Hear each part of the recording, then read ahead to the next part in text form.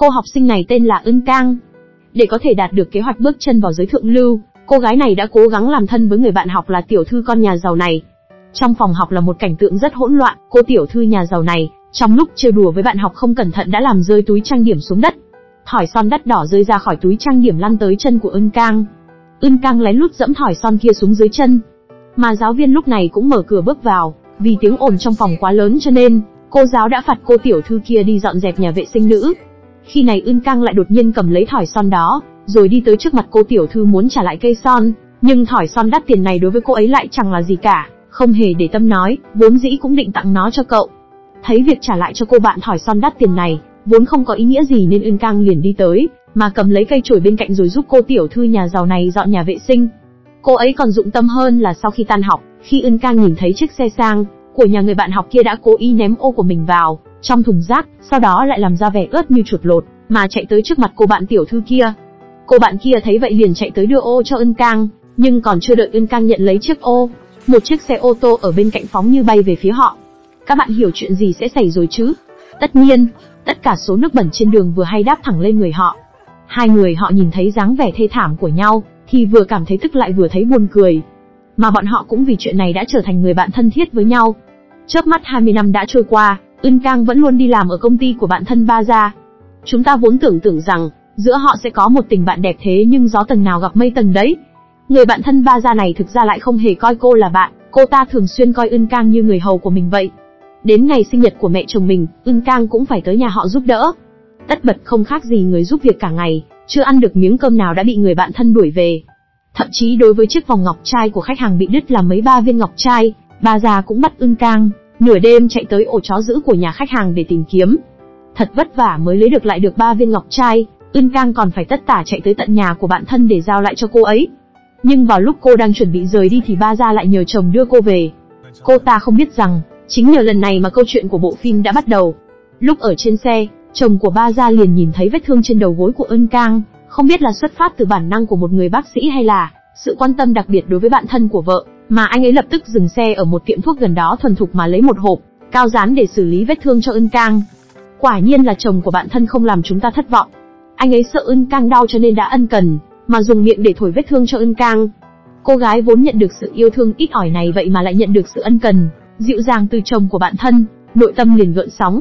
Vì để cảm ơn anh đã đưa mình về, cô đã mời Cha Uôn tới cửa hàng tiện lợi để ăn một bát mì nóng hổi.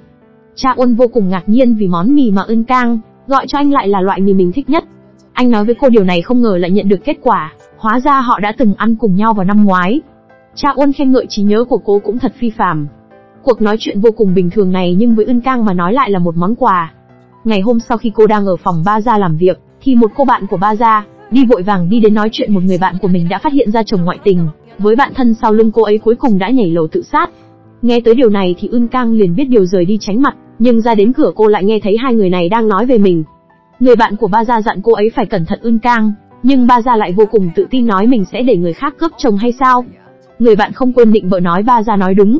Han Ba Gia sẽ không thua những loại phụ nữ thấp hèn đó.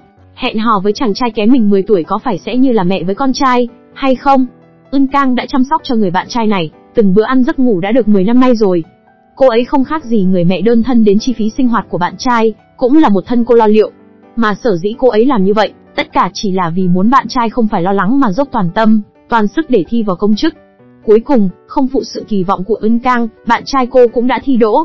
Đáng lẽ rằng người đáng được thông báo đầu tiên là bạn gái, nhưng anh chàng này lại giấu nhẹm chuyện này đi, còn giả vờ buồn bã đuổi cô ra ngoài. Chỉ chờ có thấy anh ta liền vội vàng nhắn tin, tới hội anh em tốt nói đi ăn mừng.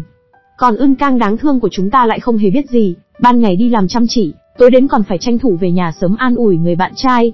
Thế nhưng cô đã lo thừa rồi, đợi cả nửa ngày trời, cô vẫn không thấy bóng dáng của bạn trai ở đâu mà ba ra bên này vừa hay, cũng tới quán ba này để tiêu tiền, nên đã vô tình mà gặp được bạn trai của Ưng Cang đang ở đó ăn mừng.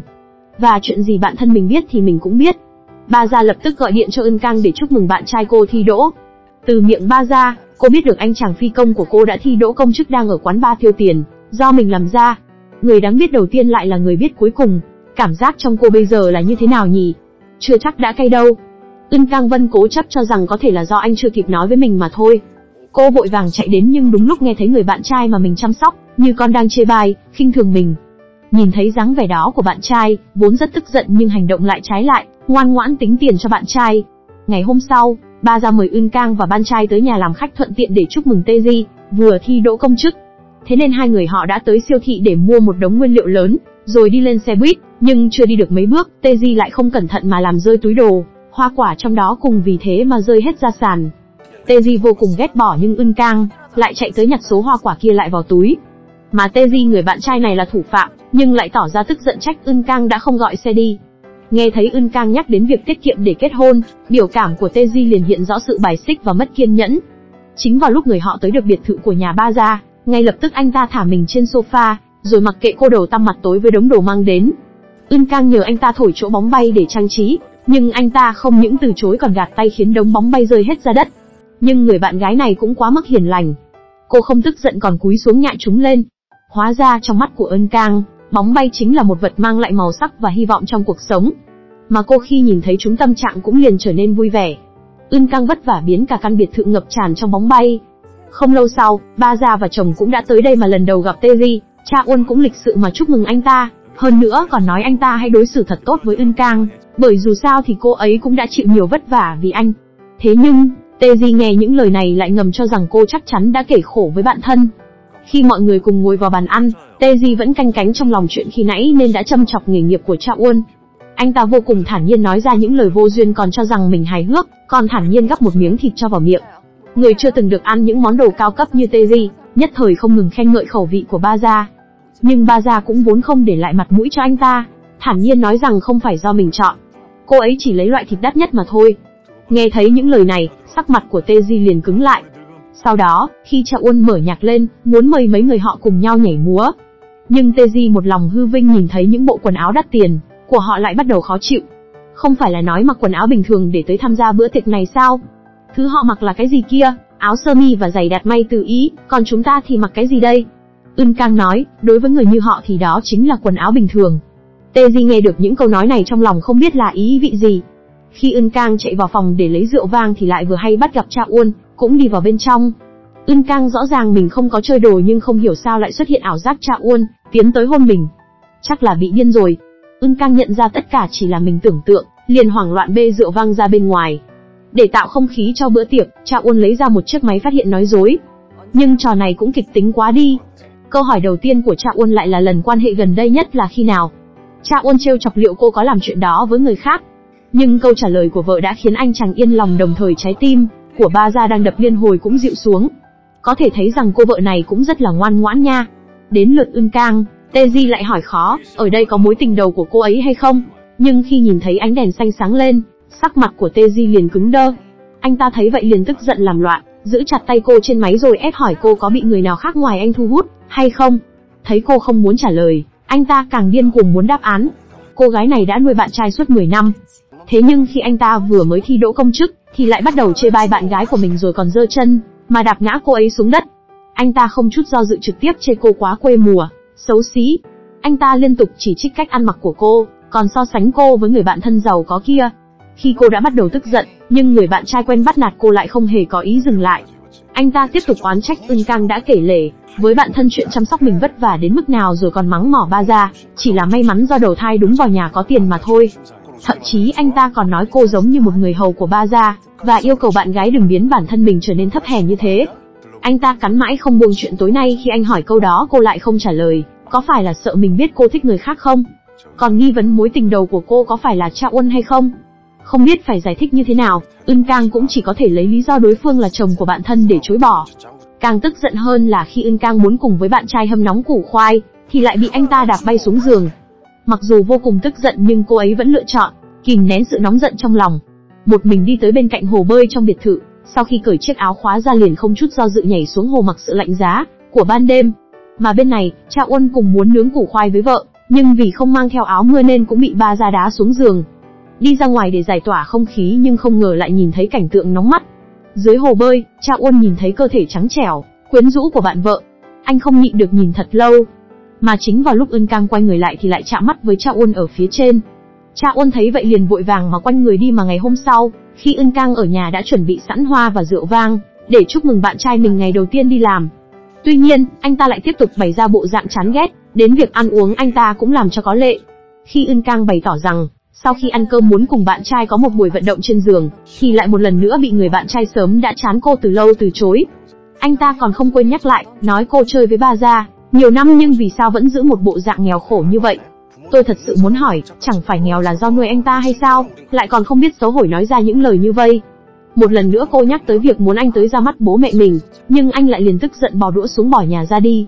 Tuy hôm trước vẫn còn vô ơn bội nghĩa với ưng Cang, nhưng giây sau đã tiêu tiền của cô rất hào phóng. Số tiền tiết kiệm bao lâu nay của Ân Cang để mua nhà lại bị tê ri, đem đi mua ô tô. Vừa xong thì lại nhận được điện thoại cầu cứu từ bạn bè. Hóa ra bạn thân của Terry đi xem mắt với một cô gái vô tình bị bạn gái của anh ta phát hiện. Để bảo toàn tính mạng anh ta chỉ đành cầu xin Terry có thể thay mình đi xem mắt. Người bạn còn nhấn mạnh người xem mắt là một tiểu thư con nhà giàu vô cùng xinh đẹp. Nhìn biểu cảm của anh ta ta liền biết người bạn gái đã khổ cực nuôi anh ta 10 năm đã bị vứt ra sau đầu bao nhiêu lần, rồi. Anh ta còn hào phóng tới một cửa tiệm đắt đỏ sắm, cho mình một cây ăn diện từ đầu đến chân. Tự tin bước tới địa điểm hẹn với cô tiểu thư xinh đẹp có tâm hồn to, và tròn này. Còn ưng cang, của chúng ta nửa đêm vẫn đang đợi người bạn trai kém mình tận 10 tuổi về nhà. Cô ấy mà biết được những chuyện ngày hôm nay mà anh người yêu làm chắc là buồn lắm. Dọn dẹp lại phòng cô lại phát hiện tấm thiệp cưới mà mình đưa đã bị bạn trai xé nát, và vứt bên trong thùng rác. Cô tức giận gọi điện cho anh, nhưng bởi đang ngồi cạnh người đẹp nên anh ta lại lập tức biến Ưng cang, thành chị gái. Quá nhanh quá nguy hiểm. Khi Teji về đến nhà, anh vui vẻ ngắm nhìn chiếc xe mà mình không vất vả cũng có được này đầy thích thú. Đúng lúc này ưn cang lại xuất hiện khiến anh vội vàng trốn ra sau xe. Thế nhưng cô đã nhìn thấy anh từ lâu. Nhìn thấy chiếc xe ở đó cô chất vấn anh đã mua một chiếc xe, nhưng anh ta lại không có vẻ gì là biết điều, còn thách thức và chế giễu người chưa làm nhân viên chính thức, như cô không thể nào hiểu được tầm quan trọng của chiếc xe. Còn chưa đợi Teji, nói xong cô lại nhìn thấy đôi giày đắt tiền của anh mới tháo ra. Nhưng anh ta lại còn hống hách nói mình muốn đi giày của Ý. Số tiền mà bản thân cô khổ sở kiếm được ở bên ngoài suốt bao nhiêu năm nay, vậy mà anh ta lại tiêu hết nó trong vòng một ngày. Bất ngờ hơn là anh ta lại còn tỏ thái độ giận dỗi. Quả nhiên, cô gái này bị mù rồi, nghe thấy bạn trai giận dỗi như vậy liền lập tức hết giận.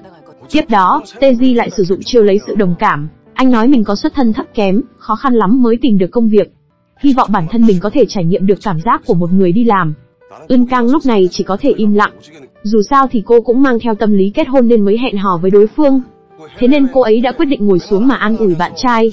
Thế nhưng anh ta lại dùng một loạt lý lẽ tấn công khiến cô câm nín. Anh ta còn trách móc bạn gái đã quản mình như, con khiến cô vô cùng thất vọng trở về nhà. Gia đình của cô ấy cũng không mấy hòa thuận. Người mẹ chỉ biết bóc lột những đồng tiền lương mà họ vất vả kiếm được. Chính vì vậy mà Ưn Cang muốn nhanh chóng kết hôn để có cớ chuyển ra ngoài. Thế nhưng em gái lại không ủng hộ cách làm này của ân Cang. Em biết là chị đang liều mạng tháo chạy khỏi ngôi nhà này, nhưng tên đó thực sự không được.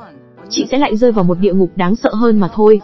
Những lời này của em gái đương nhiên cô cũng từng nghĩ đến. Không ngờ buổi tối khi đi ngủ, trong đầu cô lại xuất hiện hình ảnh bản thân tưởng tượng với Trọng Uân, khi đó ở biệt thự của Ba Gia. Mà một khi đã bắt đầu rồi thì không thể nào dừng lại được. Nhớ lại những lời mà bạn trai từng nói với mình, nội tâm liền trở nên chua xót.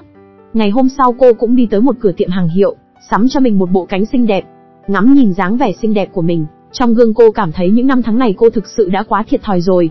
Tiếp đó, Ưn Cang liền đi tới phòng khám của cha Uôn. Cha Uôn lúc này đang định nhận cuộc gọi từ vợ mình bỗng thấy Ưn Cang, xinh đẹp từ phía trước đi lại. Người chồng mẫu mực liền tắt đi điện thoại theo bản năng. Mà ba ra sau khi gọi cho chồng không được lại tiếp tục gọi cho bạn thân. Tuy nhiên Ưn Cang sau khi thấy cuộc gọi đến cũng không do dự mà ngắt điện thoại. Cô hỏi anh có rảnh không? Cả nhà năm người đang ăn cơm cùng nhau, Bố của Ân Cang là lái xe taxi nhưng mở miệng là đòi tiền xe của con gái. Vẫn như mọi lần, cô đều trả ông đầy đủ. Thế nhưng ông ta lại chê là quá ít. Cô nói đồng hồ trên xe hiện giá 76.000 thôi, còn lại là tiền bo còn gì. Đúng là người một nhà, người anh cũng muốn từ em gái kiếm chút tiền, nên nói lần sau cô muốn đi hãy kiếm anh, anh không lấy tiền bo đâu. Người mẹ ngồi bên cạnh mới quả là tử mẫu, lên tiếng trách móc cô dù sao cũng là người trong nhà. Tại sao không bo cho bố cô thêm chút? Trong ngôi nhà này không bao giờ có sự hạnh phúc của một gia đình. Chuyện này vừa nói xong lại chuyển chủ đề qua chuyện bạn trai của Ân Cang. Bà nói nếu cậu ta không thi đậu công chức thì bỏ quách nó đi.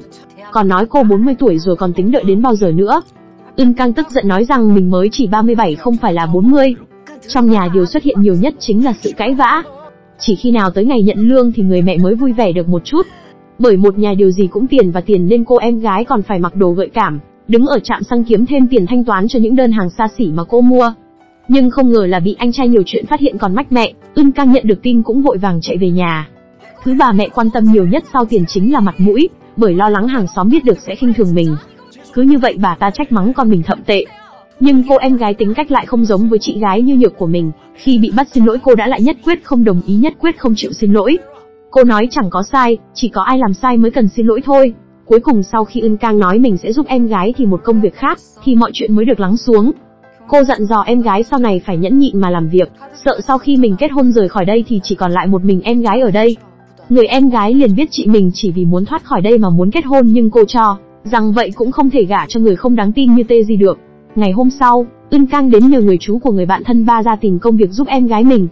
Mới đầu thì ông ấy đã từ chối nhưng khi thấy Ưn Cang, cứ ngồi đó không nói gì lại đổi ý nói mình có một công việc cho cô ấy. Ông chú còn căn dặn cô không được nói chuyện năm đó cho bất cứ ai. Cuộc gặp riêng ngày hôm nay cũng không được cho ai biết. Hình như giữa hai người có một bí mật động trời nào đó. Thế là Ưng Cang đã giao em gái mình cho ông chú kia. Cô em gái nhận ra đây là ông chú lúc trước đổ xăng xong quên trả tiền, thế nên đã lộ ra nụ cười chế giễu. Hôm sau, ông chú đến đón cô em đi làm, cô vừa lên xe đã lập tức ra quy định, tiền luôn nhất định phải trả đủ và đúng giờ.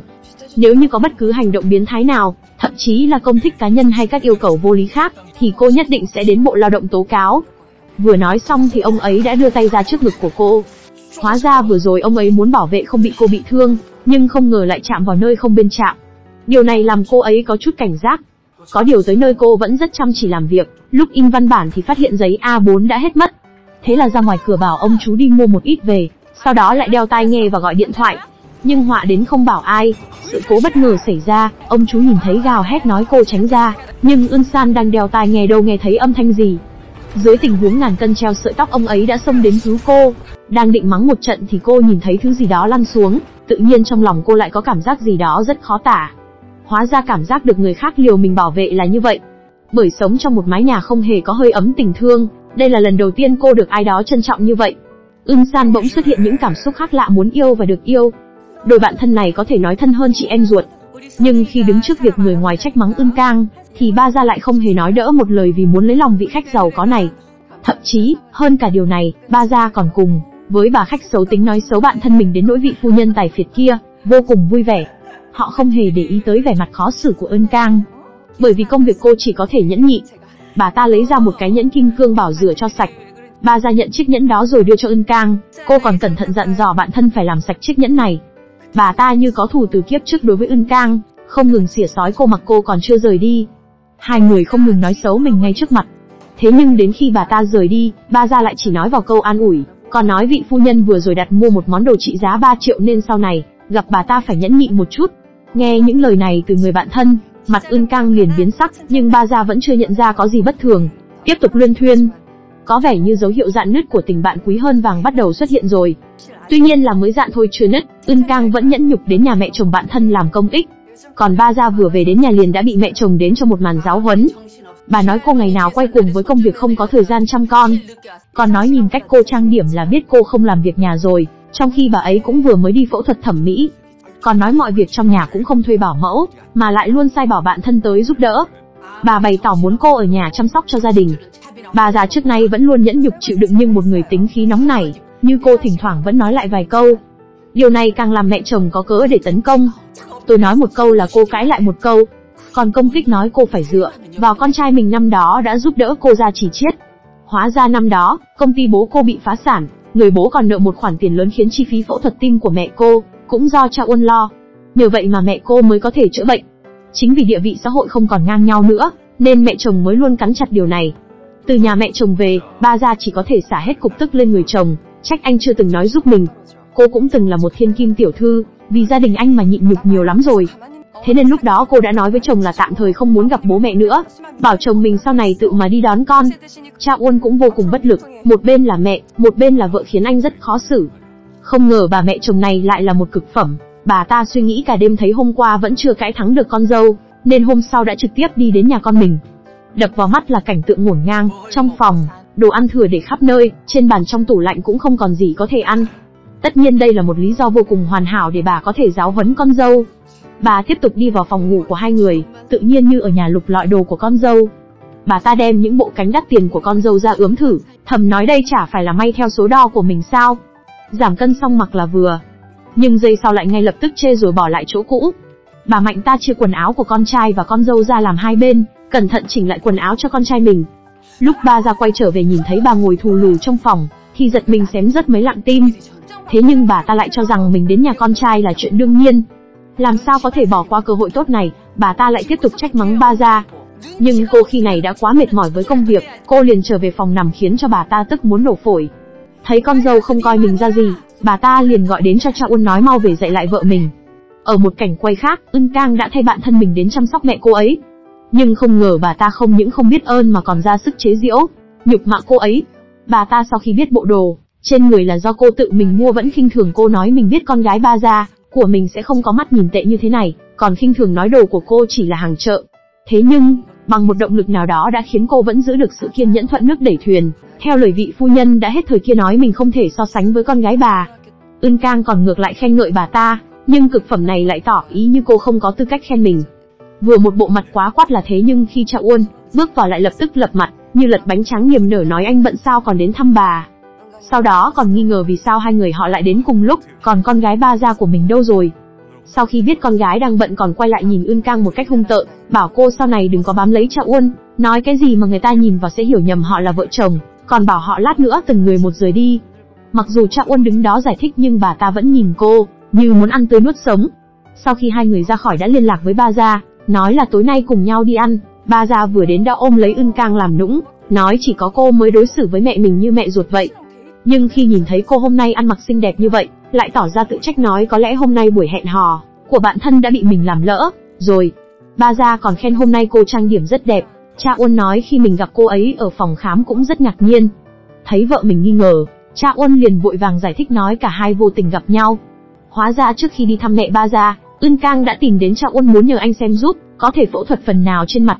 Khoảnh khắc sự ấm áp của bàn tay Cha Uôn truyền đến mặt khiến cô lập tức nhớ lại giấc mơ mà vốn dĩ không nên mơ tới đó. Cha Uôn nhìn ánh mắt đầy nóng bỏng của cô cũng sẽ ngừng lại một chút, nhớ lại cảnh mình nhìn thấy Ưn Cang đắm mình dưới hồ bơi tối hôm đó. Mà chính vào lúc hai người đang bàn về chuyện phẫu thuật thì ba Ra đúng lúc gọi tới nói mẹ cô cãi nhau với người khác trong bệnh viện rồi ngất xỉu, nên bảo Cha Uôn mau đến đó xem thử. Sau đó lại gọi điện cho Ân Cang nói cô vào cùng với Cha Uôn luôn, còn nói Cha Uân sẽ đến đón cô. Ba già không hề biết lúc đó hai người đang ở cùng nhau. Nhưng hiện tại Cha Uân lại nói chính Ưn Cang đã đến phòng khám để đi cùng mình. Hoàn toàn giấu đi chuyện hai người gặp nhau lúc đó. Nghe tới đây ba già cũng không nghĩ nhiều, nhưng hai người này lại có tật giật mình nên có chút không được tự nhiên. Ăn tối xong đương nhiên trở về nhà rồi. Nhìn thấy bạn trai từ xa cô liền tiến lại, mà người bạn trai giây trước còn cười nói vui vẻ với người khác, khi vừa thấy Ưn Cang, khuôn mặt anh lập tức đổi thái độ khó chịu như nhìn thấy một thứ xui xẻo. Còn hỏi cô đến làm gì? Nhưng Ưn Cang lại vẫn bỏ qua. Còn hỏi hôm nay công việc của anh thế nào? Nhưng Tê Di ngày càng mất kiên nhẫn, anh cũng không hề nhận ra hôm nay cô có gì thay đổi nên Ưn Cang trực tiếp hỏi nhìn cô hôm nay như thế nào. Nói không phải khen nhưng anh chàng này độ duyên chắc là âm luôn, anh ta nhìn một lượt rồi nói xấu như quỷ. Nhìn bộ mặt này rất muốn đấm nhá. Eun căng bất lực, chỉ đành đổi chủ đề khác, bảo anh dùng xe mới mua chở mình đi dạo phố, nhưng anh lại lấy lý do làm việc mệt để từ chối. Bảo Ưn Cang tự lên ghế ngồi để cảm nhận đi. Dường như không nhìn thấy thái độ của anh, cô vẫn cười tươi mà lên xe ngồi, còn khen Tê Di rất có mắt nhìn, còn nói tiền tiết kiệm mấy năm nay rất là xứng đáng. Nhưng chính vào lúc này, Ưn Cang lại nhìn thấy một thỏi son phía dưới ghế ngồi. Vừa cầm lên đã bị Tê Di giật mất nói lúc nãy anh đưa một đồng nghiệp nữ về, chắc là cô ấy đánh rơi. Anh ta ngụy biện trắng trợn không biết ngượng miệng, ngay sau lại còn đuổi cô xuống xe. Chuyển cảnh, Ưng Cang vừa đi xuống lầu đã nhìn thấy cảnh tượng kinh ngạc, Tê Di đang ôm ấp vô cùng vui vẻ với một cô gái khác. Hóa ra hôm nay Ưng Cang đã dành nhiều công sức hầm ra một món canh bổ dưỡng, để chờ người yêu về. Nhưng anh lại nhắn tin nói tối nay phải tăng ca. Thế là Ưng Cang, chỉ đành quay về nhà mình. Ai ngờ đâu là em gái cô trong lúc đang nhậu cùng bạn, đã nhìn thấy Tê Di lên xe cùng một cô gái khác. Ưng San lập tức chạy về nhà nói chuyện này lại cho cô. Ưng Cang nghe xong thì hoảng hốt đi tới, cô hít một hơi thật sâu rồi mở cửa ra, may mà không nhìn thấy cảnh tượng đó. Nhưng lúc cô đi xuống thì teji lại đang cùng một cô bạn gái đang ôm ấp cười nói vui vẻ.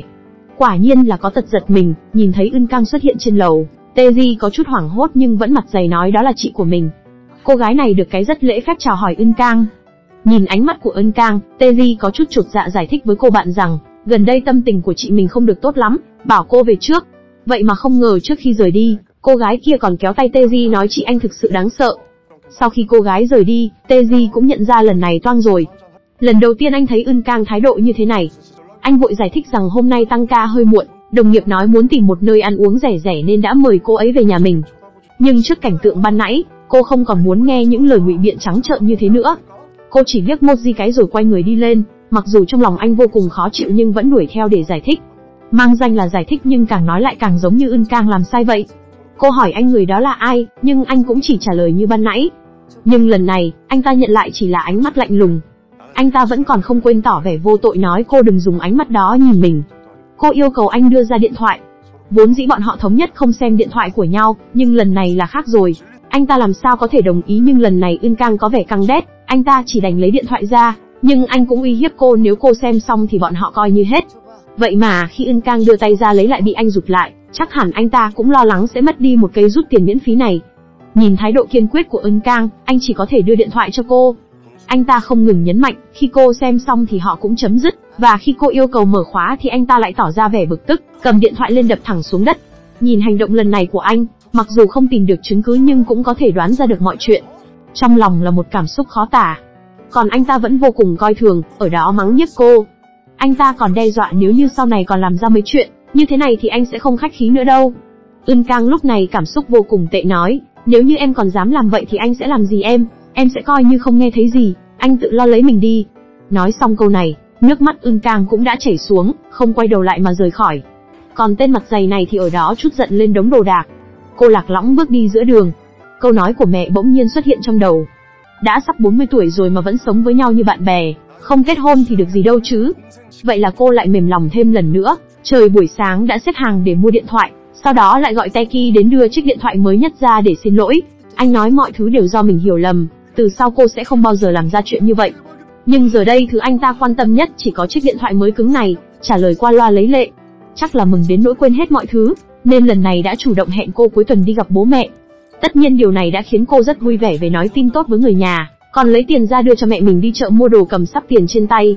Người mẹ cười như được mùa, cứ có tiền là bà ấy lại như vậy đấy. Có điều Ưn Cang đã dặn bà nhất định phải mua thịt bò ở đây, bởi vì thịt bò chỗ khác mùi vị khác hoàn toàn.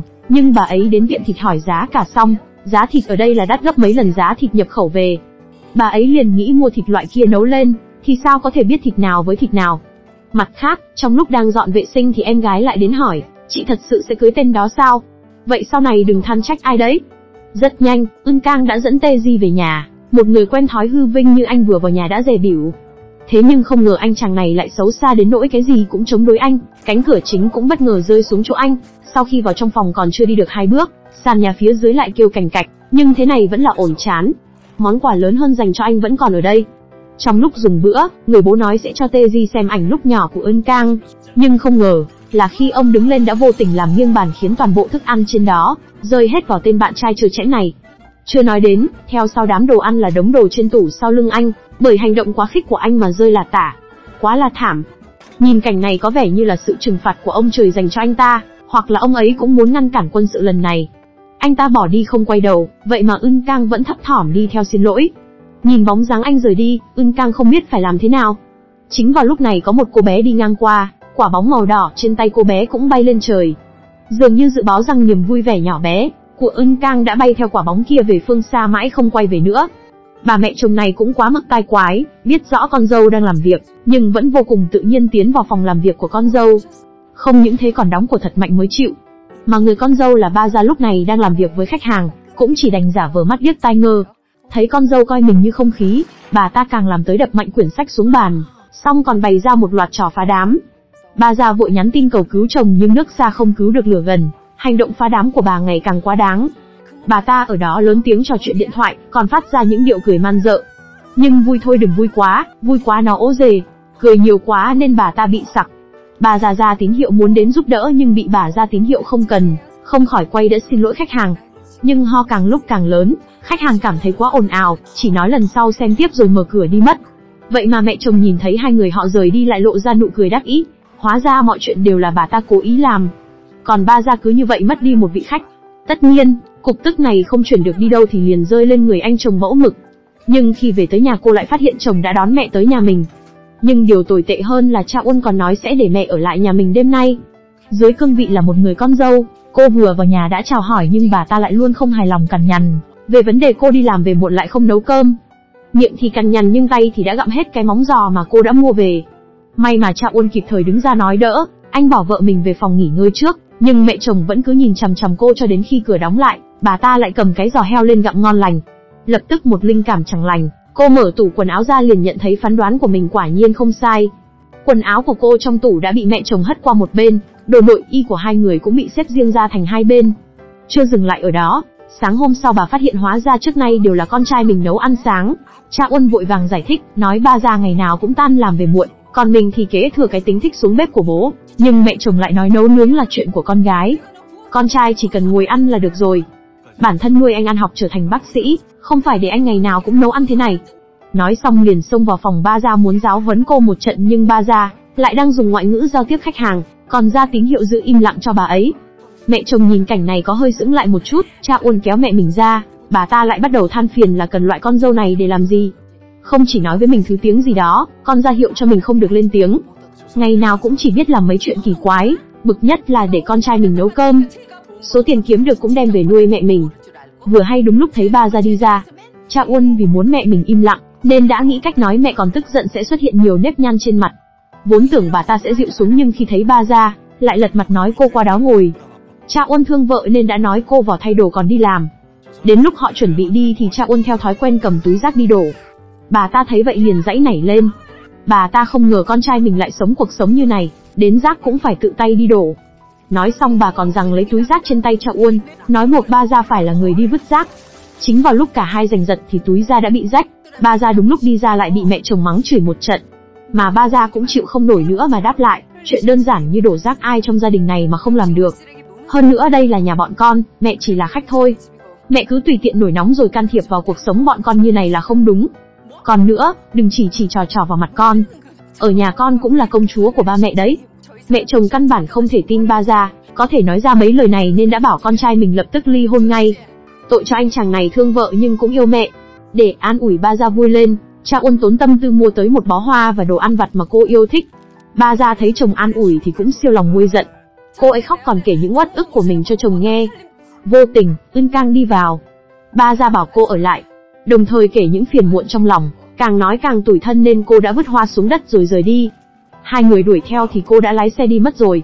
Tối đó, ba ra rủ Ưn Cang ra ngoài uống rượu để kể nỗi khổ của mình. Chỉ vì để trả khoản nợ mà bố để lại trước khi chết, ba ra mấy năm nay đã làm trâu làm ngựa cho cái nhà này. Ai ngờ đâu mình càng nhẫn nhịn thì mẹ chồng lại càng làm tới. Ba gia vốn nghĩ chồng sẽ ở giữa hòa giải nhưng không. Trong khi ba gia đang nhậu nhẹt bê tha thì cha Win lại đang chờ đợi. Anh chỉ có thể nhắn tin cho Ưn Cang về việc hai người có đi cùng nhau không. Nhưng Ưn Cang cũng lại chỉ đọc chứ không hề trả lời. Có men rượu trong người rồi nên ba gia đã xông ra giữa nhảy nhót. Giữa lúc này, cha Uân bỗng nhiên xuất hiện. Hóa ra ba gia đã sớm báo lại thông tin cho chồng, nhưng khi nhìn thấy cha Uân lại bày ra bộ dạng giận dỗi nói ghét anh. Ai ngờ đâu Chan bỗng nhiên xuất hiện. Hóa ra ba gia tự mình gọi điện thoại thông báo cho cha Uân, nhưng khi nhìn thấy anh lại nói là bỏ tay ra em ghét anh, em có ghét anh đi nữa thì anh cũng thương em. Chúng ta về nhà rồi nói. Thấy một màn ngọt ngào này, Ưn Cang có chút ghen tị. Sau khi đưa ba ra lên xe, Ưn Cang liền mượn cớ giải thích nói mình không có thời gian xem điện thoại, vì phải trông chừng ba ra, khỏi tụi đàn ông trong đó. Bọn họ cứ không ngừng chuốc rượu cô ấy. Nghe những điều này, thật không biết anh chồng sẽ nghĩ gì. Ưn Cang còn rất tốt bụng đề nghị về cùng anh để giúp đỡ, nhưng lại bị anh từ chối. Nhìn anh lái xe rời đi, một cảnh giác trống trải bỗng hiện lên trong đầu cô. Đây có lẽ là cảnh quay làm người xem hả dạ nhất từ tập 1 đến giờ. Tê Di bị Ưn Cang cho một trưởng vào mặt. Hóa ra hôm đó sau khi từ nhà Ưn Cang về thì bị Tào Tháo rượt nguyên một đêm, đến nỗi tay chân đi đứng không vững ngã gãy cả tay. Và tất cả chuyện này đều được đổ lên đầu của Ưn Cang. Anh ta lạnh lùng gửi một tin nhắn nói họ kết thúc. Nhận được tin nhắn này, Ưn Cang lập tức chạy tới tìm nhưng mật mã nhà đã bị thay đổi, gọi điện không bắt máy, nhắn tin không trả lời. Thế là cô cứ ngu ngốc ngồi đợi anh ta trước cửa cả một đêm. Ngày hôm sau vẫn không thấy anh trở về, cô nghe ngóng tin tức nói anh ra đang ở bệnh viện. Hai người gặp nhau, anh ta liền lập tức kể chuyện xảy ra trong hai ngày nay của mình. Tào Tháo đuổi còn hơn deadline dí khiến anh xém mất mạng rồi. Cô nói cả nhà mình ăn không sao lại nhận được câu nói thô lỗ của anh, cả nhà mấy người ăn quen rồi đương nhiên không sao, rõ ràng thịt bò không tốt mà dám mang cho anh ăn. Ưn Cang liên tục nói xin lỗi, cô không muốn vì chuyện nhỏ này mà kết thúc. Mặc dù Ưn Cang đã hết sức níu kéo nhưng anh ta vẫn không ngừng lại, còn đem ra cảnh nhà hai người ra so sánh nào là gia đình mình không giàu nhưng ít nhất cũng là một gia đình tầm trung. Vậy mà lần trước đến nhà cô không chỉ cửa chính hư rồi, mà năm người còn phải ngồi trong căn phòng lụp sụp kia. Thêm vào đó, Ưn Cang vẫn chưa có công việc ổn định, cứ dựa vào mấy công việc làm thêm để kiếm sống. Tên cha nam đáng ghét này mặc định bỏ qua công lao cô đã nuôi mình bao năm nay. Nếu không có cô anh sao có thể đậu viên chức và được như bây giờ. Dù níu kéo thế nào anh ta vẫn rời đi không quay đầu, ưn cang nước mắt như mưa chạy về nhà mở tủ lạnh. Cô chất vấn mẹ vì sao không mua loại thịt mình nói. Nhưng bà lại nói cô đừng tính toán nhiều như vậy, đồ ăn chỉ cần không đau bụng là được rồi. Thịt nào chả là thịt, cả nhà ăn có sao đâu. Ưn cang chất vấn đây có phải là mấy thứ bài nhặt từ nhà hàng về hay không? Bà còn ngụy biện nói là do mình tự làm, chắc do cái hộp có vấn đề mới hỏng. Ưng Cang cuối cùng đã chịu không nổi nữa, bình thường cả nhà ăn như vậy đã không nói rồi nhưng hôm đó là ngày đầu tiên Tê Di đến nhà làm khách cô không thể ngờ vào thời điểm như thế, mà bà vẫn cứ báo như vậy. Cô đã quá chán ghét cái nhà chỉ biết đến tiền với tiền này rồi. Tất nhiên, vẫn như mọi khi, bà mẹ không bao giờ nhận sai nói ăn xong cũng có chết được đâu, có nhất thiết phải nổi nóng như vậy không? Em gái sau khi biết chuyện đã đến bệnh viện muốn xin lỗi Tê Di, nhưng đến nơi lại biết được mình làm chuyện dư thừa rồi. Người yêu của chị gái lại đang mập mập mờ mờ với một cô gái, Thế là cô đứng ở trước cửa nhà, đợi chị mình về đem hết chuyện mình thấy hôm nay kể lại cho cô trong lòng cô ấy. Cô nói Ưn Cang từ nhỏ đã vô cùng thông minh, lanh lợi, không chỉ thành tích học tập xuất sắc mà ngoại hình cũng không thua kém người, cô căn bản không thể hiểu được chị mình đang nghĩ gì. Rõ ràng biết mọi chuyện đã bày ra trước mắt như thế rồi, tại sao vẫn cứ bám lấy hắn? Ưng Cang nghe những lời từ em gái, trong lòng bỗng dậy sóng, từ nhỏ cô đã phải chịu áp lực từ bố mẹ, bố mẹ bảo làm gì sẽ là làm đó. Đến giờ em gái cô lại giống hệt mẹ, Cô nói mình là một người thất bại. Thi giáo viên không đậu, viên chức cũng không, hiện giờ 37 tuổi rồi vẫn chưa kết hôn. Và giờ nếu cô không mau gả đi thì chính là một người thất bại như mẹ nói. Cô cảm thấy bây giờ cô đã không còn gì để mất nữa, vì thế không bằng cứ kết hôn trước. Cho dù sau này có ly hôn thì cũng chứng tỏ mình đã từng có người cần. Nhưng em gái cô là một người lý trí lại không đồng ý với ý kiến của chị mình, con gái đã ly hôn thì còn gì đâu hả? Em gái hết lòng muốn mắng cho chị mình tỉnh lại nhưng ưn cang lại có một niềm tin kiến định rằng Teji sẽ quay trở về với mình. Cô còn cố gắng bảo chữa nói anh ấy nhỏ tuổi hơn mình, nên không hiểu chuyện một chút thôi. Nghe những lời này, người nóng tính như em gái không thể chịu nổi nữa. Em gái cũng đem hết những gì muốn nói bấy lâu nay. Nói hết ra một lần, anh ta không hề có ý định sẽ cưới chị về làm vợ, chỉ coi chị như công cụ kiếm tiền cho anh ta mà thôi. Cô khuyên chị mình đừng qua lại với anh ta nữa, đừng để sau này phải hối hận. Nói rồi em gái bỏ đi. Nhưng người chị vẫn cố chấp làm theo ý mình, Ngày hôm sau, Ưn Cang còn bỏ qua miếng liêm sỉ, cầm theo nhẫn đến tìm anh ta. Nhưng anh ta đã chịu đủ cô rồi.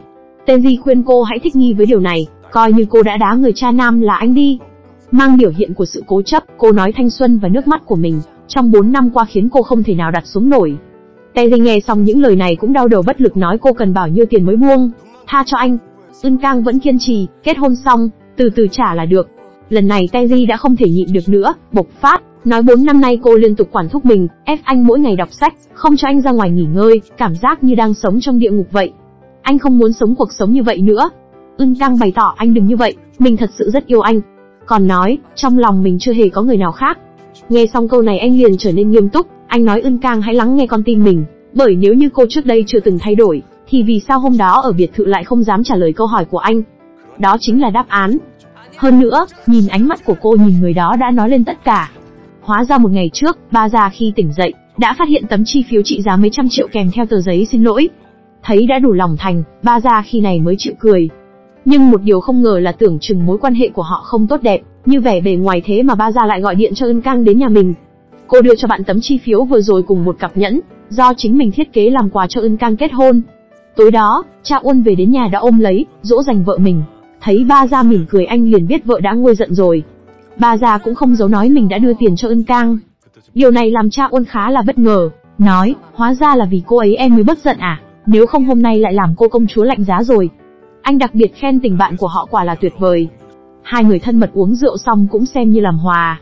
Mà Ân Cang khi này mang nhẫn tới gặp Teji, nhưng nhận lại kết quả không mấy khả quan. Hôm sau, Teji tìm tới ba ra nói với cô mình và Ân Cang đã chia tay, đồng thời muốn cô khuyên Ân Cang đừng cứ bám lấy anh, Ba già cũng vô cùng bất ngờ, mấy ngày hôm trước họ còn tính chuyện kết hôn, vậy mà hôm nay lại đã chia tay. Quả là thế sự vô thường. Teji cũng giải thích gần đây Ân Cang rất hay ép mình đến phát điên. Mà Teji cũng không nhận ra, thái độ của anh đối với người khác tốt hơn rất nhiều đối với Ưn Cang. Dưới cương vị là bạn thân của Ưn Cang, ba ra hết lòng khuyên nhủ nhưng ý anh đã quyết, dù có thế nào hai người cũng đều không thể quay lại được. Tưởng rằng cuộc trò chuyện của họ đã dừng tại đây, nhưng không ngờ khi Teji rời đi lại quay đầu muốn nói gì đó, nhưng đang nói lại thôi, Trở về nhà, cô đắn đo hồi lâu mới quyết định gọi cho Ưn Cang hỏi cô đang làm gì. Ưn Cang khi này vẫn trả lời mình đang chuẩn bị cho hôn lễ. Nghe thấy câu trả lời này ba già cũng không biết có nên nói chuyện này cho cô không. Ba già nói chuyện này với chồng, muốn anh có thể nghĩ cách nào đó để giúp Ưng Cang. Ngày hôm sau, Cha Uân tình gặp tê di, nhưng tê di nhìn thấy người đàn ông này liền khó chịu, từ trước tới giờ anh đều không có thiện cảm với Cha Uân, nên tê di cho rằng Ưng Cang nhờ anh tới đây làm hòa. Nhưng tê di lại nói những lời kỳ quái, đường đường là một nam tử hán đại trượng phu, vậy mà lại làm ba cái chuyện mờ ám, bảo anh tự xử lý những mối quan hệ tốt của mình trước đi. Lúc đó đến đây giáo huấn cũng không muộn. Cha Uân ở một bên u u cạc cạc nghe đến ngơ luôn. Trở về, cha Uân nói lại việc này với vợ. Bà già cũng nói lúc gặp mình Teji đã định nói gì đó. Hai người họ thắc mắc không hiểu Teji có ngụ ý gì. Lúc ưng căng đến, bà già trực tiếp ôm lấy cô nói chuyện Teji đến tìm mình. Người bạn thân tốt đã sắp xếp cho cô một quán bar, nói đợi cha Uân lái xe đến họ sẽ đi uống một bữa no say. Nhưng mà ưng căng nghe xong những lời này mặt liền biến sắc nói muốn ở một mình. Mà bên này, em gái của ưng căng vô tình nhìn thấy tài khoản của Teji, trên đó là hình ảnh quay thử thai hai vạch. Trong lúc tức giận đã đến tìm cho anh ta một bài học.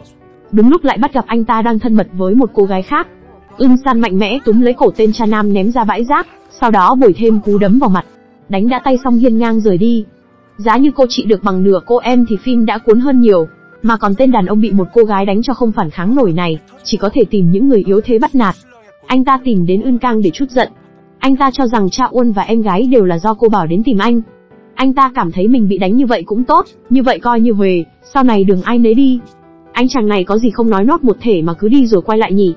Teji đi được một đoạn lại quay lại, tiến sát lại gần cô nói, đừng có đeo bám theo họ nữa làm gì, dù cô có nỗ lực như thế nào thì cô, cũng không thể nào rút ngắn khoảng cách của cô.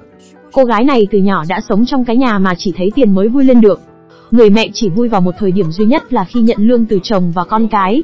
Thế nên cô chưa từng biết được cảm giá được mọi người quan tâm là như thế nào. Nhớ lại cảnh người chú lúc sáng liều mình cứu cô, cô cho rằng đây chính là cảm giác được người khác yêu thương bảo vệ. Ưm sang mang tới miếng rán và chai thuốc đến làm cho ông chú khá là bất ngờ. Ông chú hiền như khúc gỗ này không ngờ lại cũng có một tình cảnh éo le. Là một người tốt nghiệp đại học Seoul ngành luật, nhưng anh lại phải ở rể nhà vợ. Tất nhiên cuộc sống ở rể nhà vợ thì chưa bao giờ là dễ dàng cả. Ngày nào cũng chăm chỉ làm việc, thế nhưng vậy vẫn chưa đủ, anh bị bố vợ keo kiệt này mắng thậm tệ. Cái gì mà sắt mụn trên mặt đất không phải tiền sao? Vì vậy, mỗi lần làm xong anh đều phải quét sạch. Một lần, anh vô tình nghe thấy bố vợ cùng ba ra nói chuyện, tài sản của tôi phải để lại cho đứa cháu cùng họ cơ, vì thế nên phải sinh thêm một đứa con trai. Vừa đúng lúc con trai của anh cũng ở đây. Người con hiểu chuyện nói, con xin lỗi vì con họ do. Mấy lời của bố vợ và con trai làm anh rất muộn phiền. Quả nhiên người hiền thì luôn bị bắt nạt. Đều như vắt chanh, tháng nào mẹ vợ cũng đến công ty anh đòi tiền mà không thèm hỏi ý kiến của anh. Bà ta trắng trợn đến mức khi anh tỏ vẻ không hiểu liền nói, tôi đến đây làm gì cậu không biết à? Với tính tình nóng như kem của ân san, cô nhìn bà ta đâu có vừa mắt, cũng không muốn anh bị nói như vậy nên đã lấy 2 triệu ra muốn đuổi bà ta đi. Bà già hút máu người này, chê ít quá thì cô lại bố thí thêm một tờ nữa nói đây là số tiền cuối cùng kế toán có thể đụng vào. Xong còn dùng bố vợ làm cái cớ để đuổi bà ta đi. Rốt cuộc bà ta cũng phải e ngại chồng mình, chỉ đành hậm hực cầm tiền bỏ đi. Nhưng Ưn San lại không hề dễ như thế, cô lập tức gọi cho chồng bà ta mách chuyện. Về đến nhà bà ta đương nhiên là được người chồng keo kiệt chào đón nồng hậu rồi. Ưn San lại một lần nữa vô tình nghe được Nam Chun nói chuyện qua điện thoại, bố của anh đang cần một số tiền để làm răng giả. Thấy anh cứ trần trừ mãi, Ưn San biết được, nên đã tự ý lấy một số tiền trong công ty chuyển về cho bố mẹ ruột của anh. Mà anh đến lúc nhận được điện thoại của mẹ mới biết được chuyện này. Anh lập tức tìm Ưn San chất vấn, vì sao không thương lượng với mình mà đã tự tiện chuyển tiền đi. Trái ngược với tâm trạng của anh, cô rất bình thản nói mình không có tùy tiện mà còn rất cẩn thận. Cô nói bố mẹ anh đến răng cũng không còn rồi nếu như không ăn uống được lỡ đi, thì phải làm sao? Nam Chun nghe vậy thì hạn hán lời. Nhưng vốn là người chính trực, anh vẫn cho rằng dù sao cũng không được lạm dụng của công. Nhưng câu nói tiếp theo của cô lại làm anh không thể đáp lại, vậy cuối cùng là bố mẹ ai muốn trồng răng? Anh là người duy nhất có thể kiếm tiền trong nhà nếu như đến chuyện này còn không làm được, thì anh đi làm để làm gì? Những lời này quả đã đánh trúng tâm trạng của Nam Chun. Anh chỉ đành thở dài, thầm nghĩ cách phải nhanh chóng hoàn trả số tiền này. Sau đó, mối quan hệ của hai người họ ngày càng tốt. Ưn San ngày nào cũng chuẩn bị đồ ăn cho anh, nếu như quá giờ cô sẽ nấu cho anh chút gì đó. Thấy được sự quan tâm của cô đối với mình, Nam Chun vì muốn cảm ơn cô nên đã lái tới một chiếc xe ngầu đét của bố vợ mình đưa cô đi ra ngoài dã ngoại, đến căn cứ bí mật mà anh rất hay thích. Hai người ở cùng nhau vô cùng hòa thuận vui vẻ, họ đùa giỡn cả một ngày. Đến nỗi Nam Chun buổi tối khi trở về nhà những, trong lòng vẫn tràn đầy dư âm còn tìm con trai học những từ lóng của giới trẻ, nào là còn cái nghịch u là trời, trở lại với người mẹ chồng của ba gia, người mẹ chồng này cũng quá mức quái gở đi, chỉ vì buổi sáng không cãi lại con dâu, nên bà liền tìm và hẹn gặp bạn thân của con dâu. Bà ta không ngại sử dụng thủ đoạn nói với Ân Cang, Nếu con dâu bà là cô thì tốt biết bao, còn khen cô vừa ngoan ngoãn lại lễ phép. Nhưng ân cang lại chỉ khách sáo nói bà quá khen rồi. Bà ta rõ ràng muốn chia rẽ mối quan hệ của hai người hòng lôi kéo ân cang về phe mình. Bà ta trực tiếp hỏi cô về ba gia trước khi kết hôn đã có bạn trai chưa. Thấy bị hỏi trực tiếp như vậy, Ưng cang chỉ có thể trả lời rằng, hình như là có dù sao thì lúc còn gấp ba cô ấy được rất nhiều người theo đuổi. Thấy Ưng cang nói như không nói vậy, bà ta càng thêm ghét con dâu của mình hơn. Không dừng lại ở đó, bà hỏi tiếp, ba gia trước khi ra nước ngoài có xảy ra chuyện gì hát không? Đây chính là lúc biểu hiện tình bạn, Ưng cang dè dặt nói, cô ấy chắc không làm chuyện gì xấu đâu ạ. Có vẻ như câu trả lời của Ưng cang còn ẩn chứa một ẩn ý khác. Mà bà ta cũng không phải người ngốc liền bắt được đúng sơ hở này. Nhưng cũng không thể chắc chắn 100% đúng không tại, vì con có đi tới tận ý nhìn tận mắt nó đâu. Thấy ưn cang im lặng, bà ta càng chắc chắn hơn về suy đoán của mình. Thấy đạt được mục đích, nhưng bà ta còn có nhiệm vụ khác, đó chính là chia rẽ tình cảm hai người. Nói một hồi rồi rời đi, bà ta còn không quên dặn dò ưn cang không nói ra chuyện này cho bất cứ ai. Đồng thời khi này ba gia và mẹ cô đang ngồi nói chuyện, bà nói mình rất hay nhìn thấy ưn cang đi cùng con rể, ai nhìn vào không biết sẽ nghĩ hai người đó là vợ chồng ấy chứ. Bà gia giải thích nói vì mình nhớ ưn cang đến nên mới vậy. Nhưng dù vậy bà vẫn cảnh báo cô vì lửa gần rơm lâu ngày cũng bén. Nhưng ba gia lại cho rằng bà nghĩ xa rồi, vì cô rất tin tưởng chồng và bạn thân mình. Đến mức sau khi hai người kết hôn, đến mật mã cửa cũng không đổi cho phép Ưng cang tự do đi lại trong nhà. Ở một cảnh quay khác, chú của Ưng cang đang lái xe bám theo một cô bé, hình như cô bé không nhận ra điều này cho đến khi ông chú gõ cửa phòng. Hóa ra ông chú này là bố của cô, đến thăm người con gái đã lâu không gặp. Liếc nhìn căn phòng nhỏ xíu lại bừa bộn, con gái phải ăn mì tôm sống qua ngày. Con cô bé thấy bố mình thì cũng không vui mừng, mà tiếp tục ngồi xuống ăn hết tô mì. Người bố vô cùng đau lòng hỏi con gái rằng mẹ đâu, tại sao lại một mình con sống ở nơi này? Tại sao bố gọi không bắt máy? Thấy bố sổ một chàng nhưng cô bé lại chỉ kiên nhẫn nói bố đi đi đi, mì sắp nở ra rồi. Người bố tiếp tục hỏi con mình vì sao lại ở ký túc xá. Không ngờ cô bé lại phản ứng, ký túc xá thì sao chứ bố đau lòng lắm sao? Rõ ràng chính bố đã bỏ rơi con. Nghe xong câu này anh chỉ biết dừng lại một chút, anh nói bố không có bỏ rơi con. Vậy tại sao lại sinh con ra làm gì con có cần bố mẹ phải sinh ra đâu? Lúc hai người ly hôn có hỏi ý kiến con chưa? Tự ý ra quyết định sau này đừng có đến đây giả nhân giả nghĩa nữa. Một mình con sống rất tự do. Nghe những điều này anh vô cùng đau đớn, nhìn đứa con gái ruột phải chịu khổ như vậy, anh kiềm chế cảm xúc rồi lái xe rời đi.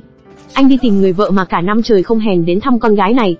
Vừa nhìn thấy cô anh đã hận không thể cho cô ta một bạt tai, anh chất vấn cô ta tại sao lại dám đuổi con gái ra khỏi nhà. Lúc ly hôn rõ ràng anh đã tay trắng ra đi mục đích chính là để con gái có thể sống cuộc sống đầy đủ ấm no, vậy mà người phụ nữ trơ trẽn này lại đuổi cả con gái mình. Nhưng cô ta lại nói như thể chuyện không hề liên quan đến mình. Đúng lúc một người đàn ông đi từ trong nhà ra, anh liền biết đây chính là người tình mới của cô ta. Vốn muốn nhẫn nhưng nhìn thấy đôi cẩu nam nữ này anh nhịn không nổi nữa. Anh vừa tức vừa hận nói, con gái ở bên ngoài chịu đói chịu rét còn cô thì chỉ biết ở đây hưởng thụ, còn đàn đúng với người đàn ông khác. Cô có còn là mẹ của nó không vậy? Anh nhất định phải xử lý hai người này mới hà cơn giận được thấy hắn ta rời đi anh, lập tức đuổi theo ai ngờ đâu cuối cùng vẫn mất dấu làm, cho cơn giận trong lòng anh không thể phát ra được. Một cảnh tượng khiến người xem vô cùng hà giận, Ưn Cang thẳng tay tặng cho tên bạn trai đều cáng một cú đấm chảy máu mũi sau đó, rời đi vô cùng mạnh mẽ. Hóa ra cả nhà Ưn Cang, sau khi biết chuyện của Tê Di đã tức giận xông vào chỗ làm việc của anh ta và tất nhiên là tẩn cho anh ta một trận rồi.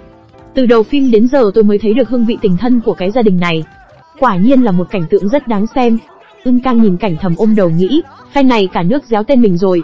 Sau khi người nhà của Ưn Cang bị đưa đi, hắn ta còn nói may mà mình đã không kết hôn với Ưn Cang. Anh ta trở lại chất vấn Ưn Cang tại sao cứ mãi không buông tha cho mình. Anh còn hỏi thăm rất nhiều về bố mẹ của cô. Ưng Cang không thể chịu nổi nữa đấm ngay một quả vào đúng vị trí cũ, mà em gái mình đã đánh dấu. Tuy là một tên đực dựa nhưng hắn ta lai rất yếu đuối, kêu trời. Ưng Cang đến tìm bạn thân trả lại nhẫn, và số tiền lúc trước ba gia đã đưa cho mình.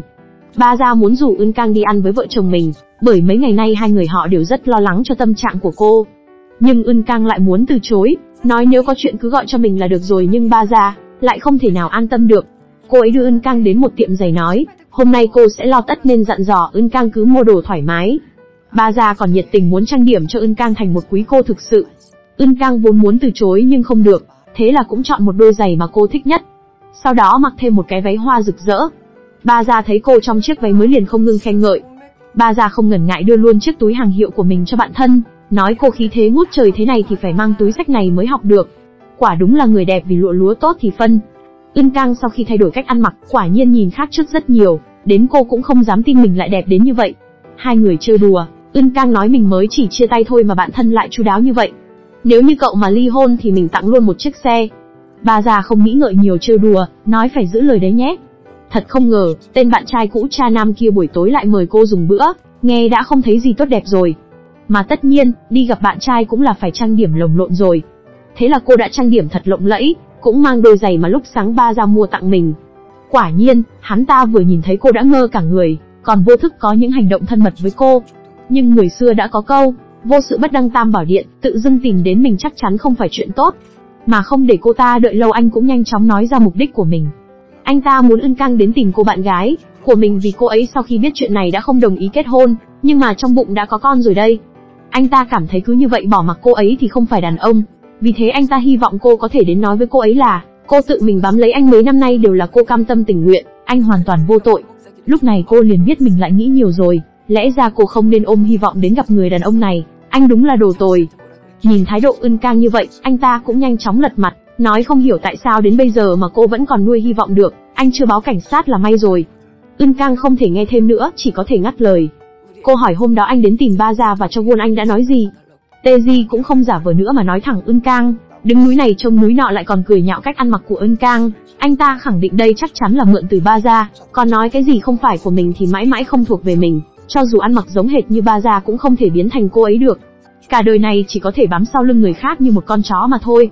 Ưn cang giờ đây thực sự chết tâm, Cô lạnh lùng nói trước khi tôi xé xác anh ra thì anh hãy nên câm miệng lại, tốt nhất là anh nên nghĩ cách làm sao để trả nợ cho tôi đi. Nói xong cô liền đứng dậy rời đi. Nhưng Teji lại nói mình có nợ gì đâu. Mấy năm nay mình chả hề đòi hỏi gì, tất cả chẳng phải là cô thích tôi nên đều tự nguyện đó sao? Mời tôi ăn cơm, tặng quần áo, tự trả tiền nhậu giúp tôi mua nhà, mua xe cho tiền tiêu vặt. Xét về mặt pháp lý, tôi chả cần trả gì cả. ưng Cang khi này mới thực sự hiểu ra, thì ra, bấy lâu nay cô đã nuôi một tên cha nam như anh, Cô còn muốn kết hôn với loại cha nam như hắn ta. Nhưng hắn ta lại không dừng lại ở đó, hắn ta còn bồi thêm một câu chí mạng, dựa vào tướng mạo và tuổi tác của cô, thì dũng khí đâu ra mà hoang tưởng đòi kết hôn. Cô đã sắp 40 tuổi rồi, đến chuyện sinh con được hay không còn chưa chắc nữa. Hắn ta bảo cô hãy mau về nhà mà soi lại mình đi. Ưn Cang khi này phẫn nộ tột cùng, cô cho hắn ta tắm mình trong ly nước mát lạnh rồi rời đi. Cô điên cuồng chạy khỏi đó, đến mức một chiếc giày rơi ra nhưng cô vẫn không để ý. Cô hận bản thân mình, Tại sao lại tìm đến một người đàn ông như vậy? Cô khóc lên vô cùng đau đớn, một hồi sau khi cạn sức thì từ từ đứng dậy, ánh mắt cô dần trở nên kiên định. Cô quyết định mình sẽ không chịu đựng thêm nữa. Ở một nơi khác, cô gái 20 tuổi này đưa một người đàn ông vào khách sạn. Ông chú lần đầu đến nơi như vậy nên căng thẳng như một đứa trẻ 600 tháng tuổi vậy. Còn Ưn San thì trái ngược lại, cô vô cùng tự nhiên đi vào phòng. Nam Chun không biết làm gì, cứ đứng tần ngần ở đó mãi cho đến kho Ưn San, lên tiếng gọi thì Nam Chun mới dám đi vào phòng. Nhìn anh rè rặt giống như một người từ nhà quê lên thành phố vậy, chậm chạp bước vào liếc nhìn mọi thứ xung quanh. Ưm San thấy anh nhút nhát như vậy nên đã mở một lon bia ra rồi đưa cho anh. Hóa ra mấy tiếng trước đó, em gái của Nam Chun đã gọi điện thoại cho bố vợ anh cảm ơn. Chính vì điều này đã để lộ ra chuyện anh đã lấy tiền công ty. Tất nhiên, ông già coi tiền như mạng này nghe xong huyết áp tăng vọt, như được tiếp một sức mạnh lạ thường xông vào công ty, với tốc độ người yêu cũ có người yêu mới. Ông ta vốn không hề nể mặt chức vị trưởng phòng của anh, trước mặt nhân viên mắng anh một trận, Sao mày dám rút tận 10 triệu won? Mày có phải là người không? Trước cơn thịnh nộ của bố vợ, anh chỉ có thể liên tục xin lỗi. Nhưng điều này không làm ông ta nguôi giận. Mang tiếng là con rể nhưng một chút tiền ông ta cũng không cho anh mượn. Ưng San muốn đứng lên nói đỡ mà Nam Chun lại cản lại. Anh muốn một mình gánh chịu hết mọi chuyện. Vợ anh cùng lúc chạy tới kéo bố mình đi, thì không gian mới trở lại yên lặng ngay sau đó. Sau khi ông ta rời đi, Ưng San nhìn bộ dạng ủ rũ của anh đã cảm thấy đau lòng vô cùng. Nam Chun giống như một đứa trẻ làm sai chuyện gì vậy?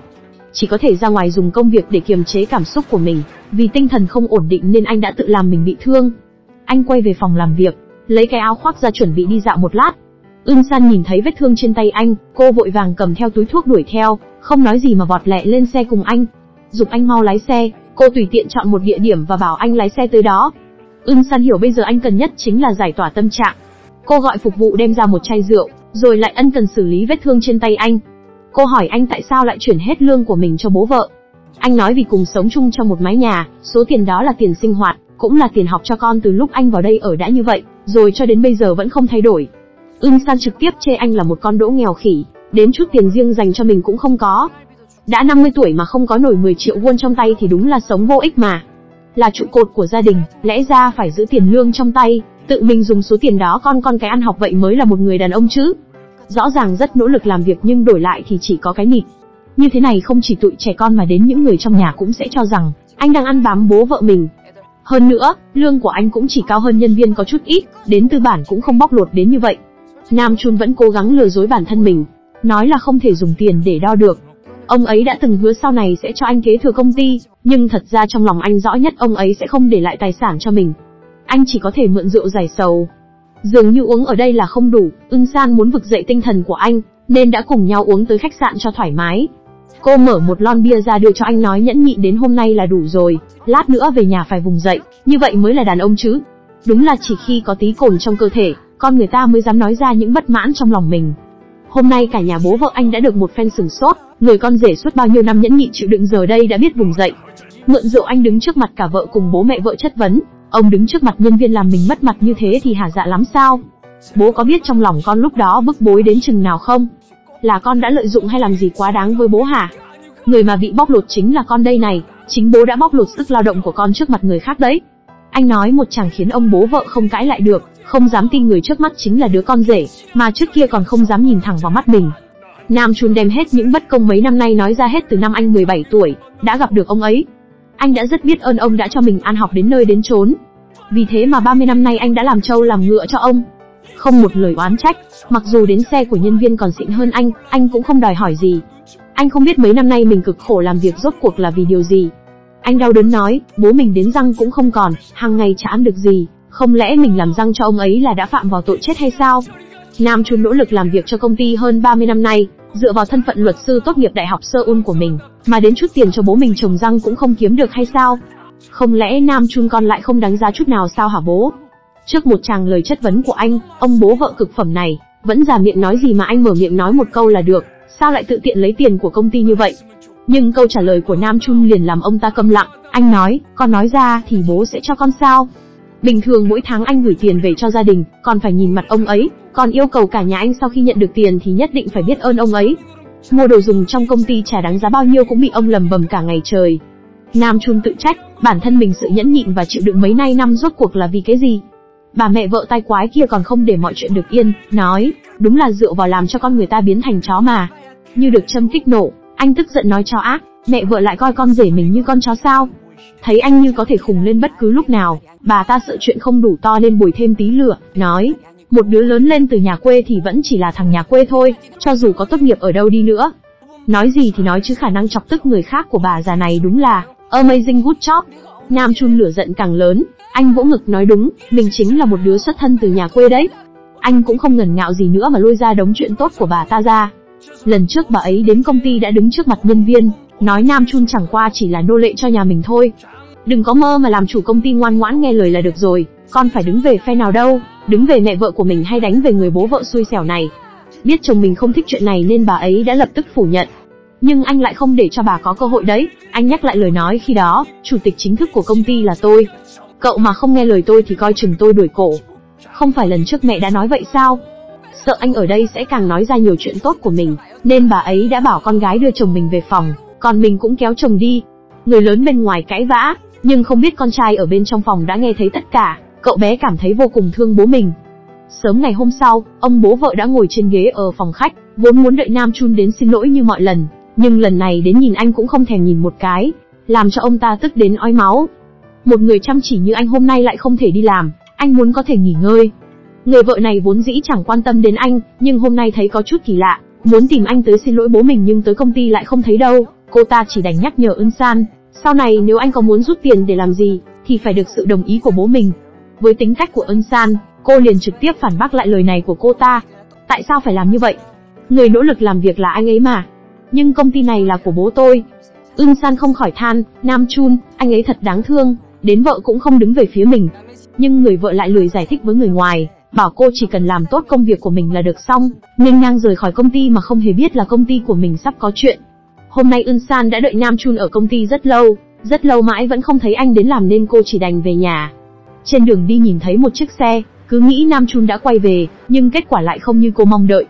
Mãi muộn, Nam Chun về đến công ty đã nhận được tin nhắn của Ân San, em đợi mãi mà không thấy anh nên về trước. Anh đã 50 tuổi rồi nên không cần tính toán với loại người đó đâu, nhất định phải cố lên, ngày mai gặp. Sự dịu dàng hoàn toàn trái ngược với vợ mình. Mở xem tin nhắn vợ gửi. Anh không thèm nói câu nào mà đi chết ở đâu rồi thế hả? Sao lại dám nổi nóng với bố em? Mau về nhà xin lỗi ông ấy đi, mau lên. Nhìn sơ sơ đã thấy sự khác biệt này. Anh nhìn chai thuốc giải rượu trên bàn mà Ưng San đã để lại cho mình, trong lòng liền cảm thấy có một dòng nước ấm chảy qua. Một người không hề có quan hệ huyết thống, lại quan tâm mình hơn cả những người trong gia đình. Cái hương vị tình thân này cũng quá mức mệt mỏi. Chàng trai này bị cả gia đình vợ đi đường quyền ngay trong hôn lễ của mình, bố vợ thì thẳng tay cho một bạt tai, sau đó, lại bị mẹ vợ nắm đầu túm tóc còn cô dâu bá đạo tháo giày cao gót ném thẳng vào đầu chàng trai xấu số. Hóa ra tất cả đều là kiệt tác của ơn cang. Cô cầm tới một món quà đến hôn lễ của Teji, nói mình là người yêu cũ của Teji, đã từng yêu anh ta 4 năm. Không chỉ như vậy, cô còn kể sạch sành xanh việc mình nuôi anh ta thi công chức suốt 4 năm trời. Chỉ từng ấy thôi cũng đủ cho bố mẹ vợ của Tê Di tức xì khói. Họ mở hộp ra xem, bên trong toàn là hình chụp yêu đương của Ân Cang và Tê Di. Lần này anh ta xong đời rồi, lập tức trở thành con chuột cống, đầu tiên là bị bố vợ cho một bả tay, sau đó lại bị mẹ vợ túm tóc đánh. Khó khăn lắm mới thoát được ra. Anh kéo Ưn Cang lại, vốn muốn như ngày xưa chút mọi tội lỗi, xả giận lên đầu cô nhưng ưng Cang của hiện tại đã khác xưa rồi, không còn là quả hồng mềm mặc anh ta nắn bóp. Ánh mắt ưng Cang lạnh lùng nói anh không cần nổi điên ở đây đâu, những gì cô làm cũng chỉ là báo đáp anh mà thôi. Tê Di tức chảo máu họng, dùng những lời lẽ cay độc để nói, còn lấy ba ra ra so sánh. Nói nghèo nàn đúng thật là tầng lớp khác thật, Ba già không chỉ bao dung độ lượng mà còn tặng cho anh một cặp nhẫn cưới làm quà. Anh ta không nhìn lại mình còn nói cô nhìn lại mình đi, cống rãnh mà đòi sóng sánh với đại dương, máng mương mà đòi tương đương với thủy điện à, ưng cang giờ đã chết tâm rồi, cô cũng không bị những lời của anh làm khó chịu, chỉ thản nhiên nói, anh vui là DC, có điều anh cũng nên đến phòng cô dâu hỏi thăm đi. Tôi đã gửi toàn bộ tin nhắn cho cô ấy rồi, bao gồm của những bức hình của chúng ta. Anh ta không kìm được mở miệng chửi mắng, con đàn bà xấu xa này. Nhìn thấy vợ trong chiếc váy cưới chạy đến, anh ta lập tức bỏ chạy nhưng lại bị cậu của Ân Cang chặn đường. Cứ như thế, anh ta đã ăn chọn một chiếc giày cao gót. Vốn dĩ Ưn Cang định cứ như vậy để chuyện này qua đi, cô sẽ bắt đầu một cuộc sống mới vì bản thân mình hơn. Hàng ngày, ngoài việc hàng ngày đi làm thêm đó đây thì lúc nghỉ ngơi, cô thường đến thư viện đọc sách. Cô đã nghĩ thông suốt và muốn ôn tập trở lại để trở thành giáo viên. Nhưng cây muốn lặng, mà gió chẳng ngừng tê di lại không biết ngại mà gửi thiệp cưới cho ba gia, còn bonus thêm vài câu khiêu khích mối quan hệ của họ. Trùng hợp thay, cảnh tượng này vừa hay bị Ưn Cang nhìn thấy. Thế là cô quyết định phải dạy dỗ tên cha nam này một trận, cũng là để nói lời tạm biệt với tên khốn này. Buổi tối, ba ra trở về nhà. Trước khi ngủ, đột nhiên cha Uôn hỏi cô một câu rất lạ kỳ. Lúc đi du học ở Ý, có phải em rất được yêu mến không? Bên cạnh luôn có một đám con trai theo đuổi đúng không?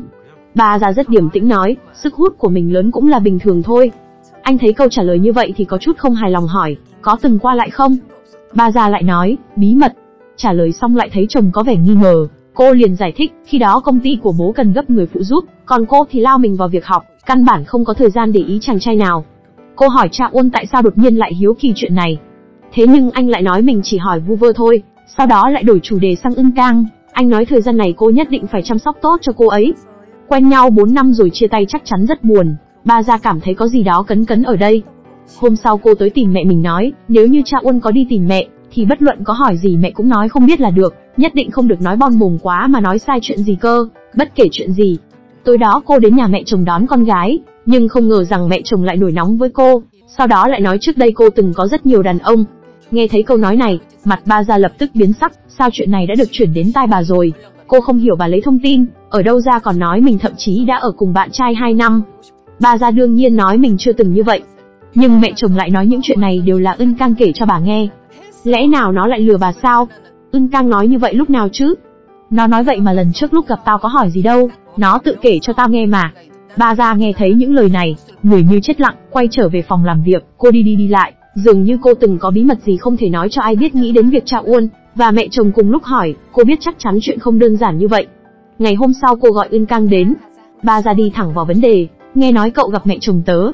Ưng Cang nói bà đã hẹn gặp mình ở ngoài, Ưng Cang mất kiên nhẫn hỏi cô đã nói những gì. Tại bà hẹn tới gặp ở ngoài sau, cậu đã nói những gì? Cô nói bà hỏi toàn những thứ gì đâu đâu. Cô chỉ toàn trả lời là không biết, vốn định nói chuyện này với cậu nhưng lại sợ cậu hiểu lầm nên đã giấu. Bà đã hỏi những gì, hỏi gì mà được con trai yêu mến rồi đi du học từng sống chung. Ưn Cang rẻ rặt nói bà có hỏi nhưng mình đều trả lời chắc chắn là không có. Nhưng những ba gia sao có thể vì vài lời nói mà tin tưởng được, trong lòng nhiều ngờ vực, ba gia dặn dò cô nếu như lần sau có tình huống này, xảy ra thì nhất định phải nói với cô, nếu không cậu sẽ ngạc nhiên đấy. Sau khi do dự một hồi ba già vẫn nói ra câu hỏi mình lo lắng nhất, Ưn Cang à, chuyện đó cậu không nói chứ? Đương nhiên là không rồi, không nhắc đến chuyện đó. Nhận được câu trả lời chắc chắn của Ân Cang, ba gia mới tạm đặt tâm trạng xuống, sắc mặt mới dần tươi tỉnh. Sau đó ba người hẹn nhau, đến một quán rượu chúc mừng Ân Cang đã thoát khỏi tên cha nam đó. Nhưng chưa uống được vài chén, Ân Cang đã say bí tỉ, gục tại trận. Hai người chỉ đành đưa cô về nhà, nhưng không ngờ rằng khi hai người đang ngủ say thì Ân Cang lại đột nhiên xông vào phòng ngủ của hai người, nhẹ nhàng nằm xuống đằng sau, đặt tay lên eo của anh. Cha Uân không chút cảnh giác, cầm lấy tay cô. Ngày hôm sau, Ưn Cang vẫn đi làm như bình thường, ba gia gọi Ưn Cang lại nói muốn giới thiệu một người cho cô. Nhưng Ưn Cang lại từ chối vội, cô nói bây giờ đến con chó Đức, mình nhìn còn ghét.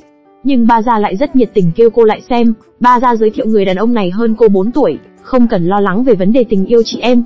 Người này còn là một người bạn trong công việc của ba gia, Tuy công ty anh ta mở chỉ có vài chục nhân viên, nhưng cũng đã mua được một căn hộ 30 mét vuông tại Seoul rồi, người như này xem như điều kiện cũng ổn. Tuy nhiên, ba già lại lo lắng không biết Ưng Cang có chê anh ta lớn tuổi không. Ưng Cang nói mình đã chịu đủ mấy đứa nhóc nhỏ tuổi hơn, rồi nên giờ chỉ muốn tìm hiểu người đàn ông trưởng thành. Nhưng điều khiến ba già không thể ngờ được là chính vì lần giới thiệu này đã khiến mối quan hệ của hai người vốn đang có vết nứt nay lại chuẩn bị tan vào mây khói. Người đàn ông ấy còn nhiệt tình hơn trong tưởng tượng, Ưn Cang vốn đang định trả lời tin nhắn của anh ta, thì tin tiếp theo đã được anh gửi đi. Hai người nói chuyện rất nhanh, đã hẹn cuối tuần đi ăn cơm, ngày hẹn, Ưn Cang đi đến tìm Ba Gia trước, cô kể cho bạn thân nghe về tiến triển của hai người. Nghe được tin này, Ba Gia cũng thở phào một hơi, nói rằng cuối cùng cũng hoàn thành nhiệm vụ Cha Uôn giao cho mình. Hóa ra Cha Uôn đã nói Ba Gia nhất định phải giới thiệu một đối tượng tốt cho cô, cậu không biết là anh ấy lo cho cậu thế nào đâu, ai không biết con tưởng anh ấy là anh trai cậu nữa. Vừa về đến nhà, Ba Gia liền nhận được một cuộc điện thoại, Nghe máy xong, gương mặt cô lộ ra biểu cảm khó tin. Bên này Ưn Cang cũng đến nhà hàng nơi hẹn gặp mặt. Cô trang điểm, ăn mặc xinh đẹp tới nơi nhưng chính vào lúc chuẩn bị bước vào, thì lại nhận được tin nhắn từ người đó. Ưn Cang, tôi cảm thấy có một chuyện vẫn nên nói với cô trước khi gặp mặt. Thực ra, vào 10 năm trước, tôi đã từng ly hôn một lần, còn có một cặp con gái song sinh 13 tuổi. Chúng do vợ cũ của tôi nuôi dưỡng. Đọc xong tin nhắn này, mặt Ưn Cang liền tối sầm. Cô nhắn tin hỏi ba gia có biết chuyện này không? Nhận được đáp án có, Ánh mắt Ưn Cang trở nên đáng sợ, cô quay đầu trở về nhà. Ưn Cang không ngờ ba gia lại giới thiệu cho mình một người đàn ông như thế. Thì ra cuộc điện thoại ba gia, vừa nhận được chính là người đàn ông ấy gọi tới nói về tình trạng của mình, bởi vậy mới có sự hiểu nhầm này, hơn nữa anh ta cũng giấu rất kỹ, ba gia quen anh ta bao năm vậy rồi mà cũng không biết có chuyện này, Ưn Cang chắc sẽ rất thất vọng. Cô lo lắng Ưn Cang sẽ hiểu nhầm mình. Cha Uân an ủi cô, không phải anh ta cũng nói với Ưn Cang rồi à? Cô ấy sẽ không hiểu lầm đâu, Lẽ nào còn cho rằng em biết chuyện mà còn giới thiệu anh ta cho cô ấy sao? Cô không biết chính điều này đã khiến hai người không còn quay về, được khoảng thời gian thân thiết này. Trước nữa, Ưng Cang nhớ lại một chuyện xảy ra vào 5 năm trước, ba ra giới thiệu đối tượng cho bạn học của Cha Uôn. Qua điện thoại, cô nói giới thiệu cho đối phương một cô gái tốt. Khi người đó hỏi đến Ưng Cang, ba gia đã phủ nhận không phải, mà là cô gái nhận được hoa cưới trong hôn lễ. Cuối cùng cô cũng hiểu, thì ra, từ trước đến giờ ba gia đều coi thường mình. Người đàn ông tốt chẳng bao giờ giới thiệu, bây giờ lại muốn mình đi làm quen với một người đàn ông đã từng ly hôn. Có lẽ trong lòng ba gia, cô chỉ xứng để gả cho người đàn ông có điều kiện thế này. Tính cách của ơn cang chính là kiểu giấu trong lòng. Cô không nghĩ đến việc sẽ tìm ba gia đối chất. Ngày hôm sau mới sớm ra cô đã đến thư viện tự học. Sau tất cả, cô đã hiểu vận mệnh và tiền tài, chỉ có bản thân mới làm chủ được. Vào lúc này, cô nhận được điện thoại của ba gia, muốn nhờ cô đem một sợi châu báu đến cho khách hàng, nhưng công ty có việc gấp không thể đi được. ân Cang liền nói để mình đi, Ba ra hỏi cô có tài xế hợp tác thường xuyên chứ? Cô bảo mình sẽ trả tiền gấp đôi. Sau khi cúp máy, ưng cang vốn là định nhờ bố đưa mình đi, nhưng khi sắp gọi thì cô đã dừng lại suy nghĩ một lúc rồi gọi lại số của ba ra, bảo rằng tài xế quen của mình hôm nay có việc bận. Sau đó, cô đến một cửa hàng mỹ phẩm bắt đầu trang điểm thật đẹp. Quả nhiên đúng như những gì ưng cang dự đoán, một lúc sau, ba ra liền gọi lại nói rằng, cha Uôn sẽ đến đó làm tài xế cho ưng cang một bữa. Cúp điện thoại ưng cang liền nở một nụ cười hài lòng, sau đó cầm một lọ nước hoa trên kệ xịt vài phát. Khi mọi thứ đã đi vào quỹ đạo, cô đứng bên đường thổi một quả bóng bay màu đỏ, gửi gắm vào đó một nguyện vọng. Đúng lúc cha Uôn đến và chứng kiến cảnh này. Sau khi lên xe, hai người trò chuyện rất tự nhiên. Cha Uôn cảm thấy hiếu kỳ, không biết tại sao cô thổi bóng bay xong lại thả đi. Ưn căng đáp, mỗi khi thấy buồn thì cô sẽ thổi một quả bóng thả đi sự đen đủi, cũng đồng thời ước một điều may mắn mới. Đang một hồi nói chuyện phiếm, đột nhiên Ưn căng lại nói ra những lời kỳ quái, Quả bóng chỉ bay đi khi được thả ra rồi sẽ có một ngày nó bị vỡ. Nó giống như một giấc mơ không thể thực hiện. Thật đáng tiếc, giống như việc không thể với tới một người nói, không chừng. Quả bóng chính là khát khao đang âm thầm lớn dần trong tim. Thấy cô bắt đầu nói năng lung tung, cha Uôn chỉ có thể giả vờ không hiểu, nhanh trí chuyển chủ đề. Anh nói nơi này đi sẽ hơi xa, Có lẽ tối muộn mới về được nhưng có vẻ đây chính là điều Ưn Cang mong muốn. Không dễ gì mới lừa được Cha Uôn ra ngoài riêng. Làm sao cô có thể bỏ qua cơ hội hiếm có này được? Nói không chừng tối nay sẽ không về nữa.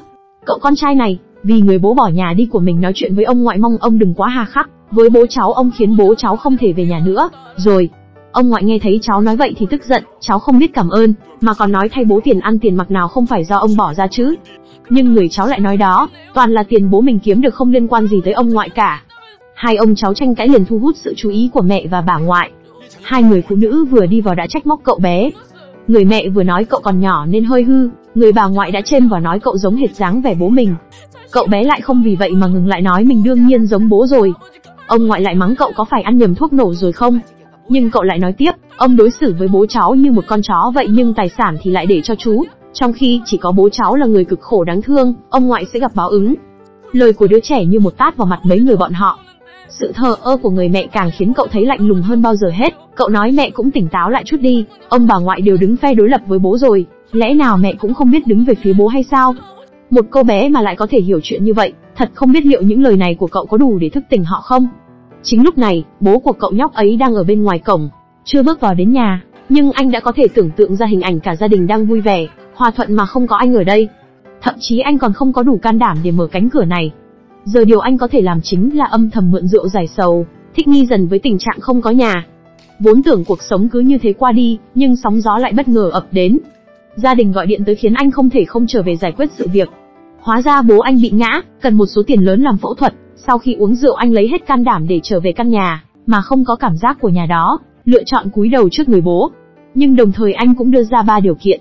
Đầu tiên là phải để bản thân nhận được sự tôn trọng không được phép chửi mắng quá đáng, trước mặt nhân viên hay con cái để bản thân có được tôn nghiêm của một người cha. Lúc trước mỗi lần bị ông trách mắng, anh đều muốn đào một cái hố, mà chui xuống căn bản không ngừng được cái đầu trước mặt con cái. Quan trọng nhất chính là giao lại thẻ lương cho anh tự quản lý. Ông lão keo kiệt này hễ nghe thấy tiền lập tức rồ ga lên, Tiền của anh phải do bản thân anh tự quản lý, anh chỉ muốn dùng tiền lương của mình nuôi gia đình muốn đích thân, cho vợ tiền sinh hoạt, cho con cái tiền tiêu vặt không muốn phải tiếp tục sống cuộc sống làm lụng vất vả, mà không có đồng nào trên người nữa. Một yêu cầu hết sức hợp tình hợp lý như thế nhưng lại nhận được cơn thịnh nộ, ông phản ứng gay gắt liền mở tủ đem toàn bộ thẻ cùng sổ tiết kiệm của anh ném ra mắng chửi lớn tiếng nói anh là vô ơn, còn nói anh cứ cầm lấy và mau lượn đi cho nước nó trong. Anh không nói nữa chỉ lặng lặng nhặt những cuốn sổ tiết kiệm lên, nhưng cô vợ ngốc nghếch của anh lúc này lại lao vào giật lấy số thẻ đó, và sổ tiết kiệm, vội vàng đưa lại cho bố mình. Cô còn hùng hồn nói việc này không phải một mình anh có thể quyết, mau ra ngoài bình tĩnh bàn bạc lại. Cô có vẻ sợ đắc tội với bố mình, nhưng hành động vừa rồi trong mắt ông lại giống như đang diễn trò hài hước. Hai vợ chồng họ ra tới ngoài, người vợ to tiếng mắng anh vì sao lại muốn lấy tiền lại, để chỗ bố cô quản lý không được sao. Tại sao lại muốn lấy đi? Cô lo sợ một khi rời khỏi chỗ dựa là ông ấy thì họ sẽ tổn thất nặng nề, Cô còn muốn con trai mình sau này lớn lên có thể kế thừa công ty. Bởi vậy cô hy vọng chồng không được làm bừa. Thấy vợ còn đặt niềm tin sai chỗ vậy, Nam Chun bất lực bảo vợ hãy tỉnh táo lại, bố vợ sẽ không giao công ty cho cháu ngoại đâu, nếu không cớ gì ông ấy lại bảo gia đình của người cậu mau chóng sinh con chứ. Lẽ nào em còn không hiểu nó là ý gì sao? Anh đã hy sinh cả nửa đời người làm trâu làm ngựa cho ông ấy rồi, nên không muốn tiếp tục nửa đời sau cũng thế. Có lẽ những lời này đã làm lay động người vợ thiếu nghị lực này. Người vợ này vốn dĩ chỉ quan tâm đến tiền, Ngày hôm sau, cô liền tới nói chuyện với bố mình. Cô chất vấn ông vì sao chồng cô là người vất vả, nhưng ông lại kiên quyết muốn giao công ty cho gia đình cha Uôn chứ. Nghe thấy con gái nói vậy, ông ta lại giống như lên cơn dại bắt đầu hùng hồn giáo huấn con gái. Ông nói năm đó lựa chọn một người có tri thức như Nam Chun, làm chồng cô là bởi vì khi đó nhìn chúng ghen của hắn. Nếu không con của họ bây giờ có thể thông minh được như vậy sao? Không chỉ vậy, ông còn tiếp tục thao túng tâm lý cô bằng cách nói về vấn đề ông nắm tài chính, trong tay chính là vì cô. Đàn ông một khi có tiền sẽ hư hỏng, huống hồ cậu ta lại là một sinh viên giỏi tốt nghiệp đại học Seoul. Ông còn rất tốt bụng nhắc nhở, hiện tại ông đã không khống chế được hắn rồi, xem rằng cô có giữ nổi anh ta không. Quả nhiên là thiếu nghị lực, mới vài ba câu thao túng tâm lý của bố đã khiến cô cảm động rất nước mắt. Vậy mà hôm sau ông lại đổi ý giao lại sổ tiết kiệm cho chồng cô, còn dùng những lời lẽ ngọt nhạt nói hồi đó anh còn quá trẻ, lo lắng anh không biết quản lý tài sản nên mới giữ hộ, lâu dần nó biến thành thói quen nên mới như vậy. Ngày hôm nay, ông hoàn trả lại số tiền của anh trong bao năm qua, tất cả đều đầy đủ, không thiếu đồng nào. Nhưng lời này khiến anh con rể chất phác của chúng ta tin sái cổ, còn cảm thấy vô cùng biết ơn bố vợ. Thực sự là cao tay. Ngay sau khi Nam Trung rời đi, ông liền lật mặt nhanh hơn lật bánh tráng, nói mình tự có dự tính. Thật không biết lão già lắm chiêu này sẽ còn bày trò gì nữa. Tuy nhiên, dù sao thì Nam Chun cũng đã có thể nắm được tiền trong tay, đây cũng coi như là một bắt đầu tốt đẹp. Hóa ra, để cảm ơn cô đã luôn động viên và ủng hộ mình trong thời gian vừa rồi, anh đã đưa Ưn San đi dã ngoại vào cuối tuần. Đến hẹn lại lên, Nam Chun mặc một vest chỉnh tề tới gặp Ưng San. Thấy anh ăn mặc lên người một bộ đồ tây bảnh trai lái chiếc xe tải đến đón mình, trong lòng cô gái liền có chút vui vẻ. Cô trêu đùa rằng đi cắm trại cũng phải mặc nghiêm túc như vậy sao? Không ngờ địa điểm mà cô chọn lại không phải một khu cắm trại gì cả, thay vào đó là đến một căn hộ kỳ lạ ở đây. Cô đã sớm bố trí hết mọi thứ, muốn được cùng anh trải qua một ngày cuối tuần chỉ có hai người. Sau vài ly rượu, Nam Chun bắt đầu hứng khởi đi loanh quanh đánh giá căn phòng. Cô nói vì không muốn để anh ngủ trên sofa lạnh lẽo, nên đã đặc biệt thuê căn phòng này. Nghe thấy điều này, người đàn ông cảm thấy bản thân không thể đón nhận một món quà long trọng như vậy. Nhưng Ưn San lại cho rằng, đây là lần đầu tiên cô để ý đến một người, cũng lần đầu tiên vì một người vui buồn mà tâm trạng cũng ảnh hưởng theo. Thấy anh muốn rời đi cô liền ôm chặt lấy anh, cô không cần quá nhiều, chỉ cần một tháng thôi là đủ. Có vẻ như ông chú này lại lười biếng muốn cô gái trẻ chủ động rồi. Cứ như thế, ông chú này bị một cô gái trẻ mạnh mẽ đè xuống dưới thân, nhìn mặt ông chú là tôi biết đây là biểu hiện của việc đã nghiện lại còn ngại rồi. Ông chú nhắm mắt mặc cho cô gái muốn làm gì thì làm. Miếng thịt 37 độ C áp thẳng vào miệng anh ấy không chút do dự, được gái trẻ chủ động, ông chú này cũng tốt số quá đây. Mang tiếng gọi nhau hai chữ bạn thân nhưng đến cái nhà bẩn cũng gọi bạn đến dọn. Như thường lệ, Ưn Cang đến nhà ba gia dọn dẹp, đúng lúc gặp mẹ bạn thân đang ở đó. Thấy cô mở cửa vào, bà ta liền nổi nóng chất vấn cô vì sao vào nhà người khác mà không bấm chuông. Cho dù ba gia đã giải thích rằng mình đã nói mật khẩu cho ân Cang, nhưng bà ta vẫn không cho cô chú thể diện, nói, sao thể nói chuyện quan trọng như vậy cho một người ngoài chứ? Ba gia giải thích rằng ân Cang đâu phải là người ngoài đâu chứ. Mặc cho bị sỉ nhục như vậy nhưng ân Cang vẫn quỳ trước mặt mẹ ba gia, lau dọn sạch sẽ nhà cửa. Thế nhưng ba gia giờ đây, không hề biết rằng ân Cang sớm đã lên một kế hoạch trả thù hoàn hảo. Hôm qua, trên đường trạm Uân đưa Ân Cang trở về, anh đã thay ba gia xin lỗi cô, anh nói lần trước chàng trai anh giới thiệu là do ba gia, chưa tìm hiểu kỹ trước nên mới xảy ra chuyện xấu hổ như vậy. Còn nói hôm đó tên bạn trai cũ của Ân Cang đã đến đưa thiệp mời cho ba gia. Ban đầu anh định kêu ba gia tặng một đôi nhẫn, sau đó mới nói tụi mình bỏ tiền ra mua, trùng hợp là loại nhẫn đó là do một tiểu thư giàu có đặt, sau đó không lấy nên khi đó mới tặng cho Ân Cang. Có điều sau đó Ân Cang lại trả lại nên cuối cùng lại bán với giá thấp cho Teji. Nhìn thấy biểu cảm hơi bất thường của Ân Cang, cha Uôn mới hiểu ra ba ra, chưa kể chuyện này với cô. Tất nhiên là anh phải nói đỡ vợ mình rồi. Cha Uôn bày tỏ, có lẽ cô ấy sợ cô hiểu lầm nên mới không kể. Ân Cang mặc dù miệng thì nói không sao cả, nhưng trong lòng sự hận thù lại ngày càng dâng cao. Bất luận là người đàn ông giới thiệu trước đó hay là cặp nhẫn tặng cho cô, hóa ra đều là những thứ người khác vứt bỏ thì ba gia mới nghĩ đến cô. Đúng lúc này, cha Uôn nhận được điện thoại của ba gia. Sau khi cúp máy, đột nhiên bụng của Ân Cang đau dữ dội, hai người đành tạm dừng một chút trong khu dịch vụ. Nhưng sau khi vào nhà vệ sinh, Ưn Cang lại biểu cảm như chưa từng xảy ra chuyện gì, ngược lại còn chấm chút son môi, trong ánh mắt là sự hận thù nồng đậm. Ưn Cang rửa tay thật lâu dưới vòi nước lạnh. Quả nhiên sau khi ra ngoài, Cha Uân liền cầm lấy tay Ưn Cang, phát hiện tay cô lạnh như L ma vậy. Anh liền khẳng định là do bữa tối vừa rồi không tiêu hóa được. Không hổ là bác sĩ giỏi, để xúc tiến quá trình tiêu hóa, anh nắm lấy tay cô ấn ấn.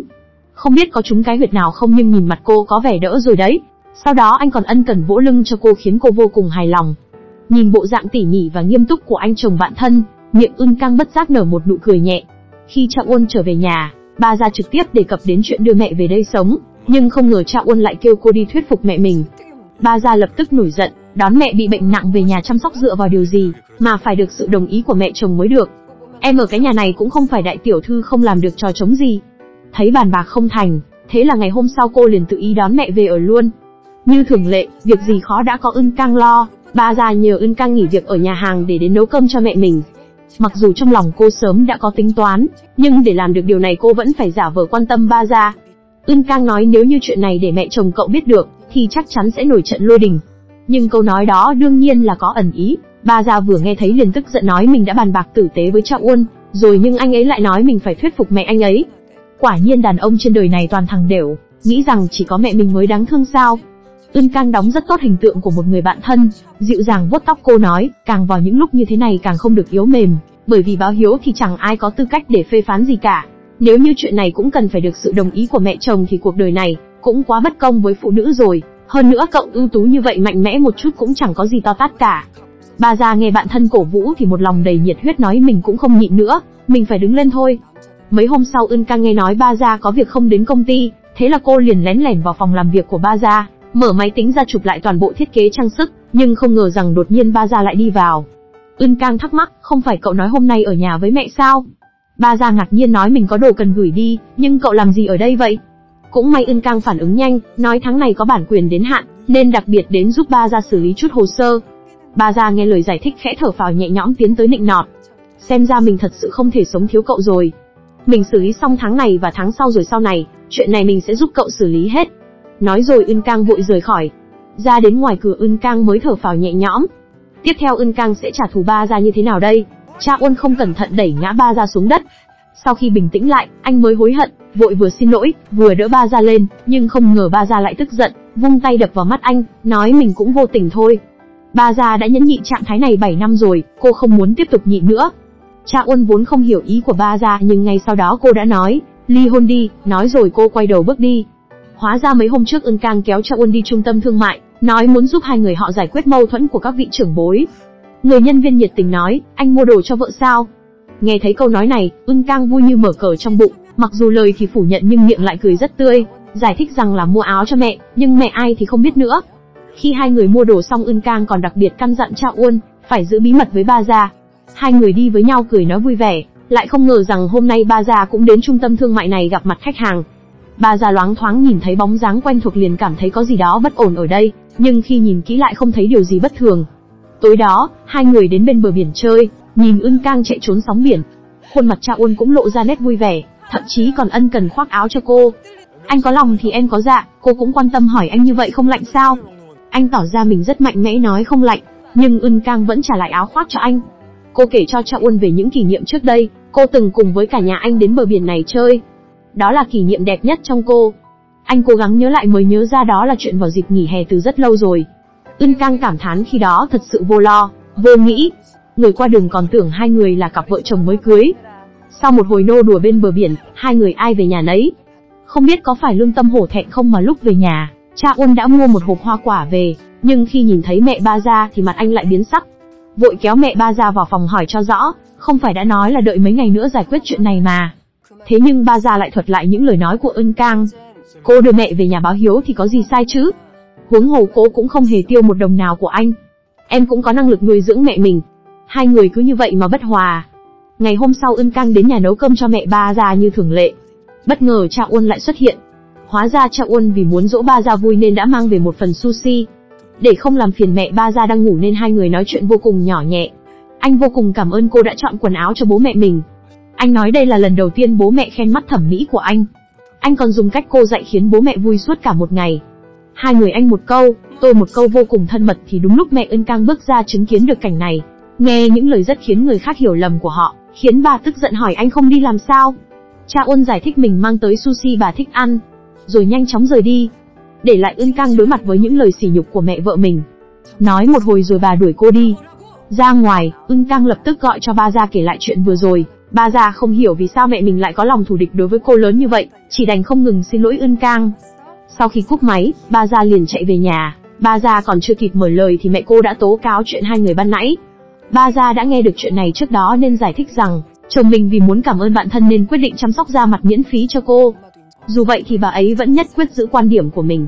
Chắc chắn cô có vấn đề, không chỉ hồi nhỏ đến nhà chơi, cũng không hề coi mình là người ngoài mà còn luôn thể hiện hình tượng một người lương thiện, ai mà biết được trong lòng cô ta đang nghĩ cái gì chứ. Nhưng ba gia lại không nghĩ như vậy, cô nói dù không có cha uân thì con cũng không thể thiếu ân cang được. Mẹ cô dọa cẩn thận không họa từ miệng mà ra. Mà ba gia không thể ngờ rằng câu nói này lại vận vào người mình. Chuyện này chưa qua thì chuyện khác lại đến, ba gia vừa đến công ty một lúc thì đột nhiên có tiếng nhập mật khẩu cửa. Bà lập tức nhớ lời dặn của con gái, nếu như mẹ chồng đến thì nhất định không được mở cửa. Bà vội mở camera ra nhìn. Quả nhiên là bà thông gia. Bà sợ hãi, vội vàng gọi điện cho ba ra. Phía bên cha Uân cũng nhận được điện thoại của mẹ. Bà kêu con trai mau cho mình mật khẩu nhà. Bây giờ bà đang đứng ở cửa. Cha Uân hốt hoảng vội vàng chạy về, không ngờ rằng bà nhìn thấy con trai thì lại càng ngạo mạn kêu anh đứng một bên nhìn. Chắc chắn bà sẽ phá được cái mật khẩu này. Tất nhiên cha Uân đâu để mẹ mình làm chuyện này được, không nói nhiều, anh vội kéo mẹ ra ngoài rồi đưa lên xe taxi cho về. Mà ba gia cũng vừa hay chạy đến, cô nói không thể tiếp tục giấu giếm được. Nếu như lần sau lại như vậy thì chưa biết chừng mẹ cô sẽ bệnh nặng thật đấy.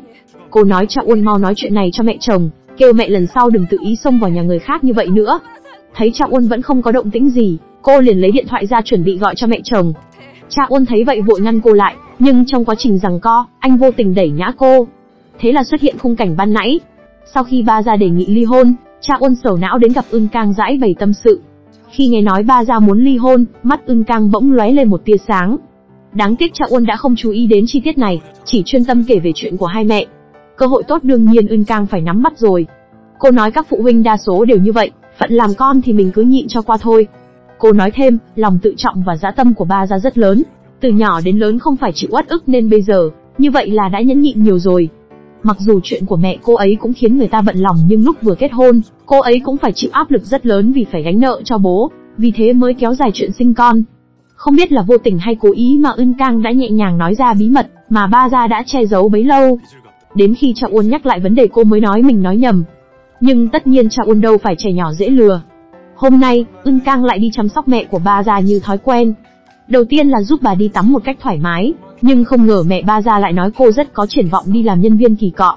Cô nhẫn nhịn nấu cho bà một bàn ăn đẹp mắt, nhưng bà lại tiếp tục khen cô có khả năng mở quán ăn.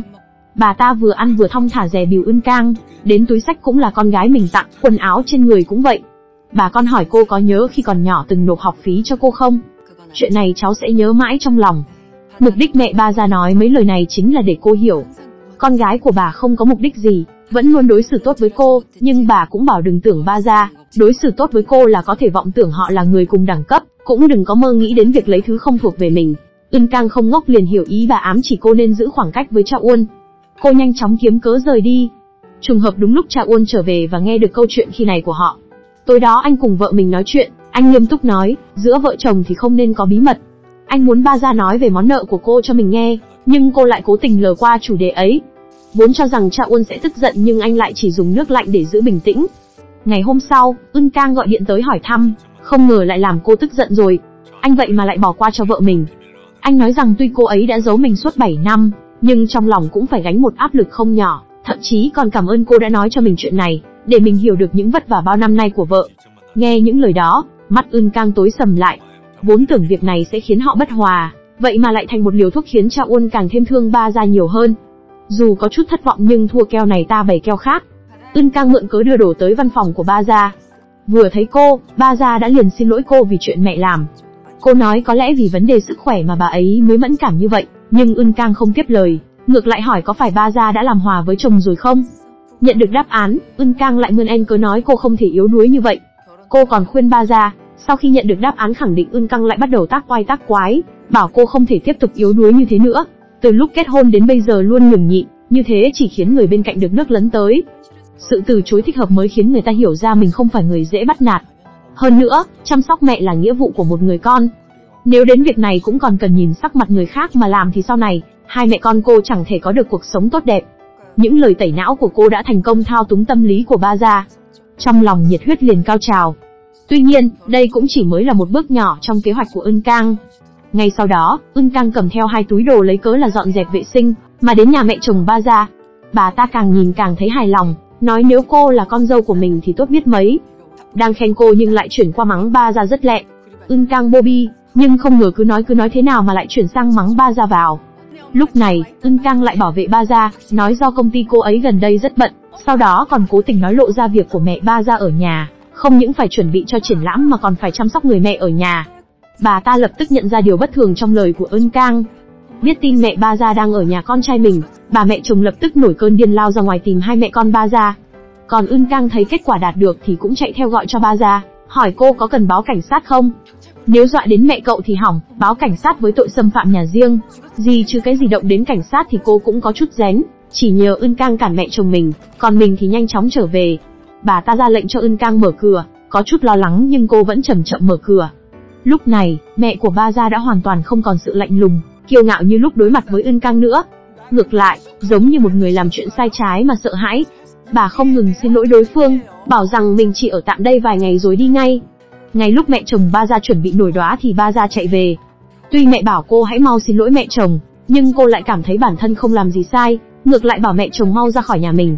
Mẹ chồng thấy thái độ của con dâu như vậy thì lại càng nổi cơn thịnh nộ, mà ba gia thấy thái độ mẹ chồng như vậy lại càng kích động, Cô dường như muốn đem hết những ấm ức bao năm nay nói ra một lượt. Nhưng mẹ chồng cô không phải một người nói lý lẽ. Bà ta ngang ngược nói đây là nhà con trai mình, còn ngồi lì trên sofa nói mẹ cô không đi thì mình cũng không đi. Bà già vừa cầu xin vừa uy hiếp nói bà không đi cô sẽ báo cảnh sát. Mẹ chồng vừa nghe thấy báo cảnh sát thì máu nóng lại chạy lên não, lớn tiếng thách thức ba già, còn sỉ nhục cô là đồ hèn hạ vô liêm sỉ cùng tặng cho cô một ly nước đầy mặt. Bạn thân vừa rời khỏi vòng tay chồng, người phụ nữ này dựa vào người đàn ông khóc nức nở. Cô còn mặc trên người bộ đồ ngủ mỏng manh và xịt một chút nước hoa quyến rũ, cố tình bước đến ban công gió thổi. Mục đích là để cho người đàn ông kia nửa đêm tỉnh giấc có thể trông thấy. Nhờ một ly nước mà bà lão chua ngoa này đã được một vé, về đồn uống trà cùng các đồng chí cảnh sát. Mà trùng hợp lúc đó cha Uôn cũng trở về nhìn thấy cảnh này. Thấy con trai bà lập tức bật khóc, không ngừng kể tội con dâu. Nghe được những lời này, mắt cha Uôn khẽ tối lại, anh tức giận bước vào chất vấn vì sao ba ra phải làm đến mức này. Cho dù người lớn có sai thế nào thì bà ấy vẫn là mẹ của anh. Thấy mâu thuẫn hai vợ chồng họ ngày càng lớn dần lên, ý cười trong đáy mắt ưng cang càng sâu. Buổi tối, cô đến tìm cha Uân khi anh đang một mình uống rượu. Ưng cang đóng vai một người bạn tri kỷ nhẹ nhàng vỗ tay an ủi anh. Cô nói mình rất hiểu tâm trạng anh. Lại bồi thêm, nói lúc chiều mình nhìn thấy cảnh sát cũng bị dọa sợ, không ngờ ba ra thế mà lại báo cảnh sát. Đương nhiên, cha Uôn ngàn vạn lần cũng không ngờ được chủ ý báo cảnh sát này lại hoàn toàn là từ cô mà ra. Buồn cười hơn là ưng cang, còn đứng trên góc độ của bạn thân mình mà nói việc này xảy ra, cô ấy cũng thấy rất buồn. Vì vậy cha Uôn lúc này nên rộng lượng hơn. Đúng người đúng thời điểm, cha Uôn lập tức nghe lọt tai những lời này. Ngày hôm sau, anh gửi tin nhắn cho vợ. Đầu tiên là lời xin lỗi vô cùng có thành ý, tiếp theo chính là một tin nhắn đã đặt khách sạn. Anh nói là để cho hai mẹ con cô đi ra ngoài nghỉ dưỡng, thư giãn. Mọi chi phí đều do anh chi trả, còn bản thân cha Uôn sẽ ở lại đây thu dọn tàn cuộc. Nhìn được dòng tin nhắn tràn đầy thành ý đó, ba gia còn đưa nó cho Ân Cang, để hỏi ý kiến rằng mình vừa cãi nhau với mẹ chồng, cứ thế mà đi ra ngoài nghỉ dưỡng có phải không? Hiển nhiên là ba gia không hề biết đây là kế hoạch của Ân Cang. Cô thản nhiên nói ba gia nên ra ngoài nghỉ ngơi, thư giãn, thả lỏng tâm trạng. Để ba gia có thể yên tâm đi nghỉ dưỡng, cô còn tự đề nghị mình sẽ giúp đỡ cô chăm sóc con gái. Quả nhiên là cao thủ tẩy não, ba gia nghe xong liền thấy hợp tình hợp lý. Lập tức triển khai kế hoạch, nói mình hoàn thành nốt một số chuyện rồi sẽ đi. Có lẽ vì chịu đả kích từ mẹ ba gia, nên Ưn Cang ngày càng cố gắng ôn tập cho kỳ thi giáo viên, đến mức chảy cả máu mũi. Cô cũng chỉ lau qua loa. Đây là lần thứ tư cô bước vào cánh cửa thi giáo viên. Chỉ vài ngày sau, ba gia đưa mẹ ra ngoài, nhưng không ngờ vừa xuống máy bay, cô liền gặp được một người bạn hồi cấp 3. Trong lúc hai người ngồi tán phét, ba gia đã kể chuyện mình gặp phải gần đây. Không ngờ người đàn ông này lại bảo ba gia hãy về bên cạnh mình. Còn nói bản thân nhiều năm qua đều chưa từng quen cô gái nào là vì, trong tim của anh chỉ có một mình sự tồn tại của ba gia. Cô vốn đã gạt bỏ không muốn nhắc đến điều này, nhưng anh chàng lại kiên định nhắc lại chuyện cũ, lẽ nào hồi ức ở Italy có thể dễ dàng quên đi vậy sao? Tuy đến giờ cô vẫn không biết ở Italy đã có chuyện gì xảy ra, nhưng sau đó hai người liền đi ra biển. Thấy anh cứ nhìn cô bằng ánh mắt chứa nhiều tình cảm, bà già cũng lúng túng nói mình đã có chồng rồi. Rồi mượn cớ trời trở lạnh để trở về. Bất ngờ anh kéo cô lại. Chắc chắn bà già sẽ không biết, cuộc gặp gỡ tình cờ này thực chất là do Ưn Cang đã sắp đặt từ trước. Lúc biết ba gia sắp đi du lịch, Ưn Cang đã tìm đến người đàn ông đã luôn nhớ nhung ba gia. Bao năm nay không chỉ nói cho anh ta về hành trình của cô, mà còn đem hết thảy những việc tồi tệ ba gia gặp phải gần đây nói ra. Còn Ưn Cang khi này đã đạt được mục đích. Ưn Cang lấy danh nghĩa chăm sóc con của bạn thân mà đến nhà ba gia, sau đó tiến vào phòng ngủ, đụng chạm vào đồ vật trong phòng ảo tưởng. Mọi thứ này đều thuộc về mình. Ưn Cang còn thản nhiên ngâm mình trong bồn tắm giống như kiểu cô vốn là chủ nhân ở đây vậy. Đợi Trọng Uôn trở về, cô mở một chai rượu vang. Nhớ lại quãng thời gian của hai người, đầu tiên là nói về sự thân thiết của họ, cô không ngừng nhắc đến những kỷ niệm giữa họ. Nào là từng cùng nhau đi xem phim, đến gói mì tôm cũng chia nhau. Cha Uôn cũng cảm khái y như thật vậy. Đang nói bỗng Ưn Cang trở nên e thẹn, khuôn mặt ngại ngùng khiến Cha Uôn hết sức tò mò. Mà Ưn Cang chỉ chờ có thế, mạnh dạn nói, lúc đó hai người họ đang chơi trò tình yêu bí mật. Lời nói của cô khiến Cha Uôn giật mình. Quả thực hành vi lúc ấy của bọn họ rất giống đôi yêu nhau. Tuy nhiên, Ưn Cang nói đó vẫn chưa là gì. Cha Uôn còn tưởng bản thân ngày trước đã làm gì quá phận nhưng cô lại lắc đầu, bảo anh không làm sai gì cả. Cô bày ra một bộ dạng ngượng ngùng, nói, thì là, lúc trước chúng ta còn hôn nhau. Tuy biểu cảm của Cha Uôn đã dần cứng ngắc, khó xử, nhưng sản diễn này cô khó khăn lắm mới tạo ra, không diễn thì hơi phí. Rất sinh động miêu tả lại khung cảnh khi đó, lúc đó anh đột nhiên kéo em vào thế này, sau đó, câu chuyện cứ kéo dài cho đến khi nhắc tới ba gia. Ưn Cang nói mẹ ba gia nói mình không hề sai, là bản thân cô luôn bám lấy ba gia chiếm lợi. Nào là quần áo, túi sách trong tủ đều là ba gia tặng. Nhưng cô lại thấy khi mình ở bên cạnh ba gia như trở nên trong suốt, nói không chừng bạn bè của cô ấy, từ trước tới giờ đều không biết tên cô là Ưn Cang. Có lẽ họ chỉ coi cô là một kẻ bám đuôi. Kể từ năm cấp 3, hai người họ đã luôn như hình với bóng. Cô cũng luôn ngưỡng mộ những gì ba gia có, đặc biệt là, lời nói mới thốt ra một lửa thì không nói nữa, nước mắt rất tự nhiên rơi xuống. Trước mặt chồng của bạn thân, cô tỏ ra bộ dạng yếu đuối không ai nương tựa. Bởi thiếu chỗ tựa, nên Trạng Uân đã chuyển qua ngồi bên cạnh làm bờ vai vững chãi cho bạn thân của vợ dựa vào. Ưn Cang chỉ chờ có thế liền khóc lóc vô cùng thương tâm. Nhưng Ưn Cang lại nắm bắt tâm lý rất tốt, diễn đến đây là đủ rồi. Cô chỉ dựa vào anh trong ít giây, sau đó liền rời ra ngay. Trạng Uân an ủi bảo đêm nay cô cứ ở tạm đây. Mọi việc diễn ra đúng như kế hoạch sắp đặt được trước. Trở về phòng, Ưn Cang lập tức cất đi bộ dạng yếu đuối khi nãy. Khuôn mặt lạnh lùng mặc một bộ đồ ngủ mát mẻ, không quên xịt thêm ít nước hoa cho người đỡ hôi. Nhìn mình trong gương, một loạt hình ảnh lúc bản thân chịu ấm ức xuất hiện. Ánh mắt cô chứa đầy hận thù. Từ từ thả mái tóc xuống, giờ đây cô cảm thấy mình mới là người đẹp nhất. Đồng thời cô cũng hạ quyết tâm lấy lại những gì vốn nên thuộc về mình. Nửa đêm, cha Uôn thức dậy uống nước, không ngờ Ưn Cang lại đứng ở ban công hóng gió. Anh hỏi cô đứng đó làm gì? Ưn Cang cũng chậm chậm quay người lại. Cha Uôn bỗng đứng hình, không kìm được mà nuốt nước miếng. Thấy cô tiến lại gần mình, trong lòng anh chàng dường như có chút sợ hãi, anh muốn trở về phòng nhưng bất ngờ bị Ưn Cang bắt lấy cánh tay. Không ngờ video vạch trần người đàn ông cạn bã, trong đám cưới đã nhanh chóng lên top tìm kiếm. Ưn San phát hiện ra nữ chính trong video đó không ngờ là chị gái mình. Cô ấy không thể tin nổi người chị trước giờ yếu đuối, của mình lại có một mặt bá đạo như vậy. Mà cô không hề biết chị mình trước giờ vẫn luôn là một người không hiền lành, như vẻ bên ngoài. Hôm đó mẹ Ân Cang, vô tình phát hiện bố cô đang chim chuột với bà chủ tiệm làm tóc. Bà tức điên lên, chỉ muốn nhào tới xé bà ta ra làm gỏi chua ngọt. Ông bố thấy vợ mình thì sợ hơn sư tử Hà Đông, bỏ của chạy lấy người. ưng Cang đứng một bên xem đống hỗn độn này, diễn ra như thể chuyện không liên quan tới mình. Ông bố chạy qua chỗ cô còn trách vì sao không ngăn mẹ mình lại, mà để bà ấy đến đây quậy phá như vậy. Còn nói, nhanh mang mẹ mày đi đi đánh người thì chỉ tốn tiền chữa bệnh. Có một người bố như vậy, ưng Cang chỉ có thể thở dài bất lực. Về đến nhà cũng không yên, người mẹ vừa khóc vừa kể khổ khiến cô càng thấy đau đầu. Đây không phải là lần đầu tiên cô nói với mẹ, nếu thực sự không sống chung được nữa thì không cần phải cố thêm nữa. Nhưng bà lại không muốn, còn nói bà luôn nhẫn nhịn, đều là vì cô. Mình đau khổ thôi còn chưa đủ nên phải kéo theo người khác đau khổ cùng. Bà nói con gái cũng gặp phải kẻ cặn bã, đáng lẽ ra nên hiểu cho tâm trạng bây giờ của bà thì mới đúng. Đúng là một người mẹ tuyệt vời. Ưng San ở trong phòng nghe không nổi nữa, cô xông ra hỏi mẹ, có phải bà điên rồi không? Động chút là vạch nỗi đau của con gái ra. Người mẹ đang tức giận nào quan tâm đến điều này, chỉ lớn tiếng mắng con gái vô tâm, Bà nói lúc này người bình thường nên đi cho ông bố một bài học chứ không phải ở đây, dạy dỗ bà. Ưn San nói họ đã mệt rồi. Dù sao đây cũng không phải lần đầu tiên. Bà chưa bao giờ nghĩ đến cảm giác của họ khi nhìn thấy những thứ này. Điều bà ấy quan tâm chỉ có tiền. Đúng là nhà họ nghèo thật, nhưng ít nhất gia đình cũng phải hòa thuận chứ không phải là những cuộc cãi vã bất tận trước mặt con cái. Như vậy thì họ có thể học được gì từ cha mẹ chứ? Học cách cãi nhau à? Con không muốn lấy chồng vì sợ giống mẹ, nhưng người mẹ lại nghe không hề lọt tai lại cố chấp nói, mày thì giỏi rồi, tốt nhất mấy đứa mày nên sinh ra con gái vô tâm như, mấy đứa rồi tự mình cảm nhận xem. Không thể ngờ một người mẹ có thể nói con mình như thế. Ưng Cang không nhịn được nữa bảo bà hãy tự nhìn lại mình trước khi mắng bọn họ. Bây giờ họ trở nên thờ ơ như vậy, còn không phải là vì nhìn cha mẹ cãi nhau từ bé đến lớn sao? Chuyện vợ chồng có thể tự giải quyết, đừng có kéo con cái vào. Nói rồi Ưng Cang tức giận bỏ đi. Tuy miệng nói vậy nhưng Ưn Cang vẫn gắng tới chỗ bố muốn giải quyết chuyện này, nhưng ông ta lại tỏ vẻ bất cần nói mình chỉ tới đó ăn trái cây. Hóa ra ăn trái cây là phải ngồi lên đùi, dùng miệng đút ăn à. Ông bố bị nói trúng tim đen liền bẻ lái qua trách cô không ngăn cản bà ấy lại. Ông mắng vợ mình từng ấy tuổi rồi mà vẫn không hiểu chuyện, làm mình xấu hổ trước mặt các con. Nếu không phải không muốn các con không có mẹ, ông đã sớm không muốn thấy người phụ nữ xấu xa đó nữa rồi. Một người phụ nữ hở ra là chửi thề và mắng chồng, ai mà muốn ở bên bà ấy chứ? Em gái vừa đến nghe thấy đoạn này, liền biết đây lại là một lần khuyên bảo vô ích nữa. Cô vô vọng bảo chị mình mau đi đi, không cần quan tâm những điều này nữa, nhưng Ưn Cang vẫn muốn giúp bố mẹ xử lý cho xong chuyện này. Cô ấy bảo em gái về trước và không cần nghĩ nhiều. Nếu vấn đề này đã không thể giải quyết thì chỉ có thể mọi tận gốc rễ của nó, để chữa trị. Cô đi thẳng đến tiệm làm tóc nơi bố thường đến. Đầu tiên là lịch sự mở cửa, người phụ nữ nhìn Ưn Cang có vẻ thật thà, dễ bắt nạt liền to mồm nói sẽ đến bệnh viện khám và kiện ngược lại mẹ cô. Nhưng bà ta đã nhầm to, Ưn Cang sau khi bước vào liền thay đổi sắc mặt, có giỏi thì bà thử xem, Bà có muốn tôi gọi tất cả những ông chú thường đến đây gội đầu không? Nghe thấy điều này, mặt bà ta liền lập tức đổi sắc mặt.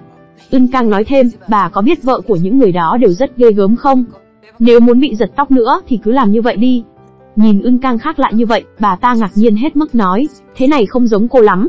Nhưng Ưn Cang của bây giờ đã khác xưa rồi, cô nói, nhìn tôi dễ bị bắt nạt và sẽ không phản kháng à?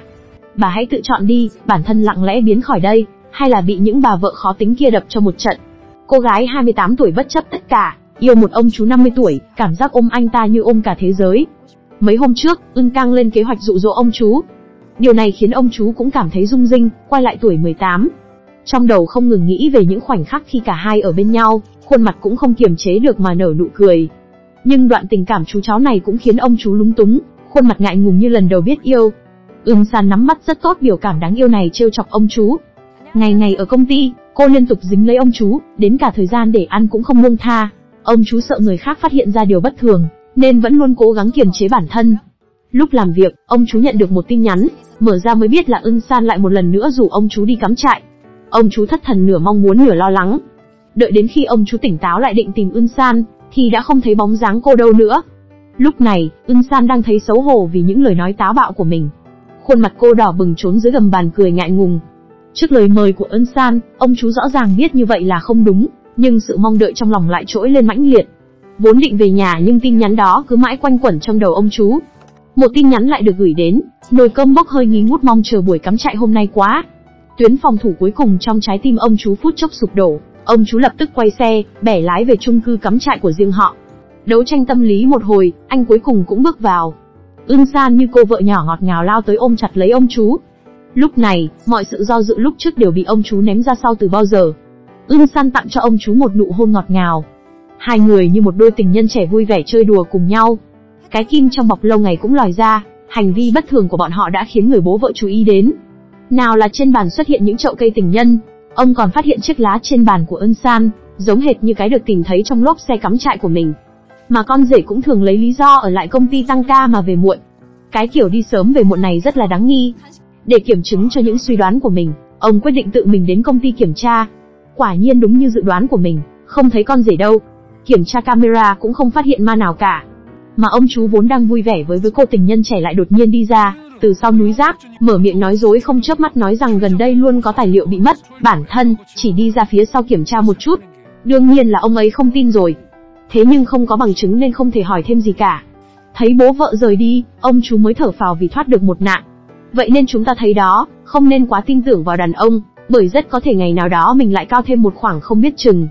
Thì ra tối hôm đó có một chàng trai đồng nghiệp tăng ca phát hiện bố vợ ông chú đến, nên đã bí mật báo tin cho ông chú. Nhờ đó mà ông chú mới thoát được một kiếp. Còn ông Ly Won sau khi trở về vẫn luôn canh cánh trong lòng chuyện này. Ông càng nghĩ càng cảm thấy không đúng. Ông cầm lên sợi tóc tìm thấy trên xe lần trước ngẫm nghĩ, cũng không biết hành động ngày càng bạo dạn của ông chú, và ân san còn có thể giấu được bao lâu nữa. Gia đình này thật sự lạ cực phẩm. Chị gái chỉ vì muốn giật chồng của bạn thân, mà sắp xếp cho em gái vào nhà đó làm việc. Cô em gái cũng không thành thật mới đến không bao lâu, đã hạ gục được chàng rể giám đốc thật thà. Chưa dừng lại ở đó, cô chị còn muốn sắp xếp cho mẹ ruột của mình vào nhà đó làm bảo mẫu. Không biết là do gia đình này đã tạo nghiệp gì hay do lòng hận thù của cô gái này, quá lớn đây. Do sự bận rộn gần đây của ưng cang khiến nhà bố mẹ chồng của ba gia, không có người nấu ăn, dọn dẹp. Vì vậy, ông bố chồng keo kiệt này cuối cùng cũng định thuê một bảo mẫu. Tuy là thuê bảo mẫu nhưng ông cũng rất kén chọn nha. Nấu nồi cơm cũng yêu cầu ngoài cứng trong mềm, không thì ông ta không ăn. Như người đầu tiên đến phỏng vấn, chỉ vì nấu cơm, hơi nhão một chút ông ấy đã nổi cơn tức giận lập tức muốn đuổi người này đi. Nhưng cô con gái đã ngăn lại nói hãy để bà ấy làm một ngày, như vậy thì đỡ phí một ngày lương cho họ. Nhưng sau khi bảo mẫu rời đi thì ông ấy càng nghĩ càng tức giận, bắt đầu bới móc, dùng tay sờ lên tường không có vấn đề lại nằm xuống và kiểm tra bụi, đặc biệt tìm những ngóc ngách khó vệ sinh để bới móc. Cô con gái thấy bố mình làm quá lên như vậy cũng ngăn cản nói dù sao, cũng là ngày đầu tiên người ta đến từ việc sau có thể yêu cầu quá gay gắt được. Nhưng ông già kiệt xì này lại cố chấp vào đi tìm lỗi, vào nhà vệ sinh phát hiện ra một chiếc khăn chưa được làm sạch. Vậy là ông vội vàng đuổi theo người bảo mẫu vừa rời đi yêu cầu bà phải quay, lại làm sạch rẻ lau, nếu không sẽ đòi lại tiền. Người bảo mẫu chưa bao giờ thấy người đàn ông nào kiệt xỉ đến vậy liền nói ông là, đồ ki bo rồi quay lưng rời đi mặc ông ta đứng đó, dãy đành đạch. Mà hôm nay ưng cang dành thời gian tới thăm gia đình, của chồng bạn thân lại tình cờ gặp mặt bảo mẫu mới vừa ra khỏi nhà. Từ đó mới biết ông Ly Uân đang tuyển bảo mẫu. Ưng cang như vô tình hữu ý nói, họ yêu cầu cô nấu ăn trước phải không? Lại nói làm phiền cô quá rồi. Những người làm việc trước đây cũng kỳ lạ, họ đều không làm nổi một tháng. Khi bảo mẫu hỏi ý cô ấy là ý gì thì ưng cang, lại lập tức mỉm cười và nói không có gì. Thực ra cô nói như vậy là nhằm mục đích khiến bảo mẫu biết khó mà lui.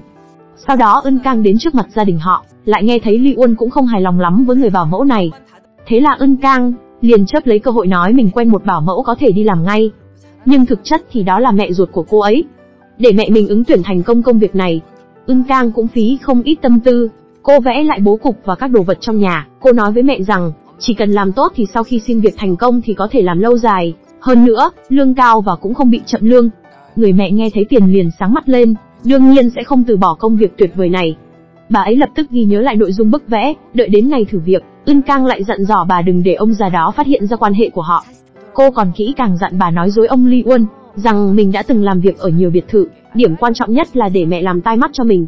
Mẹ có Ưn Cang giúp đỡ, cộng thêm với tay chân nhanh nhẹn, tháo vát nên rất nhanh đã nhận được công việc này. Nhưng bà mẹ quen thói nhiều lời, mới ngày đầu tiên đi làm đã không kiêng để nói trước mặt chủ nhà rằng, có thể ông chú đã ăn vụng bên ngoài. Bởi rõ ràng là trạng thái rất tốt nhưng lại nói mình đau đầu. Thấy Ly Uân không tin, bà liền vô tâm lấy chồng mình làm ví dụ, nói ông chú cũng giống như chồng mình vậy, còn rất tự hào nói mình là một chuyên gia bắt ăn vụng đấy. Cả vợ và con gái Ly Uân đều cười phá lên, nhưng câu nói vô tình của bà đã khiến ông lão chú ý tới. Còn bà vẫn không biết những lời nói vô tình của mình lại không cẩn thận đưa chuyện tốt của con gái mình ra ánh sáng. Tiếp tục chuyên mục tới chăm sóc mẹ giúp bạn thân. Tất nhiên như mọi lần, bà ta không hề cảm kích, mà còn nghiêm mặt chất vấn cô tại sao lại đưa đứa trẻ đến khu vui chơi. Bà ta còn nói tiếp, bà già không muốn tính toán với cô nhưng bà già này thì khác. Nếu như sau này Ưn Cang vẫn làm như vậy thì bà cũng sẽ không khách sáo với cô nữa. Tôi là một người chẳng có gì trong tay cạn nên tôi không sợ gì đâu. Giọt nước tràn ly, giờ đây Ưn Cang cũng không nhẫn nữa, ánh mắt cô trở lên lạnh lùng, nói bà lau sạch miệng trước đi, nếu như còn muốn tôi hầu hạ. Nghe nhưng lời này, bà ta lập tức sửng sốt. Bà ăn cơm, tắm giặt, uống thuốc đều là tôi giúp bà, vì thế đừng có lên mặt quá. Nếu bà còn nói chuyện với tôi như vậy thì tôi cũng không khách sáo nữa đâu. Tôi cũng không muốn đôi co với bệnh nhân. Mong bà tự biết điều, tôi cũng không sợ điều gì đâu, bà hiểu ý tôi chứ. Một màn này chắc hẳn khiến chúng ta vô cùng ngạc nhiên. Hóa ra vào buổi tối, mấy hôm trước, ưng cang kéo cha uôn lại. Khi đang định tiến vào công chuyện thì bỗng con gái anh trong phòng làm gián đoạn. Sau khi cha uôn dỗ con ngủ xong, lúc ra ngoài ưng cang đã rời đi từ khi nào, cô còn để lại tin nhắn nói hôm sau mình, sẽ tới sớm cùng hai bố con họ đi khu vui chơi. Không ngờ rằng chiêu này lại lấy lùi làm tiến khiến cha Uôn, cả đêm không thể chợp mắt được. Trong đầu anh toàn là hình ảnh khi Ân Cang kéo mình lại, còn cả hình ảnh nóng bóng ở bể bơi ngày hôm đó. Không nhịn nổi chỉ có thể dùng rượu để có thể nhanh chóng đi vào giấc ngủ. Ngày hôm sau, ba người cùng đến khu vui chơi, cùng đeo tai thỏ giống nhau. Khi Ân Cang đưa Min Jun đi mua kem, cha Uôn bỗng nhìn thấy những quả bóng sắc màu bên cạnh. Như một động lực thôi thúc nào đó, anh đã mua liền ba quả, Buổi đi chơi diễn ra hết sức vui vẻ, nhìn họ như một gia đình thực thụ. Khi đi ba người họ đi ăn trưa, không ngờ tới nhà hàng lại có dịch vụ chụp ảnh gia đình miễn phí. Mà bất ngờ là Cha Uôn, lại không hề giải thích mối quan hệ giữa họ còn chủ động ngồi bên cạnh. Liền đó, Ưn Cang nhận được điện thoại của ba ra hỏi thăm tình hình của nhà mình. Ưn Cang cũng không ngần ngại báo cáo chuyện đưa Min Jun đến khu vui chơi. Ba ra ngây thơ nghe vậy cảm thấy rất vui mừng.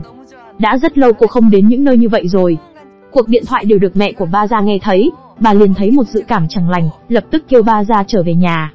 Bà không có một chút tin tưởng nào đối với loại người như Ưn Cang. Ba ra biết mẹ mình bởi vì chuyện của bố cô trước đây, từng có quan hệ bất chính với thư ký nên mới nhạy cảm như vậy. Nhưng ba ra lại vô cùng tự tin về bản thân mình, nhưng với kinh nghiệm của một người từng trải, bà khuyên cô mọi chuyện đều phải cẩn thận, không cho hai người họ bất cứ cơ hội nào ở riêng với nhau.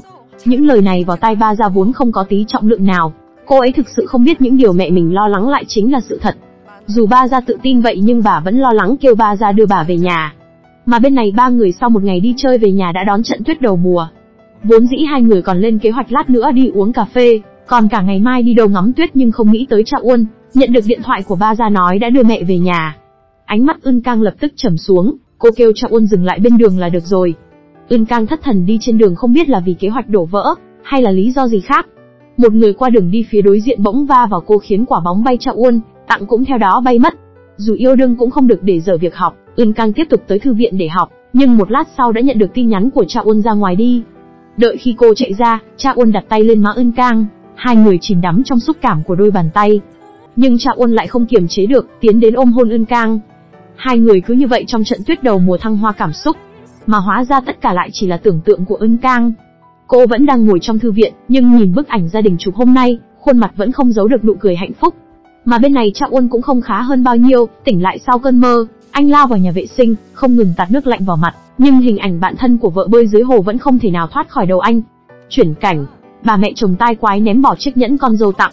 Cho dù con dâu đã liên tục xin lỗi thì mẹ chồng vẫn liên tục mắng chửi cô là thứ chẳng tốt đẹp gì.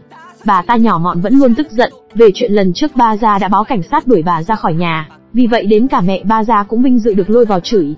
Ba gia vốn định nhẫn nhịn nhưng động đến mẹ mình thì cô cũng không thể nhịn. Ba gia tức giận, trực tiếp bỏ đi. Đến cha Uôn cũng không nhìn nổi phải nói đỡ ba gia mấy câu. Nhưng điều này lại hoàn toàn chọc tức bà, đến cha Uôn là con trai mình cũng đuổi đi. Ba gia mang một bộ bực tức về nhà nhưng thế cũng chưa yên, mẹ cô lại thêm chút gia vị kể lại chuyện Ưn Cang vừa mới uy hiếp mình. Ba gia khi này không chịu nổi nữa, cô trực tiếp thả ra cục tức trong lòng. Cô nói mình biết thái độ gần đây của mẹ đối với Ưn Cang, nhưng bà cũng đừng lấy lòng tiểu nhân đo lòng quân tử nữa. Cô nói bà mà còn nói ân Cang như vậy nữa cô nhất định sẽ nổi giận. Cái rủi thường đến cùng nhau, ngày hôm sau, triển lãm trang sức của ba gia sắp diễn ra thì bất ngờ lại nhận được tin tức, bộ sưu tập tham gia triển lãm của cô là sao chép tác phẩm của người khác. Ba gia vô cùng gấp rút, cô cuống quýt vội đưa số ảnh này cho Ưn Cang đứng bên cạnh, muốn nhờ Ưn Cang chứng minh đây là thiết kế của mình, nhưng không ngờ rằng Ưn Cang còn hoảng loạn hơn cả cô. Khi ba gia đề nghị báo cảnh sát giải quyết thì Ưn Cang hốt hoảng chạy ra, không ngờ rằng cô lại gặp được người mình muốn tìm ở trước cửa.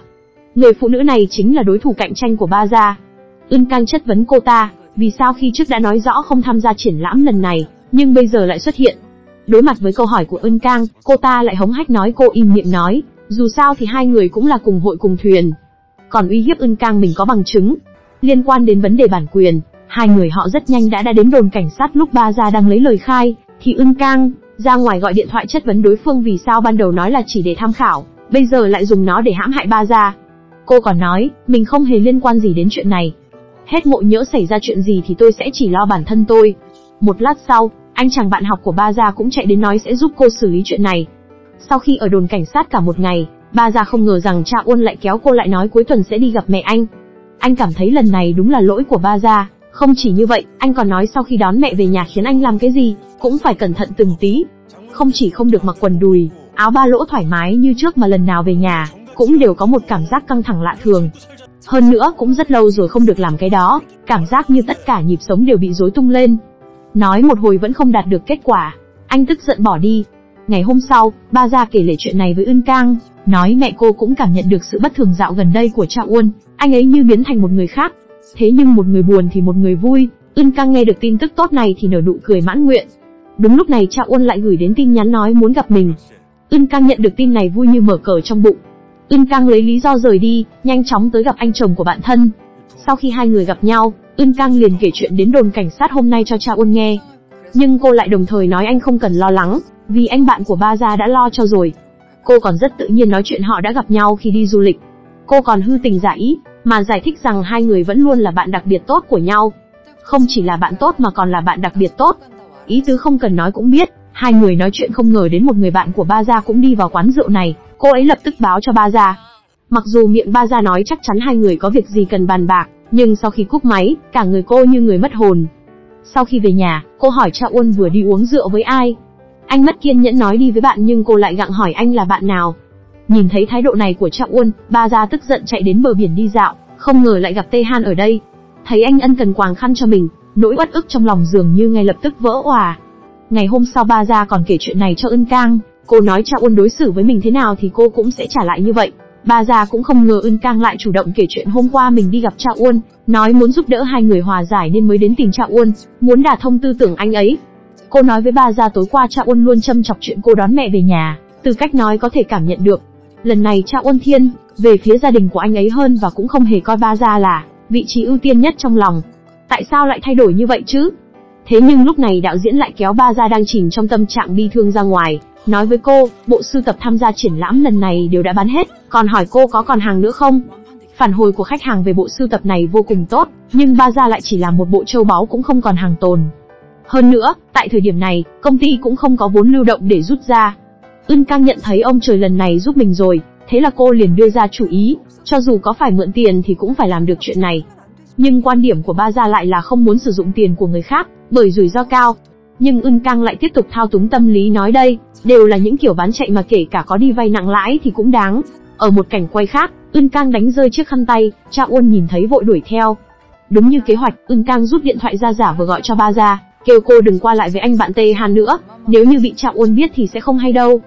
Không phải cậu nói lúc đi du lịch đã hôn anh ấy sao? Nếu như không phải có mẹ cậu ở đó, chưa biết chừng cậu đã phạm phải sai lầm gì rồi. Rõ ràng cậu biết Tê Han có ý gì mà, đừng chơi đùa nữa. Cậu là người có gia đình rồi mà, cho dù có nghĩ thôi cũng không được. Cậu phải vạch rõ giới hạn trước khi để cha Uân biết được. Đừng coi anh ta là bạn rồi giữ anh ta lại bên cạnh nữa. Hóa ra mấy hôm trước, kênh mua sắm do ba ra, tổ chức đã bán sạch số trang sức tồn kho bao năm qua của cô. Vì thế Tê Han đã mời ba ra đi uống rượu để chúc mừng. Như một thói quen, ba ra cũng gọi Ưn Cang đến nhưng không ngờ, khi cô ấy đến thì lại nghe thấy cuộc trò chuyện giữa hai người. Là tiếng của Tê Han, thật hy vọng cô ấy đừng đến như một cái đuôi vậy, phiền chết đi được. Trước kia mình hỏi mình có thể qua lại với Ưn Cang không? Tại sao cậu phản đối? Nghe những lời nói của Tê Han, ba ra chỉ chậm rãi nói Ưn Cang không phải món ăn của cậu. Anh ta cợt nhả nói, đúng vậy, món ăn của mình là ba ra. Chưa kể đó, còn quá đáng hơn là anh ta còn nói Ưng Cang chính là người đi đâu, làm gì, chỉ cần có tiền thì đều sẵn sàng làm. Cậu nói xem người như cô ta thích hợp để làm kẻ hầu người hạ cho cậu mới đúng. Lần nào đi gặp cậu, cô ta cũng bắn theo.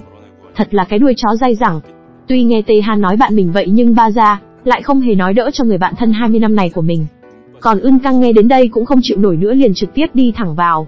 Ba ra thấy cô bước vào thì sợ tái mặt, ngượng ngừng chào hỏi Ưng Cang. Còn Tê Han lại nhập vai tốt hơn, chỉ liếc nhìn một cái đã trở thành một người nhiệt tình, hồ hởi rót rượu cho cô, còn không quên diễn một bộ mặt vô cùng nhiệt tình, nói những lời lẽ khách sáo. Ưn Cang không tiếp lời chỉ quay đầu hỏi ba gia có cần gọi cha Uôn tới không. Khi ba gia nói không cô liền giả vờ nghe điện thoại, sau đó rời khỏi nơi khiến người ta thấy kinh tởm này. Về đến nhà, cô liền gọi điện cho ba gia. Quả nhiên là Tê Han nghe máy, anh ta nói hôm nay ba gia vui quá nên uống hơi say, cô dặn dò Tê Han chăm sóc tốt cho ba gia rồi cúp máy. Sau đó, cô lập tức gọi điện cho Cha Uân nói, Hôm nay, ba gia tổ chức một bữa tiệc chúc mừng, còn mời cả Tê Han đến. Mặc dù cô cũng đến tham dự một chút nhưng nhà có việc nên phải về trước. Sau khi xử lý xong việc, cô lo lắng cho ba gia nên đã gọi điện cho cô ấy. Không ngờ lại là Tê Han bắt máy nói ba gia đã uống say mềm rồi, có thể anh phải đi đón cô ấy đấy. Sau khi nhận được vị trí Ân Cang gửi Cha Uôn lập tức chạy đến. Lần trước là đối với Ân Cang, còn lần này là đối với Cha Uôn. Anh vừa vào đến cửa đã nghe được cuộc hội thoại của hai người, bà già nói cô rất thích cảm giác như lúc này, có điều chỉ đơn giản là sự yêu mến của một người bạn học, cô kêu Tê Han nhất định đừng vượt quá giới hạn, bởi cô sợ một khi bất cẩn thì mình sẽ lún sâu vào. Nhìn bộ dạng say rượu của ba gia, Tê Han còn nói cô thật đáng yêu, nhưng ba gia lại nói đó không phải là đáng yêu, mà là gợi cảm, nói rồi liêu siêu ngã xuống ghế. Mà cha Uân đứng ngoài cửa cũng nhìn đủ rồi. Anh nhanh chóng bước vào, hai người đàn ông vừa gặp nhau đã bắt đầu đối chọi gay gắt, Lúc bắt tay, cha Uân vì muốn thể hiện chút uy quyền nên dùng sức một chút, nhưng không ngờ rằng Tê Han lại chỉ mỉm cười nói đợt gần đây ba ra, không chịu nổi phiền não, cuối cùng cũng thả lỏng được một chút. Sau sự kiện buổi triển lãm bị hủy, ba gia luôn tỏ ra mạnh mẽ, lần này bị vu khống là ăn cắp, hôm nay cũng là dựa vào việc bán được hết số trang sức, nên mới lấy lại được tinh thần, nên tôi mới mời cô ấy để cô ấy thư giãn một chút. Chắc tôi không làm gì sai chứ. Cha Uân không hề tiếp lời mà đứng bên cạnh gọi ba gia mau tỉnh dậy, nhưng trái ngược với người chồng, Tê Han lại trực tiếp đưa tay lên má gọi ba ra tỉnh dậy. Cha Uân không dám tin, vội hất tay anh ta ra. Có điều cho dù hai người có gọi thế nào thì ba ra cũng không tỉnh dậy. Khi Tê Han đang tính cõng cô ấy thì liền bị Cha Uân ngăn cản nói vợ mình để mình lo. Không ngờ, vừa lên xe thì ba ra bỗng tỉnh lại còn hôn gió chào tạm biệt Tê Han. Hôn gió một người đàn ông khác trước mặt chồng thì ai mà chịu nổi, Cha Uân không nhịn được tức điên lên. Mà về đến nhà mẹ vợ đã hỏi anh ba ra đã xảy ra chuyện gì, Cha Uân nổi nóng nói cô đi uống rượu với Tê Han thành ra như thế này, sau đó liền chạy vào phòng bên cạnh nghỉ ngơi. Một lát sau, ba ra tỉnh dậy. Mẹ cô nói với cô hình như cha Uân rất tức giận, kêu con gái tìm cơ hội đi xin lỗi nhưng ba ra khi này lại không hề quan tâm. Cô cảm thấy mình chỉ đi uống rượu chúc mừng thôi mà có làm gì sai đâu, việc gì phải xin lỗi. Còn phía bên cha Uân tức giận cả đêm lại đến tìm bạn thân của vợ. Anh muốn biết rốt cuộc người bạn học đó có mối quan hệ thế nào. Cơ hội thể hiện lại đến rồi, Ưn Cang nhập vai thành một người bạn tốt bụng nói vợ anh và Tê Han, chỉ là bạn thân khác giới của nhau mà thôi. Có vẻ lấn cấn nha, cha Uân nói anh nhớ rõ trước đây, Uyên Cang từng nói giữa nam và nữ không thể có tình bạn trong sáng. Ưn Cang nghe thấy vậy liền biết mình đã đạt được mục đích, nhưng cô vẫn nói, mình chỉ là nói nhầm. Nhưng từ đây giữa họ đang có những vấn đề rất lớn. Cha Uân nói anh nhận ra mình hoàn toàn không hiểu về con người của ba gia, từ chuyện báo cảnh sát bắt mẹ anh đến việc gặp gỡ Tê Han. Đến công ty xảy ra vấn đề cũng báo cho Tê Han đầu tiên chứ không phải anh. Vòng vốn gặp vấn đề, hình như cũng đi tìm Tê Han giúp đỡ chứ không phải anh. Cha Uân hỏi Ưn Cang về số tiền đó là do Tê Han đưa sao? Ưn Cang nhớ đến lời dặn dò trước đó của ba gia, cậu phải giữ bí mật chuyện mình đã đi mượn mẹ chồng. Dù vậy nhưng Ưn Cang lại dùng lời lẽ dễ gây hiểu nhầm nói, đều là do công việc cần. Hơn nữa, tính cách của ba gia cũng là kiểu công tư phân minh. Cứ cho là Tê Han đã từng theo đuổi ba gia, nhưng cô ấy cũng phân chia giới hạn rất rõ ràng. Nói rồi cô nói mình có chuyện đi trước và xuất hiện cảnh tượng rơi khăn lúc đầu. bà ra trực tiếp tát thẳng mặt Tê Han, kêu anh từ nay về sau tránh xa mình một chút, đừng có ngày nào cũng chạy đến quấy giày cô nữa và cảnh tượng này đã bị cha Uôn, đứng từ xa nhìn thấy. Hóa ra trưa hôm nay Ưn Cang lại tiếp tục đến giúp ba ra chăm sóc mẹ. Lúc nấu cơm xong, bà mẹ bỗng vào trong phòng mở máy ghi âm lên rồi đi ra ngoài, bà ta cố tình gây sự, chất vấn Ưn Cang tại sao lúc ba ra đi uống rượu với bạn, cô lại gọi cha Uôn đến. Ưn Cang nhẹ nhàng đáp vì nhà có việc mà ba ra, thì uống say nên đành gọi cho Cha Uôn. Nhưng bà lại cho rằng Ưn Cang cố tình, mục đích là muốn Cha Uôn nhìn thấy hai người uống rượu với nhau.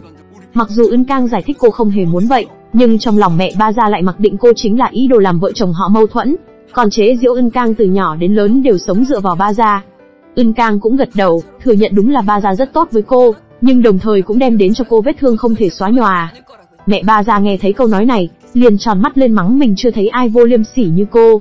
Còn lấy việc cô sắp 40 tuổi rồi chưa lấy chồng ra để làm tổn thương cô.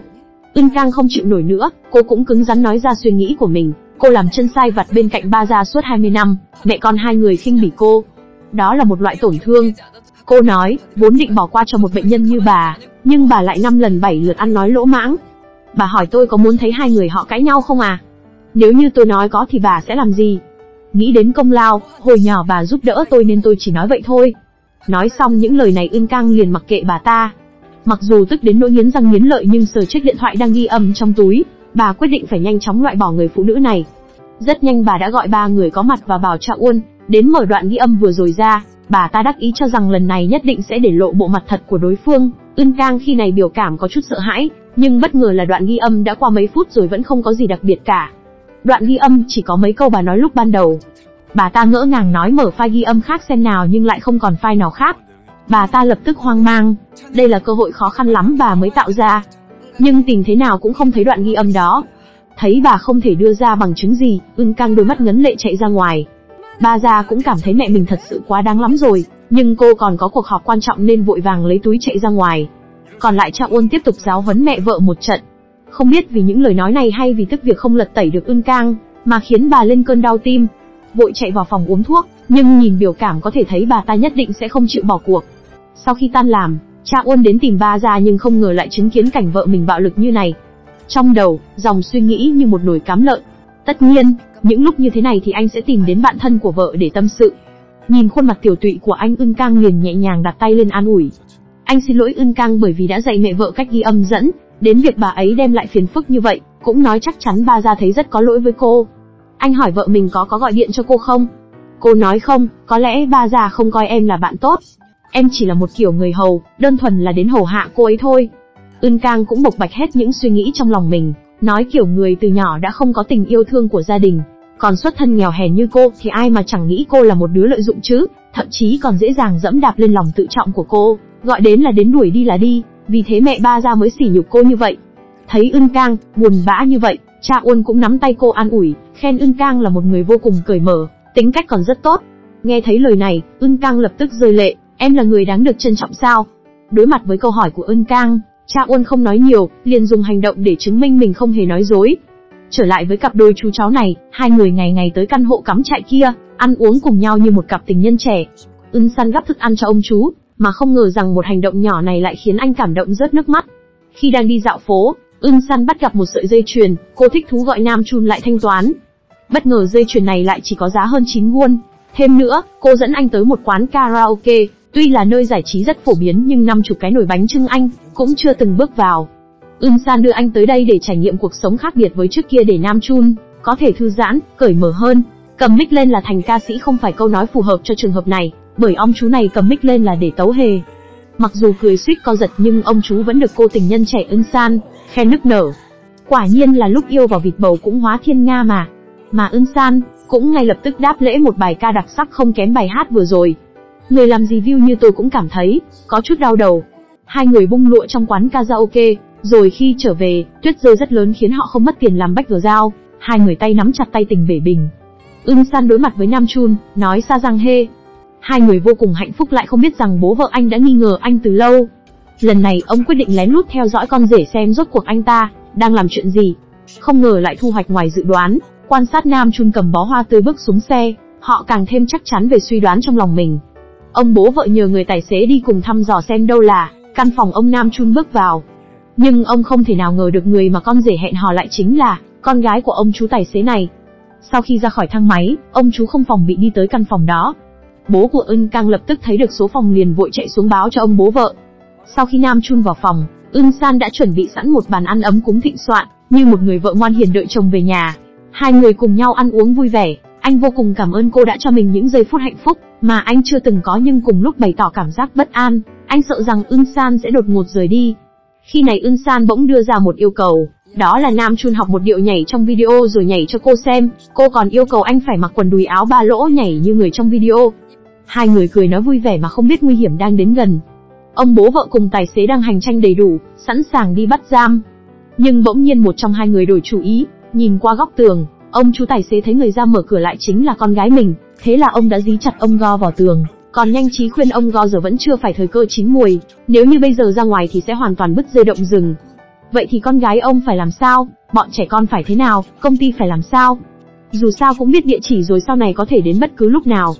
Đợi khi con gái mình đi xa rồi ông mới hoàn toàn yên tâm bỏ ông Go ra. Còn Nam Chun, thì lại không hề biết gì vẫn đang cảm thấy mình tràn đầy sức xuân lúc đánh răng, vẫn còn xem video học nhảy, đến cả thời gian ngồi ăn cơm cũng không bỏ lỡ. Anh thật sự không biết ông Go đang suy nghĩ làm sao để khiến anh lộ diện. Chỉ có cô con gái vẫn ngốc nghếch cảm thán cho rằng, đợt này tâm trạng của chồng mình rất tốt, đáng ra nên sớm đưa sổ tiết kiệm cho anh ấy. Ông Go nghe vậy càng thấy tức, sao lại có cô con gái ngu xuẩn như vậy chứ? Sau khi ăn cơm xong, ông Go nhắc nhở con gái, nếu như đột nhiên Nam Chun rời đi thì con có sống một mình được không? Câu hỏi kỳ lạ của bố khiến con gái cả đêm ngủ không ngon giấc, nửa đêm cô bừng tỉnh phát hiện chồng mình không nằm bên cạnh. Cô quyết định kiểm tra điện thoại của chồng, nhưng tìm mấy lần vẫn không kiểm tra được gì bất thường, bởi tên của cô gái đó đã sớm được đổi thành tên một người bạn đại học. Thế là cô lại lấy chìa khóa xe của Nam Chun, muốn lên xe kiểm tra thử một lượt kết quả là không tìm được bằng chứng Nam Chun vụ trộm mà lại phát hiện ra một túi thuốc to đùng. Lên mạng tra liền phát hiện đều là thuốc chữa bệnh trầm cảm. Cô nhớ lại những khó khăn bao năm qua, của chồng mỗi lần cãi nhau với bố mẹ cô đều mặc kệ anh không quan tâm. Lập tức trong lòng dâng lên cảm giác áy náy, thế là thái độ liền quay ngoắt 180 độ, muốn tạo cho Nam Chun một bất ngờ. Cô ân cần gói một miếng thịt nướng đút cho chồng vô cùng tình cảm. Sự thay đổi đột ngột của vợ khiến anh có chút không quen. Thấy chồng ngồi ngơ ở đó, cô liền nghĩ chơi lớn luôn, cô lên giọng ngọt như đường hóa học nói, chồng à anh ăn một miếng đi. Thấy Nam Chun ăn hết miếng cô mới hài lòng. Khi này cô đưa ra yêu cầu tiếp theo khiến anh xem chút, nữa phun miếng thức ăn ra ngoài, ăn xong mình lái xe đi khách sạn đi. Từ ngạc nhiên biến thành kinh sợ, người vợ thấy biểu cảm này của anh thì khẽ lẩm bẩm, không đi cũng không sao một người không biết lãng mạn, như anh sao có thể vụ giúp việc thẳng thắn này, ngày nào cũng kéo ông Go đi chợ mua rau, hai người còn vừa đi vừa cười đùa vui vẻ. Điều này khiến bà vợ ghen lồng lộn. Hôm đó bà giúp việc vừa đi làm đã nhìn thấy Nam Chun, áo quần bảnh bao chuẩn bị ra ngoài. Bà lại bắt đầu nhiều chuyện nói ông chú đừng lộ liễu quá, sẽ bị phát hiện đấy. Ông chú nghe những lời này liền khó chịu nói thím mà, cháu xin lỗi nhưng hy vọng sau này thím đừng nói những lời như vậy nữa. Bà thím còn bảo thủ nói mình chỉ là lo cho cậu thôi. Mặc dù trước mặt nói thế nhưng sau lưng lại vội chạy đi báo cáo cho ông Go, nói Nam Chun không chỉ ăn diện chỉnh tề mà còn xịt nước hoa. Ông Go tức giận đùng đùng bỏ đi. Mà suy nghĩ mấy ngày ông Go cũng quyết định hẹn Nam Chun ra ngoài nói chuyện. Ông yêu cầu Nam Chun phải ngay lập tức cắt đứt với cô gái kia. Còn bắt anh phải trực tiếp lấy điện thoại ra, lập tức gọi điện cắt đứt với cô gái kia. Trái tim của Nam Chun đã sớm không còn ở cái gia đình này nữa rồi, anh do dự không muốn gọi điện. Nhưng ông Go ở bên cạnh lại luôn miệng chửi mắng thúc giục anh mau chóng thực hiện. Ông còn đe dọa nếu anh không thực hiện sẽ mất hết tất cả. Đối mặt với sự hùng hổ của bố vợ, anh chỉ im lặng, anh cần thời gian để cắt đứt mối quan hệ này. Chỉ là không biết cuối cùng sẽ cắt đứt với bên nào. Người chồng giật chiếc iPad trên tay vợ, đột nhiên hưng phấn lạ thường nhưng không ngờ cô gái lại chạy thẳng ra ngoài. Đầu tiên là vào phòng ngủ của mẹ, nhỏ tiếng gọi mấy câu xác nhận xem mẹ đã ngủ chưa, sau đó lại đến phòng con gái lấy cớ đắp chăn để xem con gái có tỉnh không. Chạy một vòng rồi trở lại phòng thì chồng mình đã tụt mút từ bao giờ.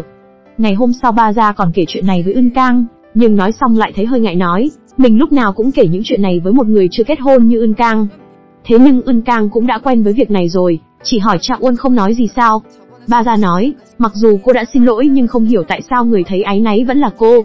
Sau đó ba ra lấy ra một chiếc khăn tay trả lại Ưng Cang. Mặc dù cô điểm tĩnh nhận lại, nhưng không biết tại sao lại giải thích thêm một câu lần trước lúc đi làm, mình không cẩn thận làm đổ cà phê, sau đó chạy đi lau bàn để che giấu sự hốt hoảng của mình. Hóa ra hôm qua ba già phát hiện ra chiếc khăn này trong túi áo cha Uôn. Đây chính là chiếc khăn lần trước Ưng Cang cố tình làm rơi, lúc cha Uôn gặp riêng cô để hỏi thăm tình hình của nhà ba gia. Hai người họ không tính đến việc lời nói dối lại không trùng khớp. Cha Uân lại nói là lúc đưa con gái ra ngoài chơi áo không cẩn thận bị dính kem, Còn Ưn Cang nói do làm đổ cà phê. Tuy nhiên có quá nhiều chuyện xảy ra khiến ba gia cũng không nghĩ nhiều. Thế nhưng chuyện Ưn Cang nói gì đó với mẹ mình thì thực sự có thể, nếu không bà cũng sẽ không bất lịch sự đến mức phải ghi âm lại. Cô nói lại với cha Uân, nhưng anh lại cho rằng mẹ cô dạo này thần kinh không được ổn định, luôn nói những lời ác ý với Ưn Cang. Nếu không phải là cô ấy, người khác gặp tình huống này đã không để yên lâu rồi. Một lời hai lời anh liền khuyên ba ra nên đưa mẹ đi kiểm tra một lượt. Mà hóa ra, hai hôm trước cha Uôn nhận được một bức thư, đây lại là bức thư Ưn Cang thổ lộ tình ý với anh, một tình cảm chôn giấu trong lòng suốt chục năm qua không dám bộc lộ, cha Uôn bắt đầu thấy thương cô gái tốt đẹp này. Anh cảm thấy bao năm qua, Ưn Cang sống thật không dễ dàng gì, vì thế mới cảm thấy thái độ của mẹ vợ đối với Ưn Cang có vấn đề. Ngày hôm sau, con gái nói trường mẫu giáo có hoạt động cần bố mẹ tham gia nhưng cha Uôn lại ngơ ngác. Hóa ra thư mời đã đưa cho ba ra, từ lâu nhưng cô lại bận rộn quên mất đến thư mời còn chưa bóc ra. Cha Uôn nhìn thấy thì lập tức nổi giận. Người phụ nữ này bây giờ chỉ có công việc đến con gái cũng không quan tâm. Tất nhiên, người lại được nhớ đến là Ưn Cang rồi. Ba ra nhờ Ưn Cang thay mình đi tham dự hoạt động của con gái. Cô còn nói Ưn Cang về khoản này chắc chắn sẽ làm tốt hơn mình, huống gì Ưn Cang cũng không phải lần đầu tiên đến nhà trẻ thay cô. Nhưng Cha Uôn lại cảm thấy đây không phải vấn đề ai tham gia, mà là thái độ đối với việc này. Ba gia thật sự không có trách nhiệm với gia đình này. Mà điều này vừa hay hợp ý Ưn Cang. Cô đến tiệm giày lựa thật tỉ mỉ một đôi giày sang trọng. Không những thế, để trang điểm cho bản thân mình thật xinh đẹp, cô còn cất công tới tiệm làm tóc để update cho mình một diện mạo xinh đẹp. Trông cô vô cùng xinh đẹp đi tới nhà trẻ. Sau khi xem các tiết mục vui nhộn từ các bạn nhỏ, nhà trẻ tổ chức các trò chơi cho các phụ huynh cùng con mình. Cô bé cũng vô cùng thân mật với Ưn Cang. Vừa hay trò chơi lại là sở trường của cô, thổi bóng bay, Nhờ khả năng thổi bóng siêu hạng, nhóm ba người họ rất nhanh đã giành chiến thắng. Min Jun vô cùng vui vẻ lên nhận giải. Kết thúc hoạt động, Ưn Cang cho ba ra xem những bức hình của ngày hôm nay. Ba ra nhìn thấy con mình vui vẻ thì vô cùng cảm ơn cô. Cô còn hào phong nếu như hạng mục lần này của mình thành công, nhất định cô sẽ tặng cho Ưn Cang một món quà lớn. Nào ngờ Ưn Cang lại nói cô có được đã vượt ngoài mong đợi rồi. Chuyển cảnh, cô gái nhìn người đàn ông quỳ dưới đất với vẻ mặt kinh bỉ, Người đàn ông dùng tay trà sát van xin bạn gái cũ tha thứ, bây giờ anh đã mất tất cả. Không chỉ hôn lễ bị hủy, mà công việc công tố viên tốn 4 năm mới thi đỗ cũng bị đuổi việc, đến bây giờ vẫn ở trong căn phòng nhỏ. Anh ta bày ra vẻ đáng thương để làm động lòng ưn cang. Teji không ngừng cầu xin cô quay lại. Nhưng có vẻ ưn cang của chúng ta bảo chờ kiếp sau rồi. Đáng đời cho tên cha nam điểu cáng. Còn ưn cang giờ chỉ nghe thấy tiếng của anh ta cũng cảm thấy buồn nôn trong lòng. Từ lâu đã vứt bỏ anh như rẻ rách, cũng không biết tại sao mình khi đó mắt mù lãng phí bên anh ta. Cô lên xe lạnh lùng rời đi. Tua lại thời gian chứa C, tên đàn ông này say ngoắc cần câu vô tình ngồi lên xe của bố Ưn Cang. Ông ta gọi anh mấy lần nhưng anh ta đã say bất tỉnh nhân sự đâu có đáp lại, ông lập tức gọi điện cho con gái muốn giúp cô xả giận. Thật không ngờ cứ tưởng mình là gà hóa ra lại là hạt đậu xanh. Cảnh vừa rồi chính lại là chiêu của Tê Di Hồng giành lấy sự thương cảm của Ân Cang, nhưng bất thành. Ân Cang bây giờ chỉ nghĩ phải làm thế nào để nâng cao bản thân, lấy lại những thứ đáng lẽ thuộc về mình bao năm qua, thứ 10 năm trước bị người ta cướp mất, Ưn Cang quen nhẫn nhịn đã thả trái bóng đỏ đầu tiên trong lòng. Bây giờ trái bóng đỏ đó dường như lại quay lại bên cô, giống như cơ hội không muốn bỏ lỡ. Lần này cô không muốn tiếp tục bị động nhẫn nhịn nữa, cô quyết định chủ động tấn công. Điều đầu tiên, cô gửi một tin nhắn cho Cha Uôn, hẹn anh gặp bên bờ biển tới gặp bên bờ biển nhé. Nhận được tin nhắn như vậy, Cha Uôn vốn do dự nhưng cô đã tính cả rồi. Cô đã hẹn ba ra, đi và Cha Uôn nghiễm nhiên đi theo coi như người hộ tống của bọn họ. Trong một nhà hàng nhìn ra biển, Ưn Cang uống hết ly này đến ly khác để lấy dũng khí.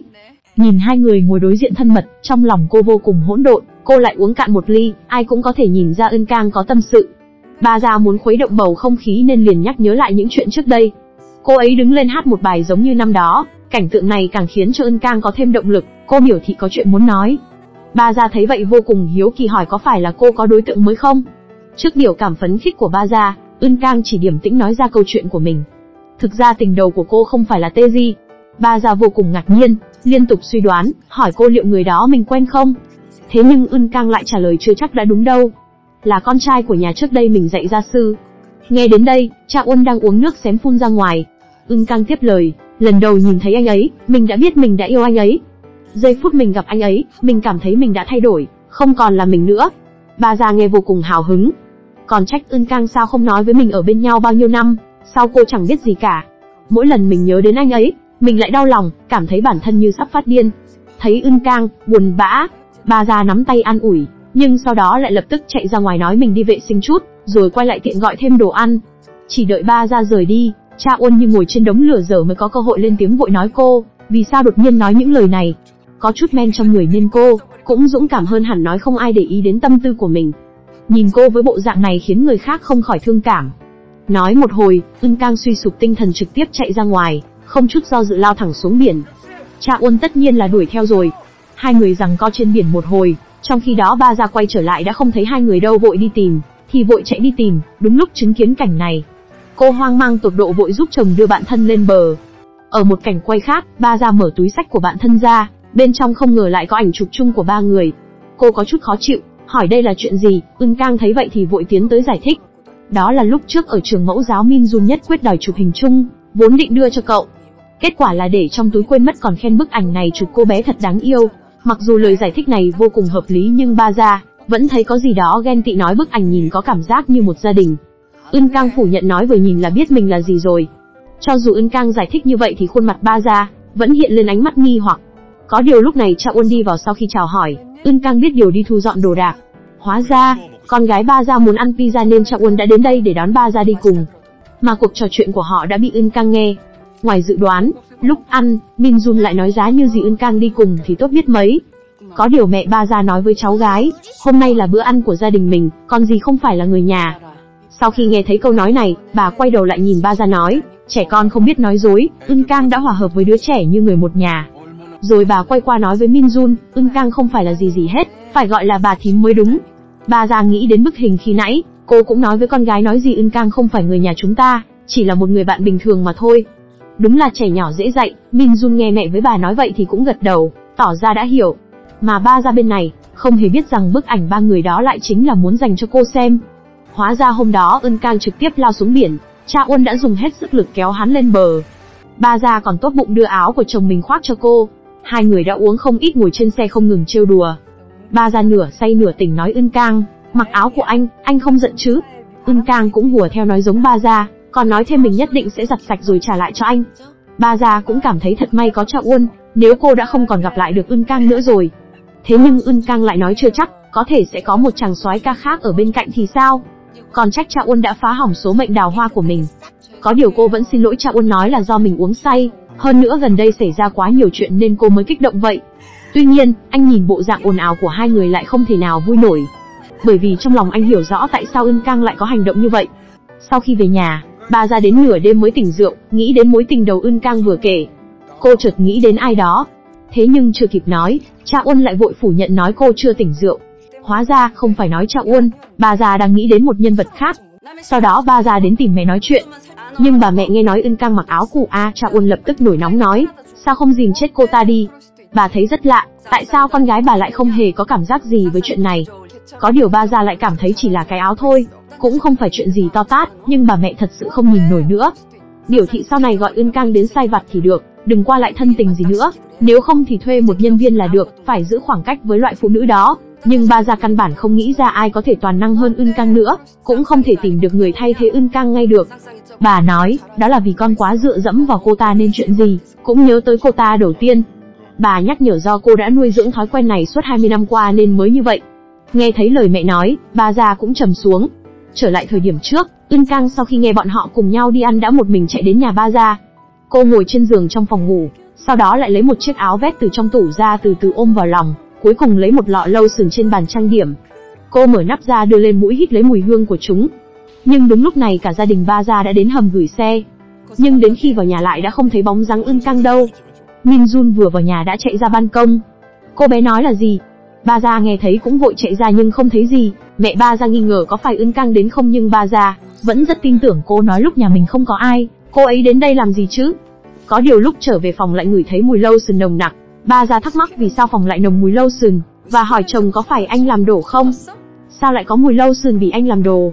Nhưng cha Uân lại phủ nhận nói không phải mình. Ba gia kiểm tra lọ lâu sườn liền thấy vơi một nửa.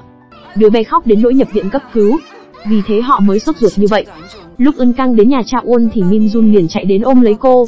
Thế nhưng mẹ ba già không những không cảm ơn sự giúp đỡ của Ân Cang, mà còn chạy vào phòng gọi điện cho ba gia, muốn cô mau về xử lý chuyện này. Nhưng ba gia lúc này đang gặp lại người quen ở bữa tiệc, điện thoại đương nhiên cũng không nghe. May mà một lúc sau Ân Cang nhận được tin từ một cô gái gọi điện nói có loại búp bê giống vậy. Có điều cách chỗ này khoảng 2 tiếng đi xe. Nghe thấy vậy, cha Uân vội nói đi thôi nhưng mẹ ba ra lại ngăn cản nói anh không được đi, chỉ mình ân Cang đi thôi.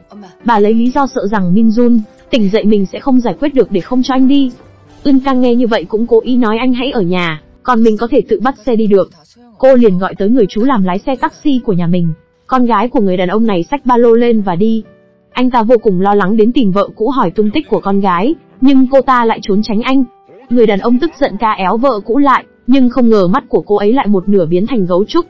Thì ra sau khi hai người ly hôn, cô đã yêu một người đàn ông kém mình nhiều tuổi.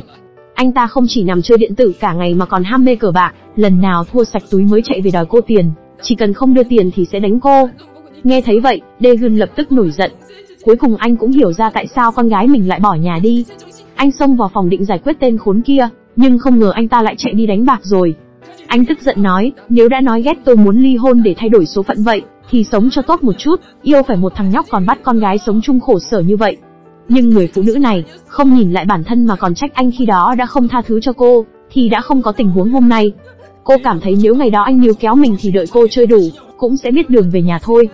Nghe những lời này không chỉ Daegun mà cả tôi cũng thấy sôi máu, phải tôi là tôi đấm cho mấy nhát. Cô ta còn quá đáng hơn nói khi mình đang tuổi xuân phơi phới mà anh, thì luôn bận kiếm tiền. Cơm nhà không được ăn thì ăn cơm ngoài cũng được chứ sao. Nghe những lời này anh không thể nghĩ được vì sao trước đây mình lại lấy người phụ nữ này. Anh hiểu rõ người phụ nữ này một khi ăn ngoài quen rồi sẽ không trở về nhà. Vốn muốn định nói gì đó thì vừa hay tên tình nhân trẻ của vợ cũ, cũng về tới nơi. Daegun lập tức nổi điên đuổi theo hắn ta. Tất nhiên tên đàn ông kia vốn chỉ bắt nạt con gái, một đấm của anh cũng không chịu nổi. Anh trở về kể chuyện này cho anh trai và chị dâu nghe. Hai người lập tức thấy bất bình cho em trai, anh trai thăm tiền biểu thị hay là để chị dâu em đi đòi lại số tiền khi đó. Thế nhưng người anh trai tốt bụng cũng không quên làm ăn, chia ba bảy được không? Người anh đảm bảo vợ mình nhất định sẽ đòi lại được số tiền đó. Cứ thế thỏa thuận được đưa ra. Sau hôm đó, việc làm ăn của cô vợ cũ liền thê thảm.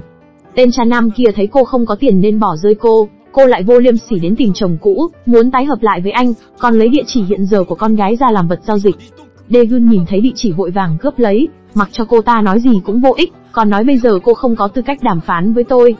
Mặc dù như vậy nhưng cô ta vẫn không chịu từ bỏ, như âm hồn không tan đến tìm anh chị dâu nói mình đã vô cùng hối hận, khóc như mưa hồng đổi lấy sự thương cảm từ hai người, để có thể giúp cô tái hợp với chồng cũ. Mà cô ta không biết, trên xe bây giờ lại chính là một người mà anh cả đời không quên. Ưn Cang lén xem điện thoại của em gái, không ngờ lại phát hiện em gái mình đang yêu một ông chú 50 tuổi. Ưn Cang liền theo dõi em gái đến một căn chung cư vắng vẻ. Vào lúc em gái mở cửa, cô đã vội vàng chạy tới chặn cửa. Ưn San bất ngờ nhìn chị gái ở đây, còn Ưn Cang lại nghiêm nghị nhìn em gái, trực tiếp đi vào bên trong. Cô muốn xem ai là người làm ra chuyện trâu giả thích gặm cỏ non này. Nhìn cách bày trí trong nhà, Ưn Cang cũng hiểu ra hai người không chỉ mới quen nhau. Cô kéo em gái lại kêu cô phải giữ mình trong sạch, đừng để ông già đó che mờ lý trí. Tình yêu không phân biệt tuổi tác không có kết quả tốt đâu.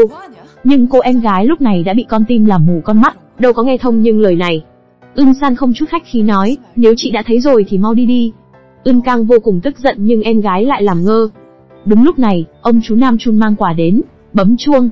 Tình huống cấp bách, cô liền cưỡng ép kéo chị mình vào nhà vệ sinh. Mà Ưn San không hề biết rằng chuyện của hai người đã sớm bị bại lộ. Mấy hôm trước, bố vợ ông chú này đã phát hiện chuyện châu già thích gặm cỏ non này của anh. Đã tức giận cho anh ba ngày để giải quyết chuyện này. Nhưng Nam Chun đối với Ưn San này chính là một đoạn tình cảm nồng cháy. Trong lòng do dự hồi lâu không biết làm sao để mở lời. Anh chỉ có thể giả vờ bận rộn trốn tránh cô.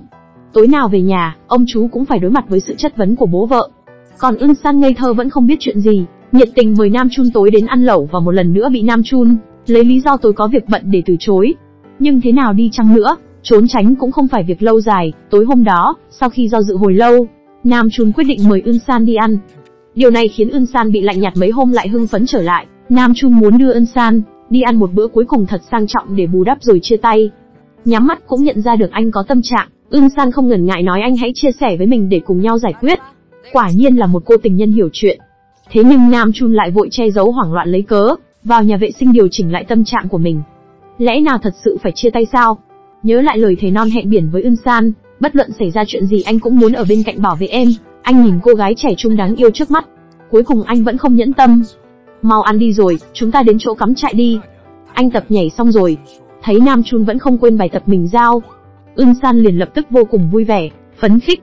Hai người trở về phòng cắm trại, Nam Chun thay quần đùi, áo ba lỗ, nhảy một cách vô cùng nghiêm túc. Nhìn mới lỗ bịch làm sao? nhưng Ưn San đứng bên cạnh lại vui vẻ hết mức. Trái ngược lại với Ưn San, biểu cảm của Nam Chun lại cứng ngắc biết bao nhiêu, các múi cơ trên mặt như tê liệt, anh sợ không kiềm chế được cảm xúc của mình.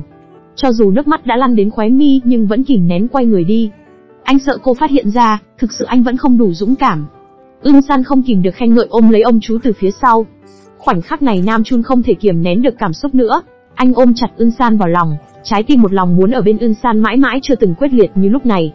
Mà đàn ông luôn tham lam, cơm nhà cũng muốn mà cơm ngoài cũng mê. Anh không muốn từ bỏ Ưn San, nên về nhà lại tiếp tục đối mặt với ông bố vợ ác nghiệt này. Chỉ hoãn hết lần này đến lần khác, anh muốn bố vợ cho mình thêm thời gian.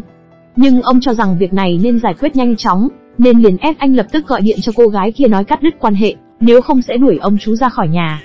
Bố vợ còn viết sẵn cho anh một bài thoại để phòng trừ anh không biết nói gì, bắt anh đọc theo. Nam Chun không còn cách nào khác, chỉ đành làm theo nói theo, thế nhưng nói được một đoạn anh lại tự ý thay đổi lời thoại khiến ông Go phát điên.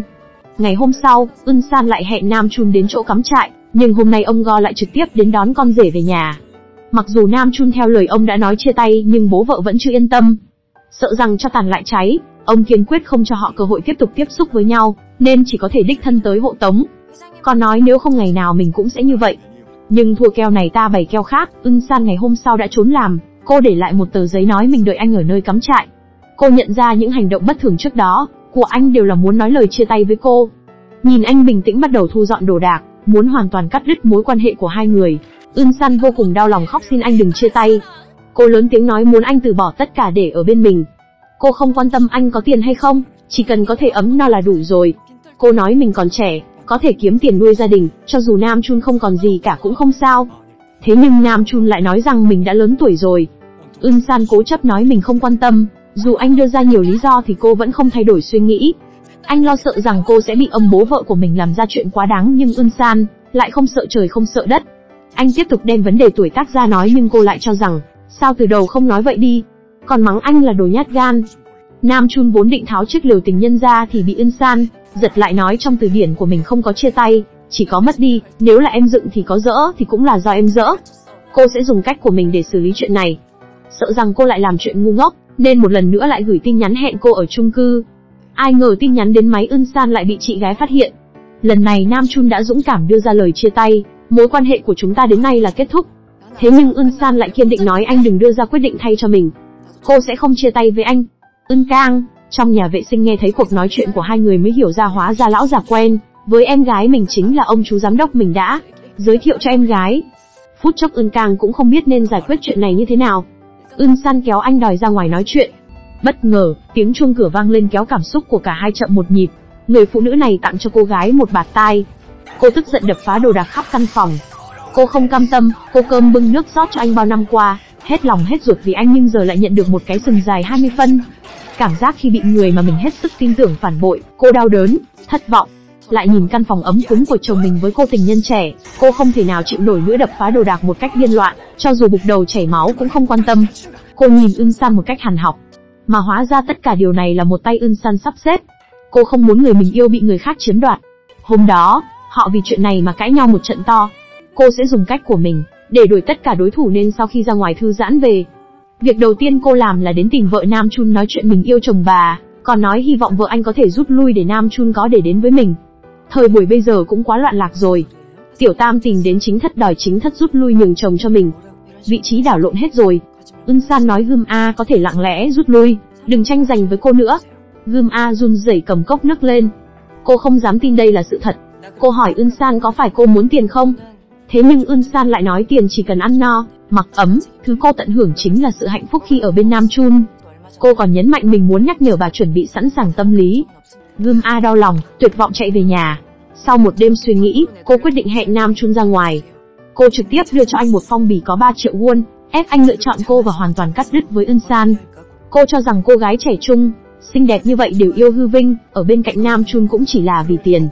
Hơn nữa, cách biệt tuổi tác của hai người quá lớn, lẽ nào không sợ ánh mắt của người đời sao? Sau đó lại khóc, chơi đòn tình cảm với Nam Chun, cô cơm bưng nước rót cho anh từ khi anh còn đi học, đến công ty của gia đình cũng giao cho anh quản lý. Cô thật sự moi hết ruột gan ra đối xử với anh, đổi lại chỉ là sự thờ ơ của anh đối với cô. Những việc đó qua rồi thì thôi. Nhưng lần này anh có thể nghe em không? Cô nói mình sẽ không nhắc lại chuyện cũ. Mà bên này Ưn San cũng không thể chịu được hành động yếu hèn của Nam Chun. Nói anh là đồ nhát gan sao? Còn nói anh hãy giải quyết vấn đề theo cách của mình.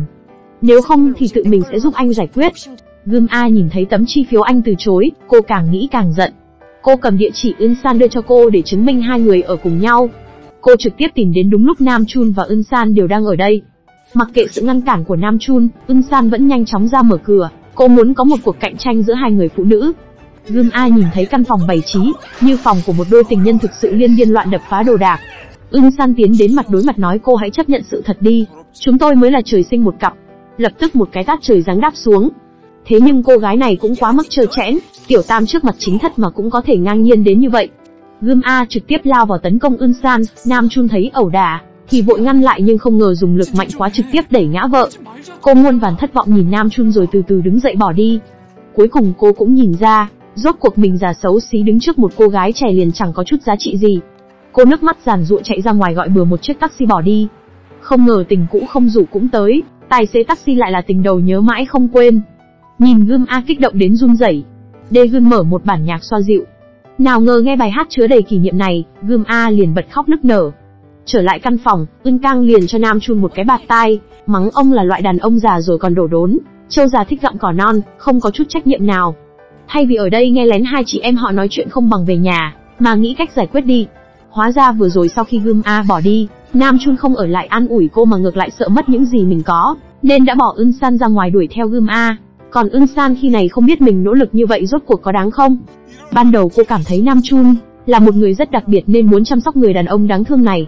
Không ngờ rằng cô lại đặt cả trái tim vào đó, bởi vì cô cảm nhận được từ anh một sự quan tâm chưa từng có. Lần đầu tiên khen cô cố gắng, khen cô xinh đẹp. Trước đây chưa từng có ai nghĩ đến cảm nhận của cô. Hồi nhỏ bố đi chơi bên ngoài, mẹ đưa cô đi đánh ghen cùng bà. Cô nhỏ bé nhìn mẹ mình vật lộn với người ta, chỉ có thể sợ hãi đứng yên tại chỗ. Còn bố chỉ quan tâm đến mình, bỏ chạy mặc kệ cô ở đó. Tất cả đã trở thành nỗi ám ảnh của cô. Nếu như không phải vì chị thì cô đã rời khỏi cái nhà này từ lâu rồi. Cô ôm lấy chị tìm kiếm sự an ủi, Hai chị em đi từ căn phòng ra nhìn thấy Nam Chun đang đứng trước cửa nghe lén. Cô nổi giận cho ông ta một trưởng, sau đó trực tiếp kéo cô em gái còn đang lưu luyến rời đi. Ưn Cang tuyệt đối không để em gái của mình ở bên cạnh một người hèn yếu như vậy.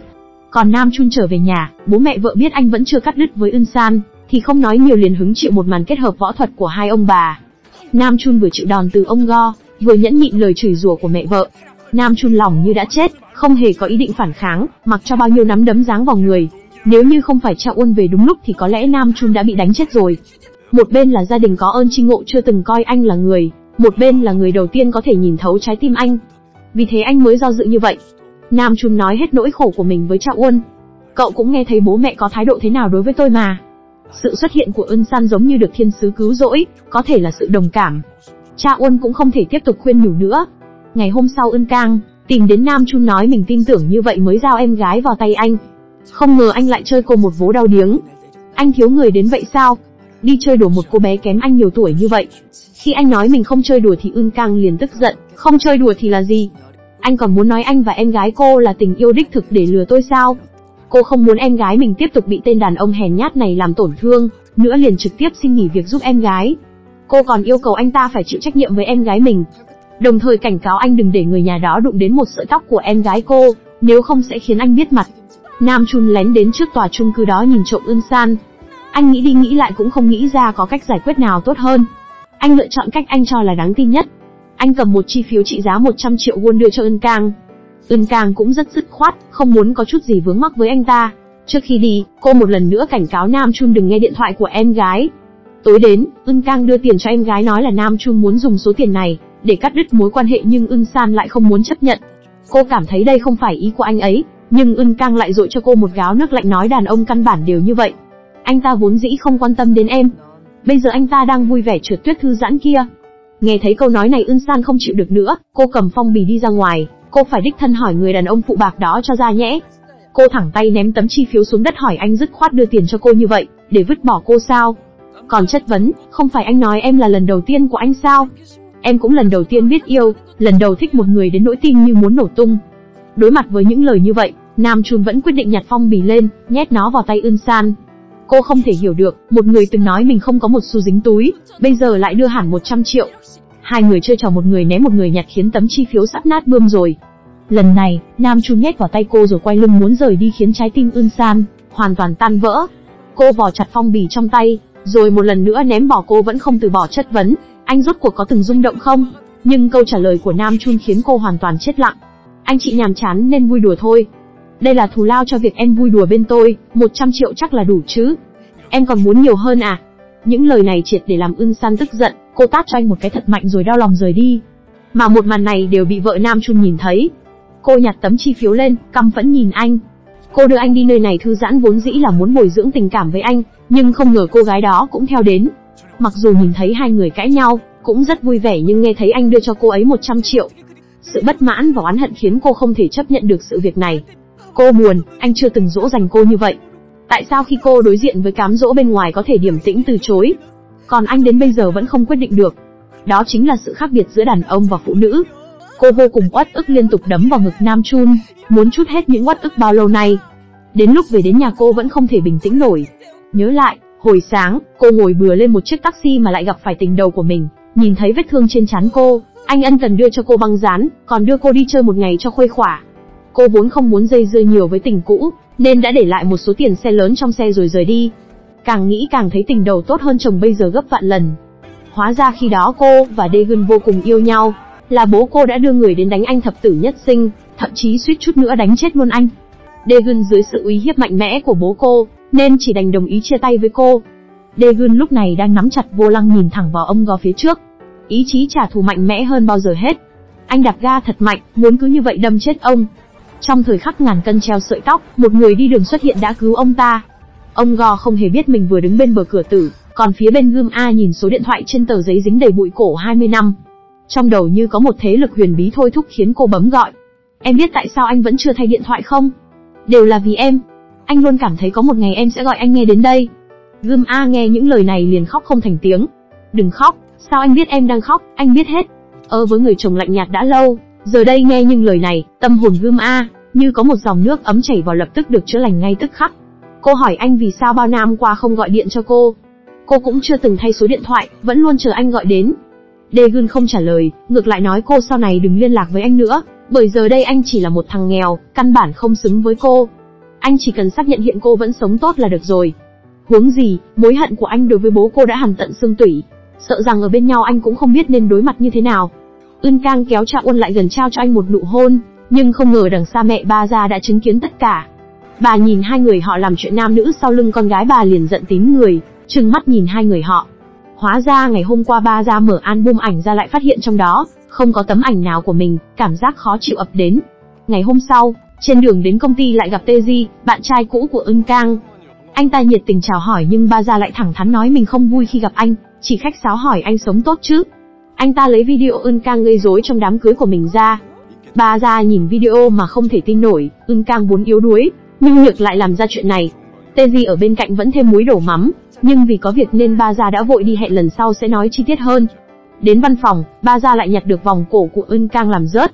Ba gia cầm lên quan sát, không ngờ chiếc vòng lại là bị dùng sức kéo đứt. Mặt ba gia tối sầm. Cô gửi tin nhắn cho Ân Cang hẹn gặp tại văn phòng, tôi có điều muốn nói. Ân Cang vừa vào cửa, ba gia đã hỏi chuyện lần trước đi du lịch có phải là cô nói cho Cha Uân không? Nhưng Ân Cang lại thẳng thắn thừa nhận nói là, chỉ hy vọng cô ấy có thể đi chơi vui vẻ với mẹ. Ba gia thấy dù là cô muốn tạo bất ngờ cho mình sau khi về, cũng nên nói với bản thân luôn. Ưn Cang giải thích rằng là cha Uôn bảo mình đừng nói nhưng ba gia vẫn không buông tha nói chuyện cha Uôn, biết mình đang trả nợ thay bố là cậu nói với anh ấy à?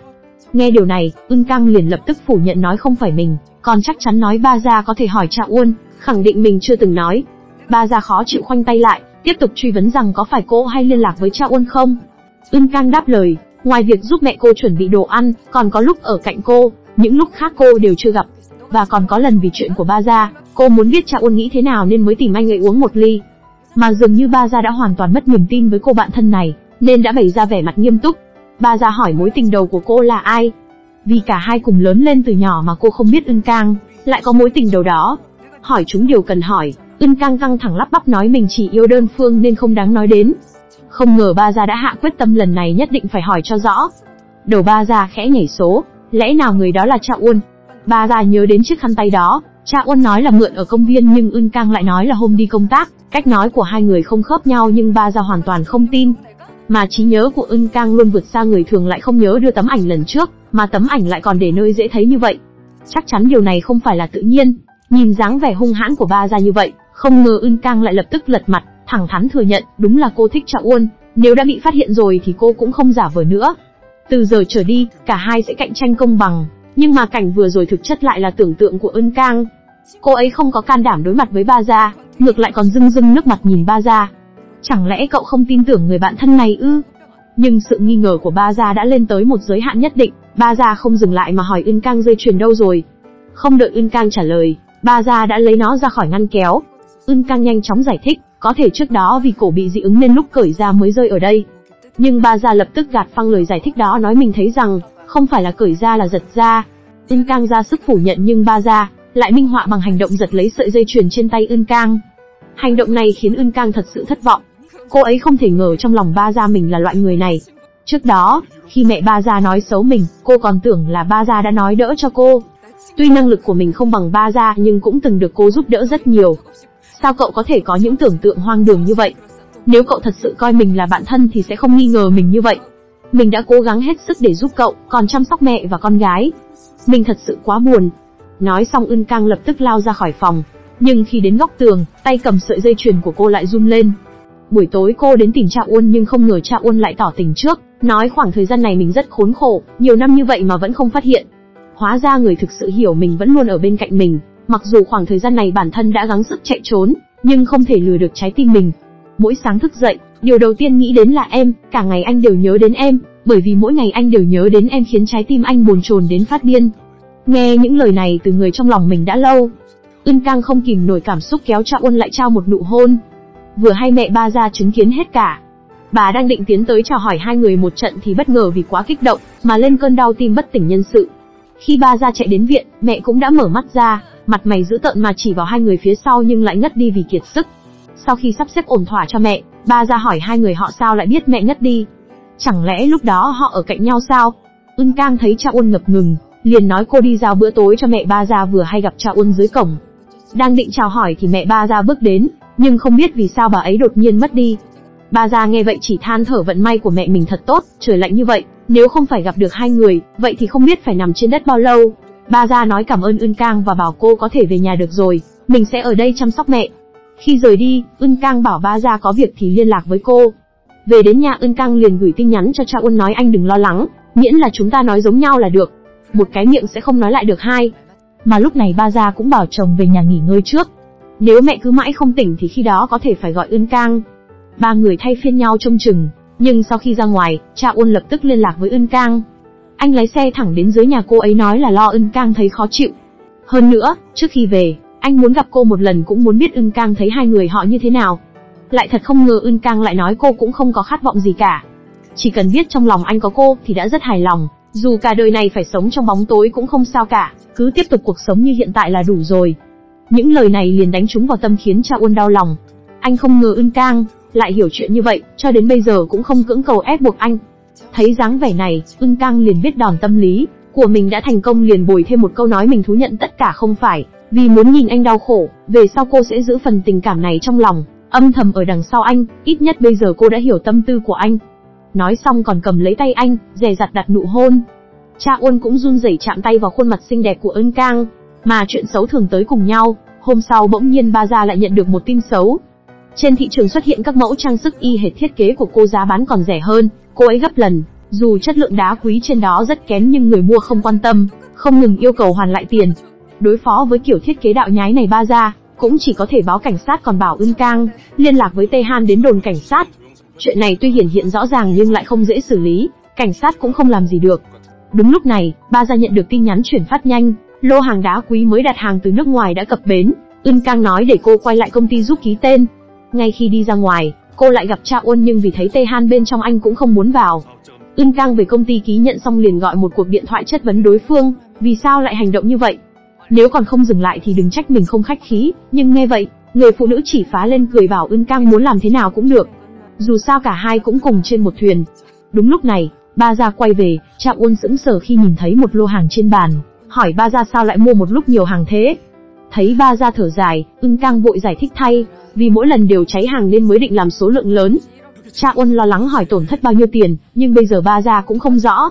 Nếu bị trả hàng số lượng lớn có thể phải bồi thường tới 100 triệu won. thiệt hại gây ra có thể gấp 2, 3 lần. Ai ngờ cha Uân nghe vậy lại trách móc cô nói ai bảo em không có năng lực, còn bày đặt. Nghe đến đây ba già không nhịn được nữa nói anh, không những không an ủi mình chút nào lại còn buông ra những lời như thế. Cô ấy hoàn toàn không hiểu vì sao cha Uân lại nói chuyện với mình bằng thái độ này. Cha Uân nói mình cũng không thoải mái nên mới nói như vậy, lá gan ở đâu lớn như vậy mà một lần lại mua nhiều như thế chứ. Ba gia tức giận suy sụp nói anh mau im miệng. Nhìn ba gia như vậy, Ưn Căng liền bảo cha Uân mau rời khỏi đây trước.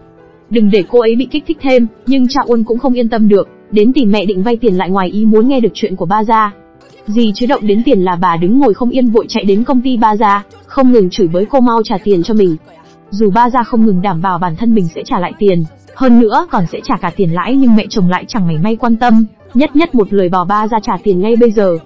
Thấy thái độ bỏ đá xuống giếng của mẹ chồng, bà già đang tích tụ nhiều uất ức trong lòng cũng giận dữ kêu bà đừng có lo, dù có chuyện gì, dù phải đến cái mạng này của mình, cô cũng sẽ trả tiền cho bà. Nhưng người mẹ chồng này lại không phải người dễ nói chuyện như vậy. Bà tiếp tục châm chọc con dâu nói lúc mượn, thì như đứa cháu bây giờ lại như hơn cả ông người ta. Ưn Cang, cháu xem đây là thái độ gì? Thấy tranh cãi không hề có dấu hiệu đi xuống. Ưn Cang vội kéo bà ấy ra ngoài. Buổi tối cô đến bên sông hóng gió, có vẻ như để không kích thích ba ra nữa, đồng thời lấy lùi làm tiến, cô gửi tin nhắn cho cha Uân nói, chúng ta dừng ở đây đi. Ba ra tát cho bạn thân một cái trời giáng. Mắng cô là loại phụ nữ vô liêm sỉ. Hóa ra mấy hôm trước, Ưn Cang mang cơm chưa đến cho ba ra. Đúng lúc này cô nhận được điện thoại của bệnh viện gọi đến nói mẹ cô đã tỉnh lại. Cô vui mừng ôm Ưn Cang. Thế nhưng ánh mắt cô Ưn Cang lại mở to suy nghĩ. Cô sợ chuyện của mình bị bại lộ. May mà ba gia vẫn còn cuộc họp nên Ưn Cang nói cô sẽ đến viện xem tình hình trước. Sau khi đến viện, cô hỏi han mẹ ba gia vài câu, sau đó đi vào vấn đề chính. Bà biết tại sao mình ngất không? Mẹ ba gia đánh mắt sang một bên, cố gắng nhớ lại, tay ưng cang nắm chặt quai túi sách, cô mở to mắt nhìn mẹ của ba gia. Có cảm giác như nếu cảm thấy bất ổn, cô sẽ trực tiếp cho bà đăng xuất khỏi trái đất. Nghe được câu trả lời, tôi không nhớ, ưng cang lại một hồi xác nhận, cô kêu bà ấy cố gắng nhớ lại lần nữa. Mẹ ba ra nói lúc đó dạ dày tôi bị đau, muốn ra ngoài mua thuốc, sau đó hình như tôi đi phơi chăn. Còn gì nữa tôi không biết, không nhớ nổi. Qua nhiều lần xa VCS nhận, Ưn Cang mới tạm yên tâm nói ba ra họp xong sẽ đến. Ngay khi cô bước ra khỏi cửa, bà ta lộ ra bàn tay đang nắm chặt cùng vẻ mặt muốn giết người. Ưn Cang vừa ra ngoài thì gặp ba ra đến, cô còn cố tình nói mẹ cậu không có gì nguy hiểm cả. Bà vẫn nhớ chuyện xảy ra hôm đó, tiện hỏi ba ra tình hình cuộc họp thế nào. Nghe tin cảnh sát đến điều tra bắt người, ánh mắt của Ân Cang lập tức có chút gượng gạo, nhưng cũng chỉ biết chúc cô sớm tìm được hung thủ. Sau khi ba ra vào trong, Ân Cang mặt đầy suy tư, không biết trong lòng đang suy tính điều gì. Mẹ vừa nhìn thấy ba gia liền hỏi Ân Cang đâu rồi. Ba gia tưởng mẹ tìm Ân Cang có việc gì liền định đứng dậy đi tìm, nhưng bà vội vàng kéo cô lại, nói mình là bởi vì Ân Cang nên mới giả vờ ngủ. Ba gia không hiểu chuyện gì vô cùng hoang mang. Thấy bà hỏi, con tin mẹ chứ? Ba gia ngạc nhiên nhưng cũng vội vàng gật đầu. Nhìn bàn tay bà đang run bần bật, cô nói mời bác sĩ cho bà, nhưng bà lại vội từ chối rồi kể lại những chuyện bà nhìn thấy tối hôm đó, cũng biểu thị bà là vì nhìn thấy cảnh đó nên mới tức giận, không thở được mà ngất đi. Bà ấy vừa rồi cảm thấy ưn căng vô cùng đáng sợ. Nếu như bà biểu lộ ra, bà nhớ chút gì về chuyện tối hôm đó, thì có lẽ bây giờ bà đã sớm đi gặp ông bà rồi. Có điều bây giờ vẫn chưa phải lúc vạch trần. Bà kêu ba ra cứ bình tĩnh, đừng vội manh động, đợi sau khi bà khỏe lại nhất định cho họ một bài học. Cha uôn lúc này cũng đến tìm mẹ mình hỏi rốt cuộc đã xảy ra chuyện gì. Khi này bà mới nói, trước đó ba ra đến tìm mình, dùng mọi thủ đoạn để bắt bà đầu tư cho cô ta. Còn nói trong thời gian ngắn sẽ trả lại cả gốc lẫn lãi, nhưng không ngờ cuối cùng lại mất tất cả. Nhưng cha Uân nghe vào liền thấy có gì đó không đúng, nhớ lại, hình như trước đó Ưn Cang nói với anh số tiền đó là do tình cũ của ba gia cho mượn. Mà ba gia khi này đã đến tìm bạn trai cũ của Ưn Cang, Teji. Cuối cùng cô cũng hiểu tại sao trước đó Teji kêu cô hãy cẩn thận với người thân cận nhất, còn luôn nói với cô Ưn Cang là một người đáng sợ. Teji nhìn thấy cô như vậy liền biết chắc chắn cô đã xảy ra chuyện gì. Có điều anh ta cũng nhắc nhở, nếu như không tìm được bằng chứng xác thực thì Ưng Cang có đánh chết, cũng sẽ không thừa nhận. Sau đó, bà ra lén xem điện thoại của cha Uôn nhưng không hề có gì bất thường cả. Thế là cô liền lấy trộm chìa khóa xe của anh, quả nhiên phát hiện anh đi tìm Ưng Cang qua camera hành trình. Hơn nữa, thời gian lại chính vào hôm đó, nhưng cô biết thứ này không thể chứng minh được gì cả. Thế là cô lại bắt đầu lục đồ trong xe. Bất ngờ phát hiện ra bức thư cha Uôn để ở hộp điều khiển. Đọc xong bức thư ba ra giận nghiến răng nghiến lợi, cô tuyệt đối sẽ không bỏ qua cho loại phụ nữ vô liêm sỉ này. Bên này, ưng san thất tình đến tìm chú mình hỏi rốt cuộc làm sao để quên một người. Daegun nói với cô trên đời này không tồn tại tình yêu, bây giờ đối phương đã không quan tâm đến cô nữa, vậy cô cũng không cần làm bất kỳ điều ngu ngốc gì vì hắn ta, coi hắn ta là ký ức phó mặc cho thời gian, thời gian sẽ xóa nhòa tất cả. Sau đó chú nói với cô, nếu như thực sự quá buồn thì hãy viết ưu điểm nhược điểm của hắn ta ra. Mặc dù có thể không quên ngay được, nhưng nếu có thể nhớ được những điểm xấu của hắn ta có lẽ sẽ có ích với cô. Ưn San rảnh rỗi viết hết ưu điểm của Nam Chun ra nhưng đến khi viết khuyết điểm, ngoài việc nhát gan, cô chẳng thể nhớ ra từ gì khác để bôi nhọ anh ta cả. Thế là Ưn San lại bắt đầu xóa hết những thứ có liên quan đến Nam Chun, phương thức liên lạc, lịch sử trò chuyện, còn cả ảnh chụp chung. Nhưng sau khi xem đoạn video mà Nam Chun chăm chú nhảy, bất luận thế nào cũng không nhẫn tâm xóa. Nhớ lại cảnh tượng khi đó, cuối cùng Ưn San vẫn không thể buông bỏ cô vẫn muốn đấu tranh. Điểm này cô thực sự giống với chị gái của mình. Cô lại đến tìm Nam Chun. Cô đẩy anh vào tường, ép anh ở bên cạnh cô. Nam Chun lại một lần nữa dứt khoát từ chối, anh buông những lời lẽ mang tính sát thương nhằm khiến cô đau lòng mà từ bỏ, nhưng cô lại cố chấp không từ bỏ. Cô uy hiếp sẽ phơi bày chuyện xấu của Nam Chun với gia đình anh. Điều này vừa hay chạm đến giới hạn của Nam Chun, anh lập tức đẩy Ưn San vào tường, khuôn mặt dữ tợn nói cô không được phép đụng đến gia đình tôi, tuyệt đối không được, nhưng Ưn San lại không biết điểm dừng tiếp tục khiêu khích nói mình sẽ nói ra tất cả. Chuyển cảnh, Nam Chun vừa lái xe vừa nhớ lại hành động quá đáng của mình, khi nãy liền cảm thấy áy náy. Anh chỉ mong Ưn San không ngày càng lún sâu vào đoạn tình cảm này. Anh sợ người tổn thương cuối cùng chỉ có Ưn San. Mà Ưn San sau ký ức vừa rồi liền bật chế độ bất cần. vốn người cố chấp như cô sao có thể buông tay chứ, cô lại tìm đến Zoom A, cho cô xem video Nam Chun nhảy cho mình xem. Cô cảm thấy nếu như người phụ nữ này, từ bỏ thì Nam Chun sẽ quay trở lại bên cạnh cô. Nhưng cô không hề biết rằng Gươm A có một khuyết điểm là, dù cho món đồ đó cô không thích nữa thì cô thà hủy hoại rồi ném bỏ, chứ không chịu cho người khác chạm tay vào. Cuối cùng Nam vẫn để 100 triệu tiền bồi thường vào trong hộp đồ dùng của Ân San, bảo kế toán mới lát sẽ có người đến lấy, không ngờ người đến lấy lại là bố Ân San. Kế toán không hỏi gì đã đưa thùng đồ cho ông ấy, nếu như không phải đúng lúc Ân Cang, đến thì nói không chừng chuyện của Ân San đã không giấu nổi nữa rồi. Ân Cang không muốn chuyện của em gái bị bố phát hiện, còn nói sao bố quan tâm chuyện nhà người khác thế. Ông nói chán lại tiện kiếm chút tiền xe. Thực ra người điều khiển phía sau chính là bố mẹ cô. Để kiếm tiền xe của ông Go, ông không ngừng đưa ra kế hoạch. Bà mẹ miệng thì nói không chọc vào chuyện nhà người khác, nhưng hai người lúc này lại đứng bàn tán rất xôm. Họ không hề biết người mà họ vừa nói xấu lại chính là con gái họ. Bộ phim này thực sự cuồng tát rồi. Lại một cái tát trời giáng xuống mặt Nam Chun. Gươm A chất vấn anh có gan cọp đi vụng trộm, mà còn dám lấy tiền của mình ra ngoài gái gú. Cô mòi hết ruột hết gan ra, đối xử tốt với anh mà anh lại để con nhóc đó cầm video đến khoe khoang với mình. Đáng tiếc hồi sáng cô còn đến tìm bố mẹ mình, muốn xin cho Nam Chun thăng chức tăng lương để níu kéo anh, nhưng ông Go cho rằng không thể ủy quyền tất cả chức vụ vào tay một người ngoài được, nếu không nhỡ nuôi ong tay áo thì sao? Không ngờ lời ông nói cứ như vậy mà thành sự thật. Cô hận bản thân vì sao không nhìn rõ anh ta sớm hơn. Cô trách móc anh vì sao lại khiến mình thê thảm như vậy. Cô hỏi anh mình đã làm sai chuyện gì mà anh lại đối xử với mình như vậy. Vậy sao số của tôi đã làm sai chuyện gì? Nam Chun chỉ biết đứng đó im lặng chịu trận, mặc cho cô mắng chửi. Buổi tối, Gươm A nhìn mình trong gương, cô thật sự đã già rồi sao? Cô không cam tâm như vậy, chỉ có thể dùng nước mắt để giải bày nỗi lòng của mình. Ngày hôm sau, cô chạy đến chỗ em trai khóc kể khổ, cha Uôn trước giờ có mối quan hệ rất tốt với Nam Chun, lập tức đến tìm anh nói chuyện. Anh nghiêm nghị chất vấn Nam Chun tại sao lại bắt nạt chị mình như vậy. Rốt cục nhà họ đã làm gì có lỗi với anh? Rõ ràng là anh làm sai, tại sao đến một thái độ xin lỗi, nhận lỗi cũng không có? Sao có thể làm ra chuyện đáng xấu hổ như vậy? Nhưng Nam Chun lại nói cha Uôn nên hiểu cho anh, trong cuộc sống, con người ta sẽ luôn bị cuốn vào những chuyện mình không ngờ được. Anh biểu thị mình sẽ nghĩ cách bù đắp cho chị anh. Cha Uôn thấy khuyên không có tác dụng nên đã nghiêm nghị cảnh cáo Nam Chun, nếu như anh còn bắt nạt chị tôi thì tôi sẽ cho anh biết tay. Cha Uôn hùng hổ là vậy nhưng lại không nhớ tới bản thân cũng không khác gì. Là chó chê mèo lắm lông mà thôi. Phía bên này, Gươm A đã hoàn toàn từ bỏ Nam Chun.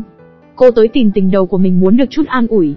Cô đề nghị mình sẽ trả tiền công ngày hôm nay của anh, chiêu này khiến Daegun không thể từ chối. Hai người đến quán mì trước đây thường xuyên ăn. Cô không nói gì mà chỉ ngồi lặng lẽ lấy nước mắt rửa mặt, ám chỉ thời gian này mình sống không tốt lắm. Rất nhanh, hai bát mì tương đen quen thuộc đã được bưng ra. Daegun lặng lẽ trộn bát mì trước mặt rồi chu đáo đưa cho Gươm A, mà Gươm A khi này lại bị chi tiết nhỏ này làm cảm động. Daegun còn nói đùa, nếu biết em sẽ khóc như vậy thì anh đã gọi mì nước. Nghe vậy Gươm A liền bị chọc cười thành tiếng. Giữa hai người có rất nhiều kỷ niệm, vì vậy chỉ đôi ba câu nói đã cùng chung tần số.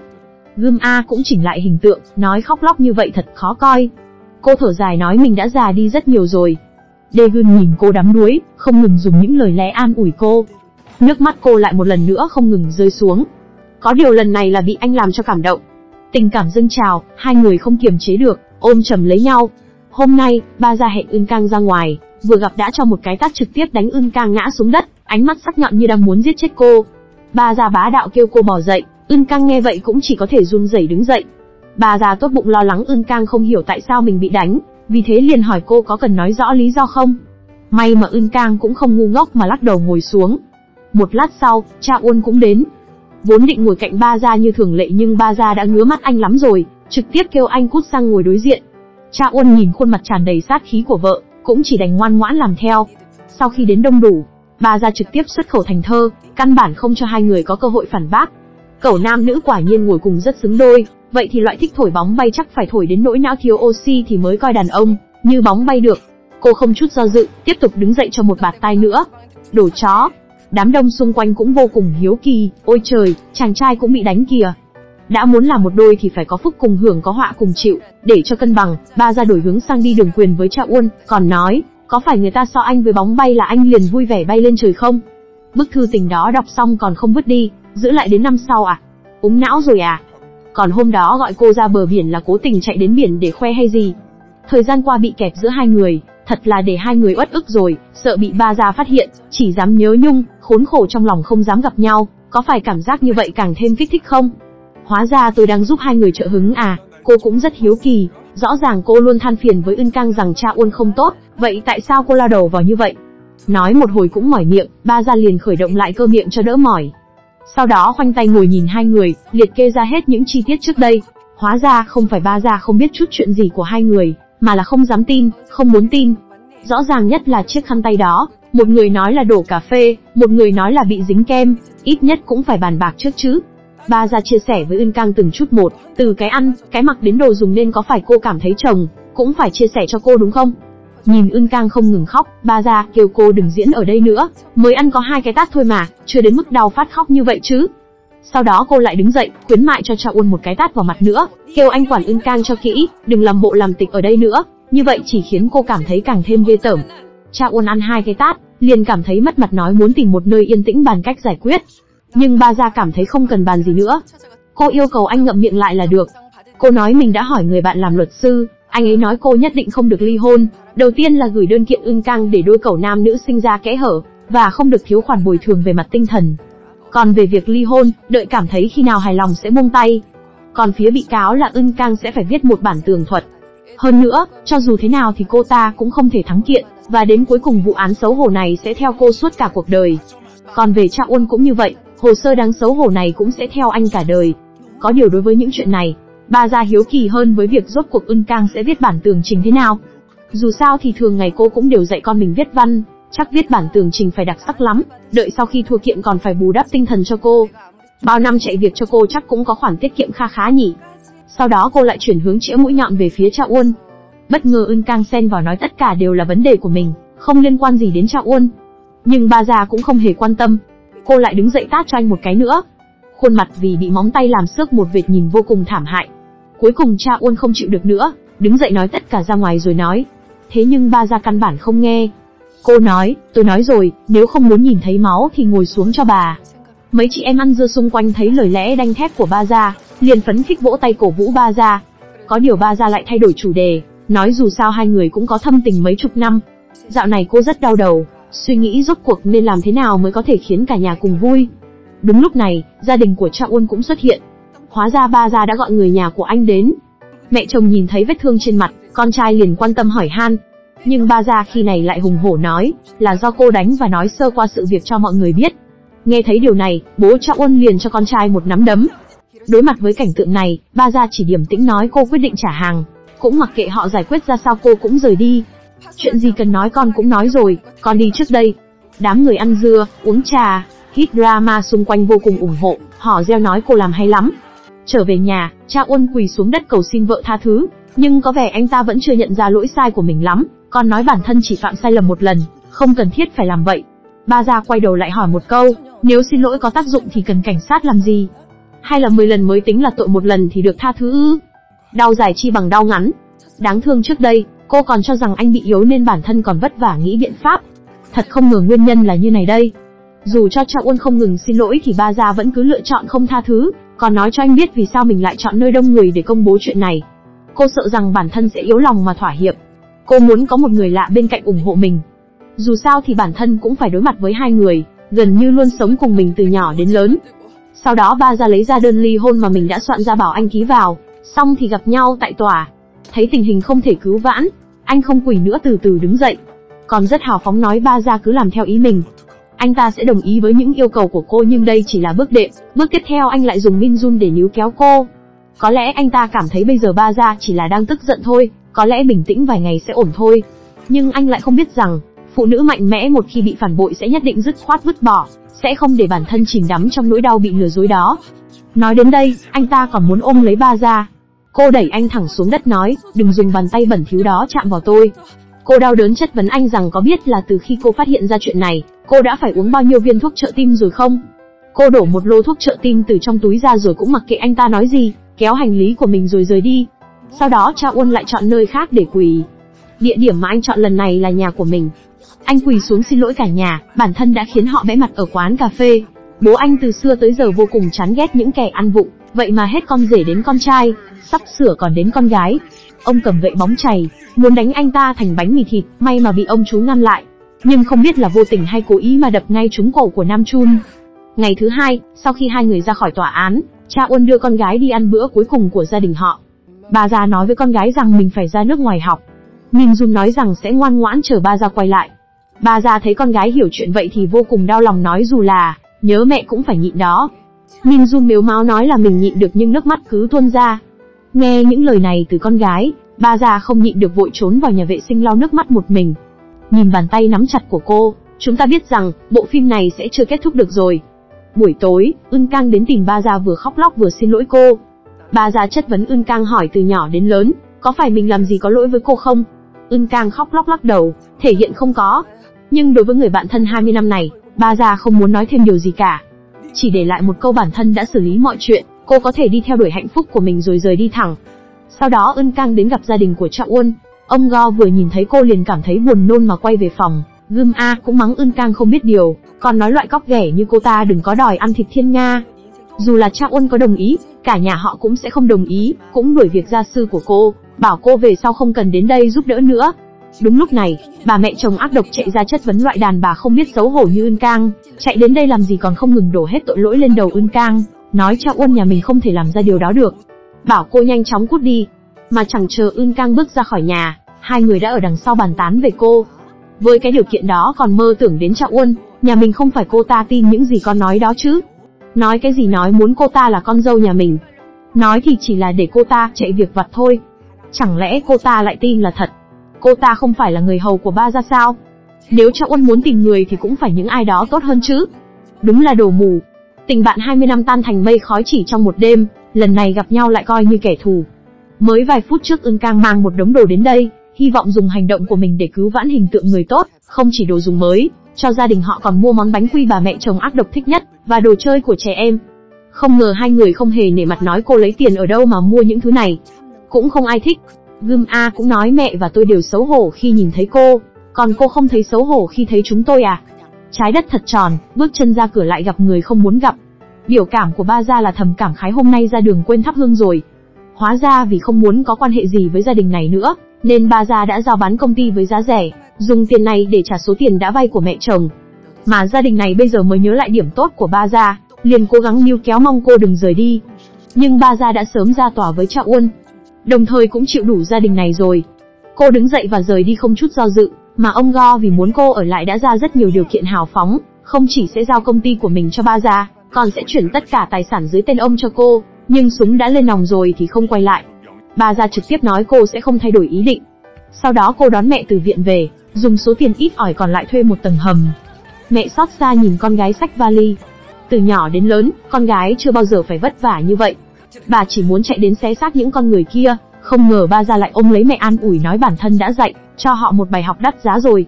Bà bảo cô nhất định phải lấy lại những gì thuộc về mình, không thể dâng đồ của mình cho người khác như vậy, dù phải hủy hoại cũng không thể để người khác có được. Mặt khác, chị gái đi tìm cha Uân nói ba gia vừa đến nhà trả hết tiền cho mẹ, rõ ràng làm ăn thất bại, cô ấy lấy đâu ra nhiều tiền như vậy. Cha Uân nghe được tin này liền vội vã đến công ty của ba gia, lại phát hiện văn phòng đã khóa, không có ai bên trên còn dán giấy đã chuyển nhượng mặt bằng. Anh đi tìm chủ nhà mới biết ba gia đã hủy bỏ hợp đồng thuê nhà, hơn nữa, mấy ngày nay cũng không thấy cô. Anh đi tìm Tê Han hỏi tung tích của cô nhưng vẫn không có tin tức gì. Lúc này, ba gia đã về nhà và dọn dẹp tất cả đồ của mình. Bất ngờ cảnh ba gia rời đi lại bị Ưn Cang bắt gặp, không còn trở ngại gì nữa, cô liền tự nhiên đi vào nhà. Nhìn căn nhà chỉ còn lại đồ của cha Uôn cũng không biết là cô đang vui hay buồn. Cô thần thận sắp xếp số quần áo còn sót lại. Sau khi dọn phòng xong, chuẩn bị rời đi, lại nhận được tin nhắn từ một người bạn hỏi rằng có phải ba gia đã gặp chuyện không? Cha Uôn đang điên cuồng tìm kiếm cô ấy. Ưn Cang tình cờ gặp cha Uôn đang về nhà, không ngờ anh lại giả vờ như không quen, trực tiếp lướt ngang qua cô. Mà bên kia ba gia vừa ra khỏi nhà khách hàng bất ngờ trời đổ mưa lớn. Đã bán xe rồi nên cô chỉ có thể trùm khăn lụa lên đầu chạy trong màn mưa. Vừa về đến văn phòng liền theo thói quen bảo Ưn Cang đưa cho mình khăn tắm, nhưng khi định thần lại, cô mới nhận ra đây đã không phải là văn phòng trước kia nữa. Hai người không còn là bạn tốt nữa. Trái tim trống rỗng dường như rơi xuống vực thẳm trong tích tắc, cô bất lực quỳ xuống đất khóc nức nở. Nam chun trốn trong góc tường nhìn thấy một cảnh tượng vô cùng kinh ngạc, vợ của mình đang cắn nhau nhiệt tình với một người đàn ông khác, mà người này còn là tình đầu nhớ mãi không quên. Tình cảnh này khiến anh không biết phải cảm giác ra sao. Bởi dù sao người có lỗi trước cũng là anh, là quả báo cho những tội lỗi của anh khi trước.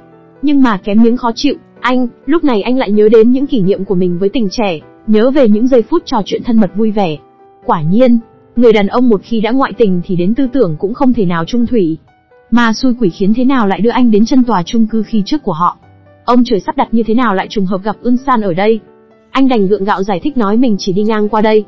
Nhưng lời nói dối của anh quá dở tệ, Ưn San nhanh chóng vạch trần. Nhà anh ở phía nam, sao có thể đi qua căn chung cư ở phía bắc chứ? Rõ ràng là nhớ cô nhưng không dám thừa nhận. Nam Chun không phản đối chỉ nói cô hãy quên người như anh đi, nhưng loại người cố chấp như Ưn San, vẫn không từ bỏ nói muốn nắm tay anh thêm một lần nữa. Nhìn thấy bàn tay Nam Chun run rẩy đưa ra, cô nhẹ nhàng nắm lấy, nói, nắm tay là có thể phát hiện trái tim anh không ở chỗ em. Vậy thì hãy ghét, hãy hận anh đi. Dù vậy nhưng Ưn San vẫn không muốn từ bỏ, em không ghét, không hận anh. Lòng tham là không đáy, tiến được một bước lại muốn tiến thêm bước nữa. Cô muốn tiến đến ôm lấy anh lần nữa, trong lòng hy vọng có thể xuất hiện kỳ tích khiến Nam Chun hồi tâm chuyển ý. Nam Chun đẩy mạnh Ưng San ra sau đó bỏ chạy một mạch không quay đầu lại, chỉ để lại Ưng San không cam tâm đuổi theo phía sau. Cho dù không nhìn thấy hình bóng của anh nữa nhưng cô vẫn cố gắng hét lớn, Giám đốc, cảm ơn anh đã yêu em, em rất hạnh phúc, em muốn nói với anh những lời này. Giữ gìn sức khỏe, có thể gặp mặt anh lần cuối là em đã mãn nguyện rồi. Dường như cô đang đấu tranh cho chút tình yêu cuối cùng của mình. Quả nhiên là đàn ông, Nam Chun giây trước vẫn còn đau lòng vì những lời nói của Ân San, giây sau đã chạy đến chỗ vợ ra sức dỗ dành, còn nhắc lại những kỷ niệm tươi đẹp trước đây với cô. Anh nói mình trước đây không nghiêm túc yêu cô, nhớ lại lần đầu tiên hai người gặp nhau, anh còn nhận nhầm tên của cô. Mặc cho anh thao thao bất tuyệt, Gươm A vẫn cứ làm ngơ, trong đầu cô đang nghĩ cách làm sao có thể đuổi Nam Chun, đi để còn ra gặp tình đầu. Bước ra thấy Daegun đã chờ sẵn từ lâu. Cô vui mừng chạy như bay về phía anh, trong lòng không biết đã nở bao nhiêu đóa hoa rồi. Hai người hạnh phúc ôm chầm lấy nhau, một cái không đủ lại thêm một cái nữa. Gươm A vẫn luôn chăn trở vì sao năm đó anh đã hứa cùng mình cao chạy xa bay, nhưng khi cô đến chung cư tìm kiếm lại không thấy anh đâu. Ký ức của Daegun trở về 20 năm trước, một đám người đột nhiên xông vào nhà, không nói không rằng bắt đầu đánh đập anh, thậm chí còn kéo anh ra ngoài, tiếp tục đánh khiến anh suýt chết ở đó. Mà người đứng sau chính là bố của cô. Daegun không muốn nói chuyện này với cô, chỉ có thể nói, mọi chuyện đã qua bây giờ được ở bên nhau là tốt rồi. Chuyển cảnh, mẹ của ba ra giữ tợn nắm tóc của cô gái, mắng cô là loại vô liêm sỉ, thái độ của bà như muốn thiên đao vạn quả cô gái này ra vậy. Mà cô gái này không ai khác chính là Ân Cang, cô không ngừng chắp tay cầu xin mẹ ba ra tha mạng, nhưng bà sao có thể tha thứ cho người đã hại con mình thê thảm chứ? Bà lôi ân Cang như lôi một con cẩu, muốn kéo cô tới chỗ bố mẹ chất vấn. ân Cang ra sức cầu xin mà cảnh này lại vô tình bị Min Jun nhìn thấy. Cô bé vội chạy đến gọi gì ơi, còn nói mình ghét bà. Cô bé chạy đến ôm lấy an ủi Ưn Cang, còn nói sau này không muốn bà tới nhà mình nữa. Đến tối, Ưn Cang bắt đầu kể khổ nói cha Uôn đang mặc kệ khó khăn đi tìm ba ra, còn cô chỉ có thể ở đây dọn dẹp căn phòng trống rỗng. Hơn nữa, trước khi ba ra nổi điên phát hiện chuyện này, cô đã quyết định rút lui, còn nói đây không phải mình ngụy biện cho bản thân, cô chỉ là kể lại sự thật mà thôi. Thế nhưng cha Uôn chỉ lạnh nhạt nói mình biết rồi. Ưn Cang thấy thái độ này của anh, trong lòng không biết là vị gì, nói hôm xảy ra chuyện, cô không ngừng bị đánh mắng, sỉ nhục, có anh ở bên cạnh nên cô mới có thể kiên trì được, bởi vì cô tin anh sẽ chống đỡ tất cả cho mình. Nhưng cuối cùng cô cũng hiểu ra, đàn ông yêu ai cũng được, nhưng kết hôn thì chưa chắc, sau, cô kêu anh có thể đổ hết trách nhiệm lên người của cô là được. Nói xong những lời này, không để tâm Cha Uôn có phản ứng gì cô cũng quay người rời đi. Dù vậy, ngày hôm sau, Cha Uôn vẫn dùng mọi cách tìm kiếm ba gia. Không phụ lòng tìm kiếm, anh rồi cũng nhìn thấy ba gia ở trước cửa ngân hàng. Vốn đi theo ba gia đến đầu ngõ, không ngờ lúc này trường mẫu giáo gọi điện đến nói Min Jun tè dầm ở trường. Nhưng Cha Un giờ đây chỉ một lòng muốn tìm kiếm ba gia, không để tâm liền gọi điện nhờ Ưn Cang, tới giúp nhưng chỉ lơ là vài giây đã để mất bóng dáng của cô. Đợi khi Cha Un về đến nhà thì Ưn Cang đã dỗ Min Jun ngủ say. Còn ba gia lúc này đang ở trong một cửa hàng cũ nát, tự tay làm châu báu cho khách hàng. Bộ dạng mặt mày lấm lem này còn đâu là bộ dạng của thiên kim tiểu thư chứ. Làm cả một ngày trời, móng tay đã chuyển sang màu đen. Bộ nêu xinh đẹp làm trước kia cũng trở nên rườm rà. Cô lấy nước tẩy ra không ngừng cọ thì được ông chủ thông báo cửa hàng sắp đóng cửa. Nhưng món hàng này ngày mai khách cần. Sau khi xong việc, cô liền vào nhà vệ sinh dùng xà phòng và bàn chải cọ sạch bộ nêu xinh đẹp, phiền phức này. Hôm sau, sáng sớm cha Uân đã đứng ở con ngõ hôm qua, hy vọng có thể đợi được ba gia. Không ngoài kỳ vọng, không lâu sau ba gia đã xuất hiện, anh lập tức đi theo đến chỗ làm việc của cô, sau đó lại đứng ở bên đường cả ngày, đợi lúc ba gia tan làm đi theo mới biết hiện cô đang ở dưới một tầng hầm. Nhìn thấy tình trạng của hai mẹ con, mắt cha Uân đỏ ngầu lên. Ngày hôm sau anh cầm một số tiền đến tìm ba gia, kêu cô hãy đổi chỗ ở khỏi tầng hầm đó. Nhưng không ngờ ba gia lại trực tiếp xé nát tờ ngân phiếu, nói nếu anh không đi sẽ báo cảnh sát trực tiếp đuổi anh ra ngoài. Không còn cách nào khác anh chỉ có thể rời đi, nhưng vừa ra ngoài đã gặp Tê Han sách một đống đổ đến. Hai người chào hỏi xong liền đi thẳng lên tầng. Nhìn bóng dáng Tê Han rời đi, dường như trong lòng cha Uân đang nghĩ gì đó, có điều ba già cũng không ngờ Tê Han lại tìm đến đây, nhưng thái độ rõ ràng là tốt hơn đối với người chồng cũ kia rất nhiều. Mà Tê Han biết cô đã ly hôn cũng rất tự nhiên bộc lộ tình yêu của mình. Tuy vậy nhưng ba gia hiện giờ làm gì có tâm trạng suy nghĩ những việc đó. Thế nên Tê Han cũng không ngoại lệ trực tiếp bị đuổi về. Cha Uân trở về nhà nhìn người già đi bao nhiêu, Nhìn thấy Ưn Cang đang cho con gái ăn, anh chỉ chào hỏi lấy lệ rồi trở về phòng. Ưn Cang quan tâm mang cho anh một bát mì, thế mà lại phát hiện Cha Uôn nằm trong chăn người run bần bật. Cô sở chán lên chán anh thấy nóng gian, vốn muốn làm gì đó, nhưng đúng lúc chị gái anh gọi tới hỏi anh đã tìm thấy tung tích của ba ra chưa. Anh liền kể lại hết những chuyện xảy ra hai ngày hôm nay cho chị. Ưn Cang nghe thấy, liền muốn đi gặp ba ra, nhưng Cha Uôn lại ngăn cản nói hiện giờ cô ấy không muốn gặp ai. Đồng thời nói cô không cần đến chăm sóc Min Jun nữa, Nghe thấy anh nói vậy, Ưn Cang cũng phần nào hiểu được ý của anh, cô đứng trong phòng, ngẩn ngơ một hồi rồi đem đổ bát mì vào thùng rác, sau đó rời đi. Vốn tưởng cô sẽ rút ra được điều gì đó nhưng không, mấy ngày sau cô lại hẹn anh ra ngoài, cô vẫn không cam tâm bỏ qua những chuyện này. Cô muốn họ không được từ bỏ, dù cho cô biết như vậy là không được. Cô muốn xem thử nếu họ như vậy, kết quả sẽ có thể đi tới đâu. Một người phụ nữ đột nhiên chăm chút ngoại hình đồng nghĩa, với việc con đũy tình yêu lại tìm đến, rồi. Gươm A ướm hết bộ này đến bộ khác nhìn mình trong gương, Kén chọn một hồi, cuối cùng chọn được một bộ váy trắng như quay lại thời học sinh. Cô giống như một người vợ hiền đảm, ở nhà nghỉ, gọi tình đầu đến ăn cơm. Gương A nhìn bộ dạng tức cười của Đê Gương liền phá lệ nụ cười vui vẻ. Cảm giác như trở lại tuổi 20 vậy.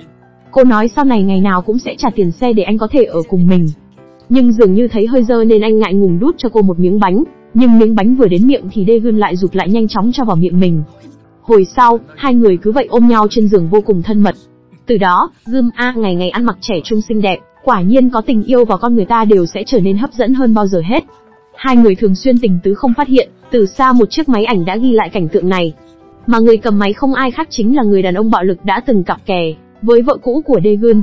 Như những thanh niên trẻ, ngày nào họ cũng nói chuyện với nhau xuyên đêm tới sáng, không sợ mũi không sợ lạnh. Gươm A sợ anh bị yếu còn quan tâm chuẩn bị thuốc bổ cho anh. Daegun cảm thấy những năm vừa rồi như được an ủi, mà vui sướng hơn là con gái lại chủ động gọi điện cho anh. Anh vội chạy đến gặp con nhưng cô bé lại nói một điều khiến anh lập tức suy sụp. Cô bé muốn anh tái hợp với vợ cũ. Cô bé nói mẹ mình đã hoàn toàn cắt đứt với tên đàn ông kia, cô muốn gia đình ba người họ có thể sum họp. Nhưng khi vừa ra ngoài anh lập tức nổi điên cảnh cáo cô ta đừng lợi dụng con gái. Điều này chỉ khiến anh càng thêm ghét bỏ cô thôi. Cô ta cố gắng níu kéo Devon biểu thị mình đã biết lỗi rồi, sau này sẽ ngoan ngoãn hơn, nhưng anh vẫn không chút do dự đẩy cô ta ra. Lúc này, cô bé cũng đi ra ngoài, Daegun lập tức dừng bước, hét lên gọi con gái đừng trách bố vô tình, con muốn sao trên trời bố cũng sẽ hái cho con, chỉ có tái hợp với mẹ con là không được. Hy vọng con tha thứ cho bố. Cô bé nghe những lời này liền nói con ghét cuộc sống một mình. Nhìn bố nhẫn tâm rời đi, cô bé không kiềm chế được rơi giọt nước mắt đau lòng. Người mẹ cầm chổi đập vào đầu con gái mắng chửi cô không quan tâm đến sự trong trắng của mình, đi dụ dỗ một ông chú 50 tuổi. Bà không có đứa con gái mất mặt như vậy, sau đó lại cho rằng chắc chắn là do đối phương chủ động hãm hại, dụ dỗ con gái mình. Bà muốn tìm hắn ta làm cho ra nhẽ mà ưn san, vừa bị mẹ đánh mắng không hề phản ứng nghe đến đây liền thấy căng thẳng. Devun cũng vội ngăn cản nói chuyện này đều là tự nguyện, dù có kiện lên tòa cũng vô dụng. Nếu như làm lớn chuyện khiến mọi người đều biết ngược lại sẽ hủy hoại ưn san, thế này không được, thế kia cũng không xong. Bà mẹ tức giận, chỉ biết chút giận lên con gái. May mà ưn cang về kịp ngăn mẹ mình lại, Cô khuyên ngăn mẹ, chuyện cũng đã xảy ra rồi, có đánh mắng cũng không giải quyết được vấn đề. Bà mẹ nghe vậy càng thêm tức giận. Rõ ràng Ưn Cang cũng biết chuyện này, nhưng không nói với bà còn để em gái mình vào hố lửa. Ưn Cang không giải thích mặc mẹ nổi nóng. Ưn San thấy chị mình bị mắng oan liền lớn tiếng nói, nếu muốn trách thì trách bản thân mẹ đi. Khi đó tại sao lại đưa mình theo? Bà nghe vậy không hiểu ý cô mà vừa hay người bố cũng trở về nhà. Ông đứng ngoài nghe thấy tiếng lòng của con gái. Khi đó bố trăng hoa bên ngoài, mẹ đã đưa Ưn San mới 9 tuổi đi đánh ghen, không ai quan tâm đến cảm nhận của nó hết. Hình ảnh bố ngoại tình, mẹ đánh nhau ở bên ngoài đã trở thành nỗi ám ảnh sâu đậm trong lòng cô. Từ đó về sau, Ưn San hạ quyết tâm không yêu đàn ông nữa, cũng căn bản không muốn kết hôn để đứa trẻ nhìn cảnh tượng đó. Thế nhưng người mẹ lại là một người bảo thủ không bao giờ nhận ra lỗi sai của mình. Bà liền chối cãi rằng mình căn bản không nhớ chuyện đó. Mẹ không nhớ sao? Còn con chưa bao giờ quên. Sau đó mẹ còn đưa con đi mấy lần nữa. Người bố ở bên ngoài nghe vậy cũng rơi lệ. Đau xót là họ luôn bỏ bê con cái, là họ hại con mình thành ra thế này. Lý do Ân San không thể yêu đương bình thường với những người cùng thế hệ, tất cả đều là do bố mẹ. Hơn nữa, chuyện của nhà mình lo chưa xong, còn suốt ngày thích lo chuyện bao đồng bày mưu tính kế cho ông Go, là ông kêu ông Go đi tìm cô gái. Ông lái thẳng xe đến công ty của anh ta, vừa gặp đã lập tức dùng nắm đấm. Nam Chun bị đấm liền ngu người hỏi anh là ai. Ông tức giận tới mức khó thở, hồn hển nói tao là bố của Ân San. Nam Chun nghe xong liền hiểu, anh không quản vết thương trực tiếp quỳ xuống xin lỗi, là lỗi của cháu. Nhưng như vậy thì có ích gì chứ? Chỉ có thể tức giận trong vô vọng. Người mất đi hạnh phúc vẫn là con gái, nhưng ông không biết rằng phía bên khác ông Go lại tìm Ưn Cang, trực tiếp hỏi nhà cô ở đâu. Ông muốn đến gặp bố mẹ cô. Ưn Cang nghe vậy liền lập tức hiểu ra, cầu xin ông có thể tha thứ cho mình, nhưng ông Go lại nhất quyết cho rằng, người nhà cô nhất định phải biết những chuyện xấu hổ của cô. Đúng lúc mẹ cô đi từ phía đối diện đến, ông Go muốn chào hỏi bà giúp việc thì ưng Cang vội vã ngăn lại nói ông nhìn nhầm rồi. Ông Go cũng không quá để tâm, điều ông muốn bây giờ là nhanh chóng tìm được bố mẹ cô để giải quyết việc này. Không ngờ cô lại nói bố mẹ mình đã mất rồi. Lập tức ông gò lộ ra ánh mắt nghi ngờ. Cô căn bản không xứng với con trai tôi. Ưn Cang đứng thẫn thờ, không biết cô đang nghĩ gì. Mẹ ba ra nổi trận lôi đình không ngừng lôi cổ áo Cha Uân, mắng anh là một tên khốn vô liêm sỉ. Bà cảm thấy tất cả là do anh nên mới gây nên cục diện như bây giờ. Bà kéo anh về nơi sản xuất, lớn tiếng chửi mắng nhà sản xuất. Dựa vào cái gì mà con trai ông làm sai mà lại bắt con gái tôi gánh vác, chuyện qua lâu như vậy rồi đến một câu xin lỗi cũng không có. Nhưng mẹ Cha uôn cũng vốn một dạng không hề chịu thua kém nhìn con trai mình bộ dạng sộc sạch, phục trăng lôi thôi lách thách liền chất vấn đây là kiệt tác của bà sao. Mẹ ba ra một bộ lợn chết không sợ nước sôi lớn giọng nói là tôi làm đấy. Lập tức mẹ Cha uôn sủ lông lên nói mình chưa từng đụng đến con gái bà, sao bà lại dám bắt nạt con trai tôi. Ông xin lỗi vì hành động của Cha uôn nhưng mẹ ba ra, cũng không phải người hiền lành kể lại hết cảnh tượng lần trước nhìn thấy. Nghe những lời này, ông Go cũng hết hồn. Cha uôn thấy bố tức giận liền sợ hãi lùi lại, vội vàng giải thích không phải như vậy. May mà chị gái anh kịp thời đứng ra nói ưng cang, thỉnh thoảng có đến chăm sóc Minh Jun. Lúc này mẹ Cha uôn liền thuận thế tiếp lời nói những tai vạ này rõ ràng đều có phần của con gái bà. Đã thế còn không biết xấu hổ chạy đến đây làm ầm ĩ, bà cầm điện thoại gọi điện cho Ưn Cang mắng chửi một trận nữa. Ưn Cang sau khi nghe xong một hồi thì cũng không để tâm nhiều lắm, những tủi nhục này không còn khiến cô đau đớn nữa rồi. Tất cả chỉ khiến cô càng hạ quyết tâm phải kiên quyết hơn nữa. Ông Go bị mắng một trận cũng rất không thoải mái. Ông liền hẹn bố Ưn Cang ra ngoài. Ông Đê Bong tỏ ra rất tò mò về cách ông Go xử lý con rể. Ông Go liền kể mình đến tìm cô gái đó, nhưng cô ta không chỉ bất lịch sự với ông, giấy cam kết cũng không chịu viết. Khi tôi túm lấy cổ áo và yêu cầu được gặp bố mẹ cô ấy, thì sống chết không chịu. Ông Đê Bong nghe thấy ông Go còn làm bạo lực liền nổi đóa, nhưng không ngờ điều này lại khiến ông Go suýt nữa hiểu nhầm anh là bố cô gái đó. Ông Go chuyển chủ đề nói chuyện của con trai ông mới là đau đầu. Lúc đến tìm cô gái đó nói muốn gặp bố mẹ cô ta. Kết quả là cô ta nói bố mẹ đã mất, là một đứa trẻ mồ côi, vì thế lần này gọi ông ra, là muốn nhờ ông dùng cái lưỡi ba tấc của ông thuyết phục cô gái kia rút lui. Vừa nói xong thì cô gái đó xuất hiện, đê bong vừa quay đầu lại nhìn, trái tim lúc đó quả thật còn kích động hơn đi tàu siêu tốc, ông vội vàng quay đầu lại, nhưng ánh mắt bất an đó lại không ngừng xoay chuyển. Ưn Cang chào hỏi ông Go xong rồi cũng phát hiện ra bố ngồi bên cạnh. Thế nhưng cô chỉ hoảng hốt một giây rồi liền định thần lại chào hỏi, lần đầu gặp mặt tôi tên Jo Ưn Cang. Hai bố con họ ngồi cạnh nhau, ông Go càng nhìn hai người càng cảm thấy sai sai. Trong lòng nghi ngờ vì sao họ lại giống nhau như hai bố con vậy. Ông hỏi hình như hai người cùng họ. Nhưng ông Đê Bong liền lập tức phủ nhận nói họ của mình là Jo. Bố cô biểu thị chuyện này nên để ông nói chuyện riêng với ân Cang mới có hiệu quả. Ông Go nghe thấy lời này cũng đứng dậy rời đi, thế nhưng trong lòng Đê Bong lại không thể bình tĩnh được nữa. Ông cầm cốc nước run rẩy như điện giật. Ông có nằm mơ cũng không ngờ hai trái dưa ông hóng lại đều là con gái của mình. Ông hốt hoảng đi ra ngoài, Ưn Cang nhìn theo bóng dáng của bố, chỉ biết đi theo phía sau ông đến bờ sông. Người bố nhớ lại những lời mình từng nói với ông Go, chắc chắn là người không được bố mẹ dạy dỗ tử tế. Lời ăn tiếng nói có ảnh hưởng rất lớn đối với con trẻ. Hóa ra tất cả đều là sự tự trách của bản thân. Ông không chịu được nữa, hòa khóc, dường như tất cả sức lực bị hút cạn. Ông quỳ xuống gào lên nỗi lòng của mình. Trong đầu tràn ngập sự hối hận. Ưn Cang đứng bên cạnh, thấy bố như vậy cũng không kiềm chế được rơi nước mắt, nhưng cô cũng không biết nên an ủi bố thế nào, chỉ có thể nhẹ nhàng đặt tay lên vai bố. Mặt khác, mẹ Ân Cang đến tìm Nam Chun hỏi anh 100 triệu phí bồi thường tổn thất tinh thần. Trở về nhà, bà vẫn còn giữ bộ dạng ham tiền, không ngừng đọc tờ ngân phiếu xem có bao nhiêu số không. Nhưng cười một hồi, bà nghĩ đến những lời hai cô con gái trách móc mình trước đó. Đúng lúc này, Đê Bong trở về sau khi nói hết ra chuyện của hai cô con gái. Lúc này họ mới nhận ra tính nghiêm trọng của vấn đề. Bà không dám tin hai đứa con gái mình đều làm ra chuyện khó tin như vậy, ông bố vô cùng tự trách nói, người sống tầng lớp hạ lưu như chúng ta rất cần biết nhìn sắc mặt người khác, hơn nữa đầu cũng phải nảy số nhanh. Tầng lớp có tiền họ không cần có kỹ năng này. Hôm nay lúc gặp ở quán nước, nếu như đổi lại là người khác thì đều sẽ sợ hãi, không biết nên làm gì, nhưng Ưn Cang có thể phản ứng trong vòng nửa giây, giả vờ không quen biết, hai ông bà nói chuyện rất lâu, dường như cũng dần hiểu ra hai đứa con gái đã từng sống ngày tháng như thế nào, cũng nhận ra rằng những hành động thường ngày của họ đã dần dần ăn sâu vào tiềm thức khiến tính cách các con mới lệch lạc. Đê bong vô cùng tự trách, còn người vợ cũng bắt đầu ân hận. Đây không phải lỗi của ông, là lỗi của tôi. Lúc ông ở bên ngoài làm việc là tôi lắm lời để con gái của mình vào chỗ chết là, tôi đã hủy hoại chúng nó. Tôi không có tư cách làm mẹ. Thấy cả hai cùng nhận ra sai lầm của mình, thế là họ đưa ra một quyết định, gọi điện bảo Ưn Cang gọi em gái về ăn cơm. Hai người vừa về nhà thì kinh ngạc phát hiện trong phòng toàn bóng bay, hai ông bà lần đầu tiên chuẩn bị cho họ một bữa tối thịnh soạn. Sau khi cơm no rượu say, họ bắt đầu vào chuyện chính, hai bố mẹ xin lỗi hai đứa con gái trước, và cũng cảm ơn chuyện của chúng đã cho bố mẹ một bài học sâu sắc. Họ nói con gái hãy quên chuyện này đi, sau này tiếp tục sống cho tốt. Bà mẹ cũng rất ân hận vì trước kia đã đưa hai chị em đi làm việc đó, cũng biểu thị bà sẽ thay đổi tính coi tiền như mạng sống và đưa 100 triệu lấy từ chỗ Nam Chun cho Ân San, kêu cô cầm số tiền này đi mở một cửa tiệm nho nhỏ. Nhìn thấy tình cảm thật sự của bố mẹ, hai chị em vô cùng xúc động. Ưn Cang lấy sản phẩm chăm sóc da quý giá của mình đưa cho mẹ, không ngờ lại bị bố cướp đi. Ưn Cang lấy ra mấy trăm nghìn luôn nói bữa nay cô mời, cũng kêu bố mẹ đi mua hai bộ đồ mới.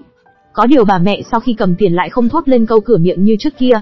Ưn San lại cảm thấy có chút không quen kêu bà làm lại động tác như ngày trước. Bà nghe con gái trêu đùa cũng giả bộ động tác khi xưa, Ưn San cũng kêu chị mình làm thử. Cả nhà hòa thuận nói cười vui vẻ. Thế này mới là gia đình chứ. Cô gái này bắt chước cách ăn mặc của bạn thân, còn mua một bộ tóc giả tương tự, rồi là một bộ nêu màu đỏ thẫm như vậy. Sau đó đi đến nhà hàng học theo cách gọi món của bạn thân. Đậu thu là bã đậu à? Tôi muốn hạt cà phê rang vừa. Espresso giúp tôi làm kiểu macchiato, đừng cho kem tươi, lấy kem ấm nhé. Đúng rồi, siro cho một phần vani, ba phần hạt rẻ, cuối cùng là giúp tôi rắc một chút vụn chocolate. Nhưng cuối cùng vẫn là cảm giác cô độc. Nhìn bộ tóc giả trong tay, trong lòng cô mới hiểu, bắt trước trước sau vẫn chỉ là bắt trước. Muốn có được cuộc sống như ba gia thì phải vô cùng quyết tâm. Mấy hôm trước, Min dung nói với cha Uân, bà ngoại đánh gì Ưn Cang một trận. Thế là cha Uân liền hẹn Ưn Cang ra ngoài nói mấy câu xin lỗi. Có điều Ưn Cang lại cảm thấy những thứ này không là gì cả, chỉ là những suy nghĩ trong lòng em mấy hôm nay mạnh mẽ hơn. Em rất nhớ anh. Cha Uân nghe thấy lời này cảm động xém rơi nước mắt.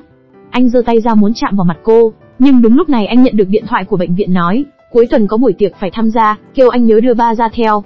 Mặc dù Ưn Cang miệng nói không sao nhưng trong lòng lại vô cùng hy vọng, ba ra không đồng ý đi cùng. Tối đó Ưn Cang xách mấy túi đồ đến tỉnh Cha Uôn, nói mấy thứ này đều là đồ ăn vặt và đồ chơi cho Min Jun. Không ngờ Cha Uôn lại lấy ví rút ra mấy trăm nghìn để lên bàn. Hành động này khiến Ưn Cang cảm thấy bị sỉ nhục. Buổi tối cô vẫn chăm sóc Min Jun như người giúp việc.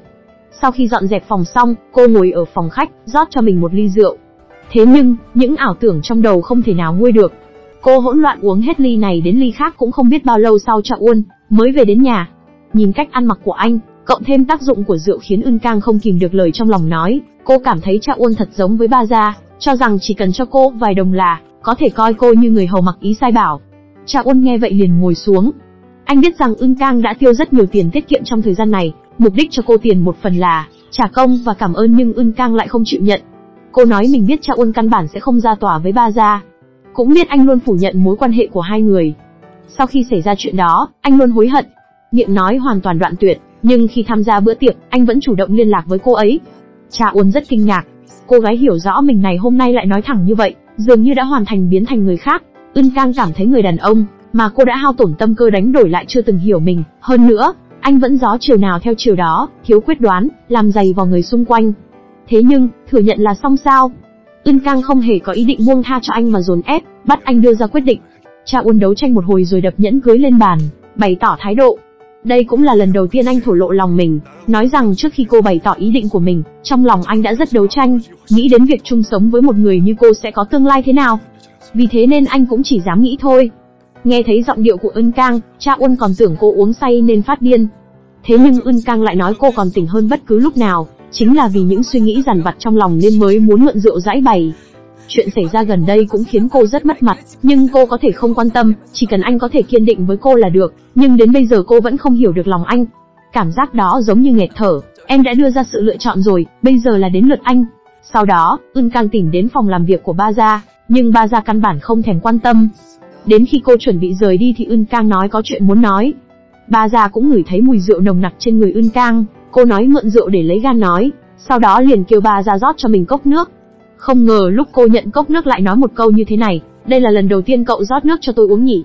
Ba già không muốn nhiều lời liền đưa Ưn Cang đến quán cà phê lần trước, sau khi ngồi xuống, Ưn Cang chủ động nói lần trước cô đã chịu sự sỉ nhục của ba gia ở đây, nhưng cô cảm thấy ba gia cũng có một phần trách nhiệm. Nhưng ba gia lại cho rằng nếu như mình có sai thì đó chính là tin nhầm cô. Có tí cồn trong người bao giờ cũng dũng cảm hơn bình thường. Cô nói hết suy nghĩ của bản thân, biểu thị ba gia không sai mà là từ đầu đến cuối đều không coi trọng cô, sau đó nhắc lại những lời nói trước kia, cái gì mà loại hàng hóa giống như tôi, sao có thể cướp được món đồ người khác yêu thích. Trước đây, lúc làm khách ở nhà cô bị chê cười hậu đậu, cô cũng chưa từng lên tiếng bảo vệ, nói đây là bạn thân của tôi chứ không phải người làm. Bây giờ nhớ lại, dường như lúc ở bên ngoài cô cũng chưa từng giới thiệu với người khác. Tôi là bạn thân của cô. Ba gia nói rằng, lúc ra ngoài bàn chuyện khách hàng, những chuyện giải thích kiểu này dễ khiến câu chuyện dài dòng mất trọng tâm. Cô nghĩ hai người có thể hiểu cho nhau, thế nhưng Ưn Cang lại không nghĩ như vậy, cô cảm thấy mình trong lòng ba gia chính là chỉ cần bỏ tiền ra là có thể mặc sức sai bảo. Cũng chính vì thái độ coi thường như vậy nên mới giới thiệu người yêu cho cô, không phải lớn tuổi thì là ly dị, có con riêng nhưng giới thiệu cho người khác thì không phải tài phiệt, cũng là tầng lớp thượng lưu. Ba gia giải thích nói mình không hề biết anh ta đã ly dị có con và hơn nữa, hai người cũng không yêu nhau. Nhưng lời giải thích này lại không hề lọt tai Ưn Cang, cô tiếp tục nói, chiếc nhẫn khi đó lúc tặng cho cô còn nói là tự mình đặc biệt thiết kế riêng, nhưng cuối cùng lại là khách hàng khác trả lại. Bà già có chút đuối lý nói khi đó rõ ràng mình đã tặng cả nhẫn và 10 triệu won, nhưng tại sao lại chỉ nhớ chiếc nhẫn mà quên đi số tiền.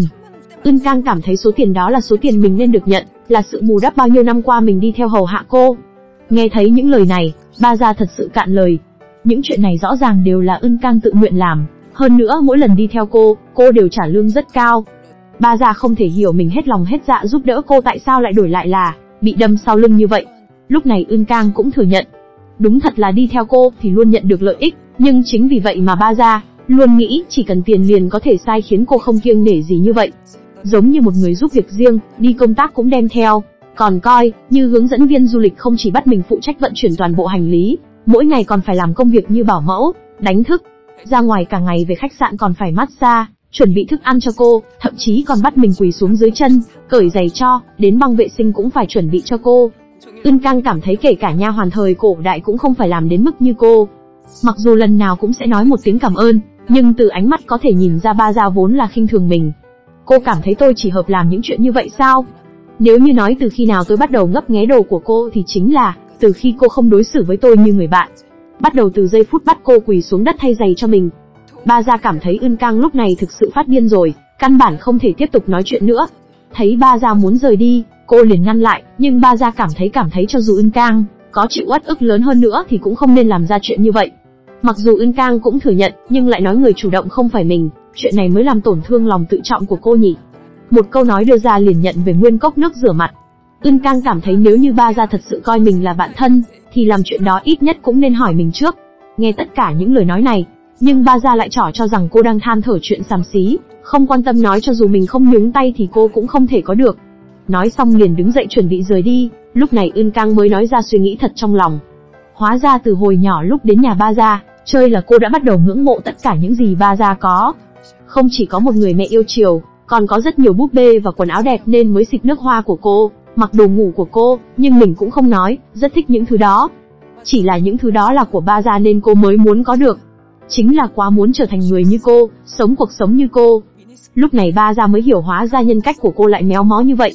Vì muốn sống một cuộc sống như mình mà không ngại làm ra loại chuyện này, thật là không hiểu nổi. Ba gia nói cô hãy bớt mơ lại. Bất luận thế nào cô cũng không thể trở thành tôi được. Nhưng Ưn Cang lại nói đối phương có gì giỏi giang chứ. Ba gia nghe vậy đủ rồi liền muốn rời đi nhưng một lần nữa Ưn Cang lại giữ cô lại, nói sau này có giày vò mình như thế nào chăng nữa cũng được. Nếu mọi thứ đã ồn ào đến mức này, cô cũng khẩn cầu ba gia tán thành cho mình một lần. Chuyển cảnh, Nam Chu cố nén cơn giận tay nắm chặt nắm đấm, cố nhịn cơn tức giận đang muốn bộc phát trong lòng. Thế nhưng người phụ nữ trước mắt vẫn không ngừng nói, mà anh chỉ biết cúi đầu không ngừng xin lỗi. Hóa ra vừa nãy Gươm A ra ngoài chơi cả ngày, vui vẻ bước xuống từ taxi, nhưng vừa đi đến cửa thì nhìn thấy Nam Chun đang thất thần. Sắc mặt cô đang từ vui vẻ cũng lập tức cứng lại lạnh lùng. Hai người vừa về đến phòng, Nam Chun liền kêu Gươm A đừng cứ ngày nào cũng bao xe ra ngoài chơi, không ngờ Gươm A lại ném túi hỏi ngược lại anh, dựa vào gì mà không được.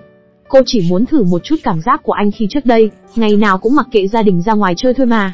Khi đó anh ra ngoài ăn chơi suốt ngày, cô đâu có nói gì, còn ôm đồm hết tất cả trách nhiệm về mình. Nếu như cảm thấy không thoải mái vậy thì coi như hai người về nhau là được rồi.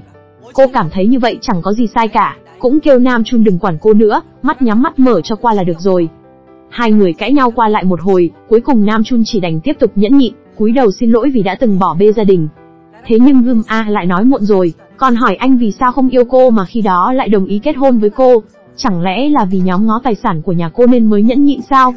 Chưa dừng ở đó, cô còn chọc ngoáy anh vì sao khi trước ra ngoài vụ trộm lại không nghĩ, đến ngày hôm nay. Hay vì sợ sau khi ly hôn anh sẽ phải tay trắng ra đi, nên mới sợ hãi nhân nhượng vì đại cục ạ. Dù là một người giỏi nhẫn nhịn đến đâu thì cũng có giới hạn của mình. Gươm A lấy điện thoại ra gọi điện cho Dagon hẹn ngày mai đi cưỡi ngựa, kêu anh sáng sớm mai đến nhà đón cô. Đối mặt với hành động này của vợ, Nam Chun tức giận đạp cửa ra ngoài. Anh chạy ra ngoài, không ngừng đánh vào ngực mình. Mấy hôm sau, Nam Chun chạy đến công ty taxi tìm được Daegun. Anh biểu thị mình là chồng của Gươm A, kêu anh sau này đừng nhận đơn của vợ mình nữa, sau đó liền quay người rời đi. Không ngờ Nam Chun vừa đi thì Gươm A lại gọi điện đến. Có lẽ cùng là đàn ông nên Daegun hiểu tâm trạng của Nam Chun. Vì thế anh đã viện lý do từ chối, cuối cùng lại dùng chiêu sóng yếu để cúp máy. Nhưng không ngờ lại xảy ra chuyện này, lại một cảnh tát đẹp như phim.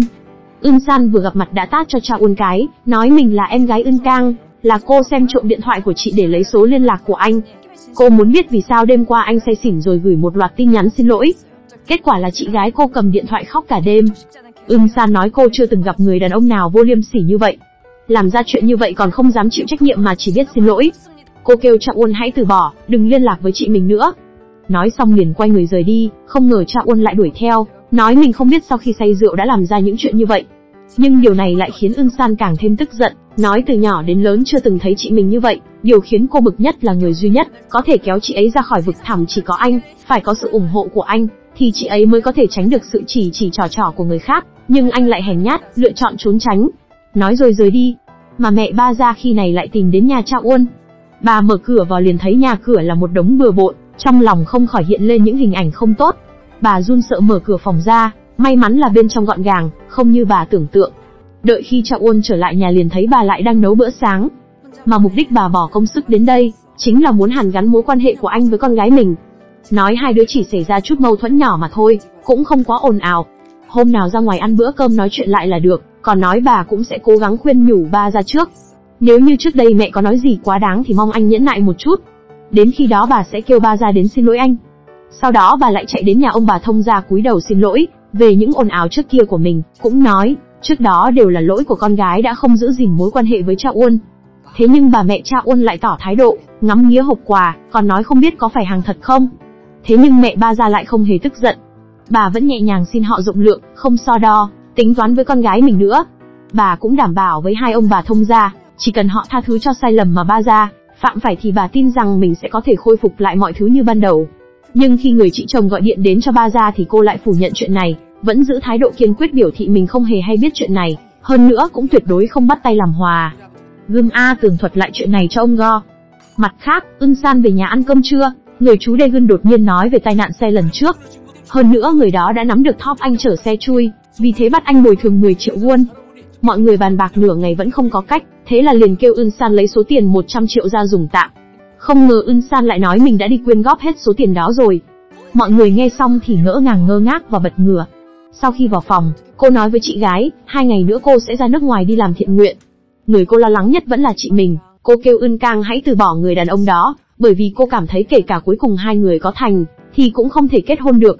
Không chỉ cô và Ân Cang mà còn bố mẹ, cũng sẽ có mối quan hệ không rõ ràng với bên đó. Nếu như cuối cùng bị phát hiện thì phải giải quyết như thế nào? Ưn Cang cũng rất do dự nhưng vẫn giả vờ mạnh mẽ nói chuyện gì, cũng sẽ có cách giải quyết của nó. Tuy nói vậy nhưng cô cũng biết rằng chị mình sẽ không dễ dàng từ bỏ như vậy. Vì thế liền kêu Ưn Cang, sau này ra ngoài hãy nói chị không có em gái nhé, coi như em chết rồi đi. Ngày hôm sau, ông Go chạy đến công ty muốn biết hạng mục ông nhắm đến có được đầu tư không. Kết quả là Nam Chun đã ra ngoài gặp khách nên ông liền gọi điện thoại chất vấn anh. Thế nhưng Nam Chun nói anh đã điều tra hạng mục đó, luôn cảm thấy có gì đó bất ổn. Đợi anh điều tra rõ ràng sẽ quyết định sau, nhưng ông Go lại nói đây là hạng mục hàng trăm tỷ phải chốt nhanh mới kiếm được, cũng không nghe lời giải thích của Nam Chun đã liền cúp máy.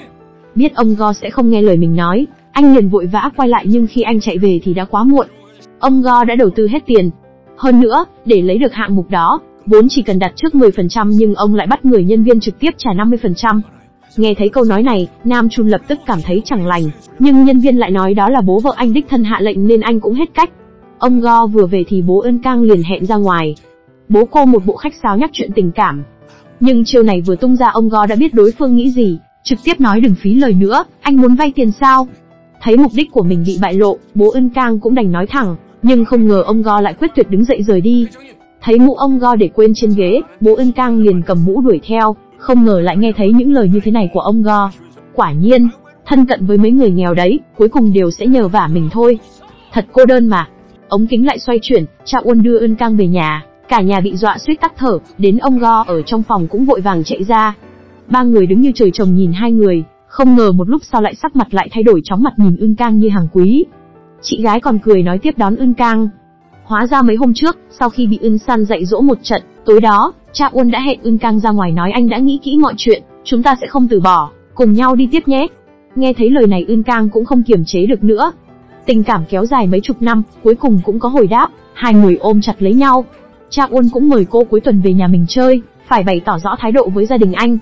Bất ngờ là chuyện tốt lại đi đôi với nhau, Ngày hôm sau, Ưn Cang nhận được tin mình thi đỗ giáo viên công chức, cô phấn khích chạy như điên về nhà báo tin vui. Cả nhà đều mừng rỡ nhảy múa. Đây có lẽ cũng là chuyện đáng chúc mừng duy nhất trong mấy chục năm qua. Rất nhanh đã đến cuối tuần ưng Cang tay cầm bó hoa run sợ đi cùng cha Uôn, về nhà anh. Mặc dù tất cả mọi người đều ghét cay ghét đắng cô gái này nhưng vì nể mặt cha Uôn, kêu cô ở lại. Cha Uôn vừa ngồi xuống đã chia sẻ tin tốt này với mọi người. Không ngờ mẹ cha Uôn chưa kịp nghe rõ đã ngay lập tức phản ứng gay gắt. Này, Cô mang thai sao? Cha uôn giải thích, không phải mang thai, cô ấy đã thi đỗ giáo viên công chức. Sau khi nghe được tin này, tất cả mọi người đều kinh ngạc nhìn Ưn Cang. Ưn Cang bị ánh mắt ngạc nhiên của nhà họ nhìn chằm chằm khiến cô có chút ngại ngùng. Họ lập tức thay đổi sắc mặt, kêu Ưn Cang ngồi xuống, phải lên kế hoạch tử tế cho sau này. Ông Go trước đây luôn làm khó hai người, bây giờ cũng nhẹ nhàng với Ưn Cang. Ông kêu Cha Uân phải nghiêm túc với chuyện này, đặc biệt là phải chăm sóc tốt cho cảm xúc của Min Jun. Người chị từng nói ác ý với Ưn Cang giờ lại giơ cả hai tay đồng ý. Đây quả là một gia đình gió chiều nào theo chiều đấy. Ra ngoài, ưng Cang nói vừa rồi căng thẳng đến nỗi tim muốn nhảy ra ngoài, lúc vừa bước vào nhà còn tưởng rằng mình sẽ bị gia đình anh đuổi đánh. Cha Uân mỉm cười nói, cô có thể hoàn toàn tin tưởng ở mình, sau đó liền nói khi nào anh có thể đến thăm nhà cô. Nghe thấy câu nói này, Ưn Cang liền biến sắc, cô vẫn chưa biết nên giải thích thế nào. Sau đó, cha Uân đưa Ưn Cang đến một shop quần áo sang trọng, Cô mặc một bộ quần áo xinh đẹp khiến cha Uân mê đến giơ cả hai tay tán thành.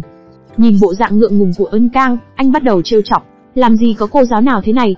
Trước mặt học sinh không được vậy đâu đấy. Ân Cang cũng trêu đùa lại hết sức vui vẻ. Để cảm ơn cha Uân tặng mình bộ quần áo, Ân Cang liền đưa anh đến một nhà hàng. Không ngờ rằng ba gia và mẹ cô cũng đang ăn cơm ở đây, càng trùng hợp là cô gái khi trước là đối thủ của ba gia, cũng tới đây châm chọc cô. Cô ta giả vờ như thân quen lắm, tức giận hỏi ba gia rốt cuộc là chuyện gì. Tại sao hai người đó lại sắp đính hôn rồi, cũng nói ra chuyện Ưn Cang đã thi đỗ giáo viên rồi. Thế nhưng sau khi ba gia rời đi, biểu cảm của cô ta lại như cảm giác vừa trả được thù lớn. Hai mẹ con ba ra bắt gặp Ưn Cang ở ngay trước cửa. Mẹ ba ra suýt chút nữa bùng nổ, tức giận bộc phát, tao phải đánh chết loại phụ nữ xấu xa này. Mày tưởng mày có thể sống một cuộc sống yên ổn sao?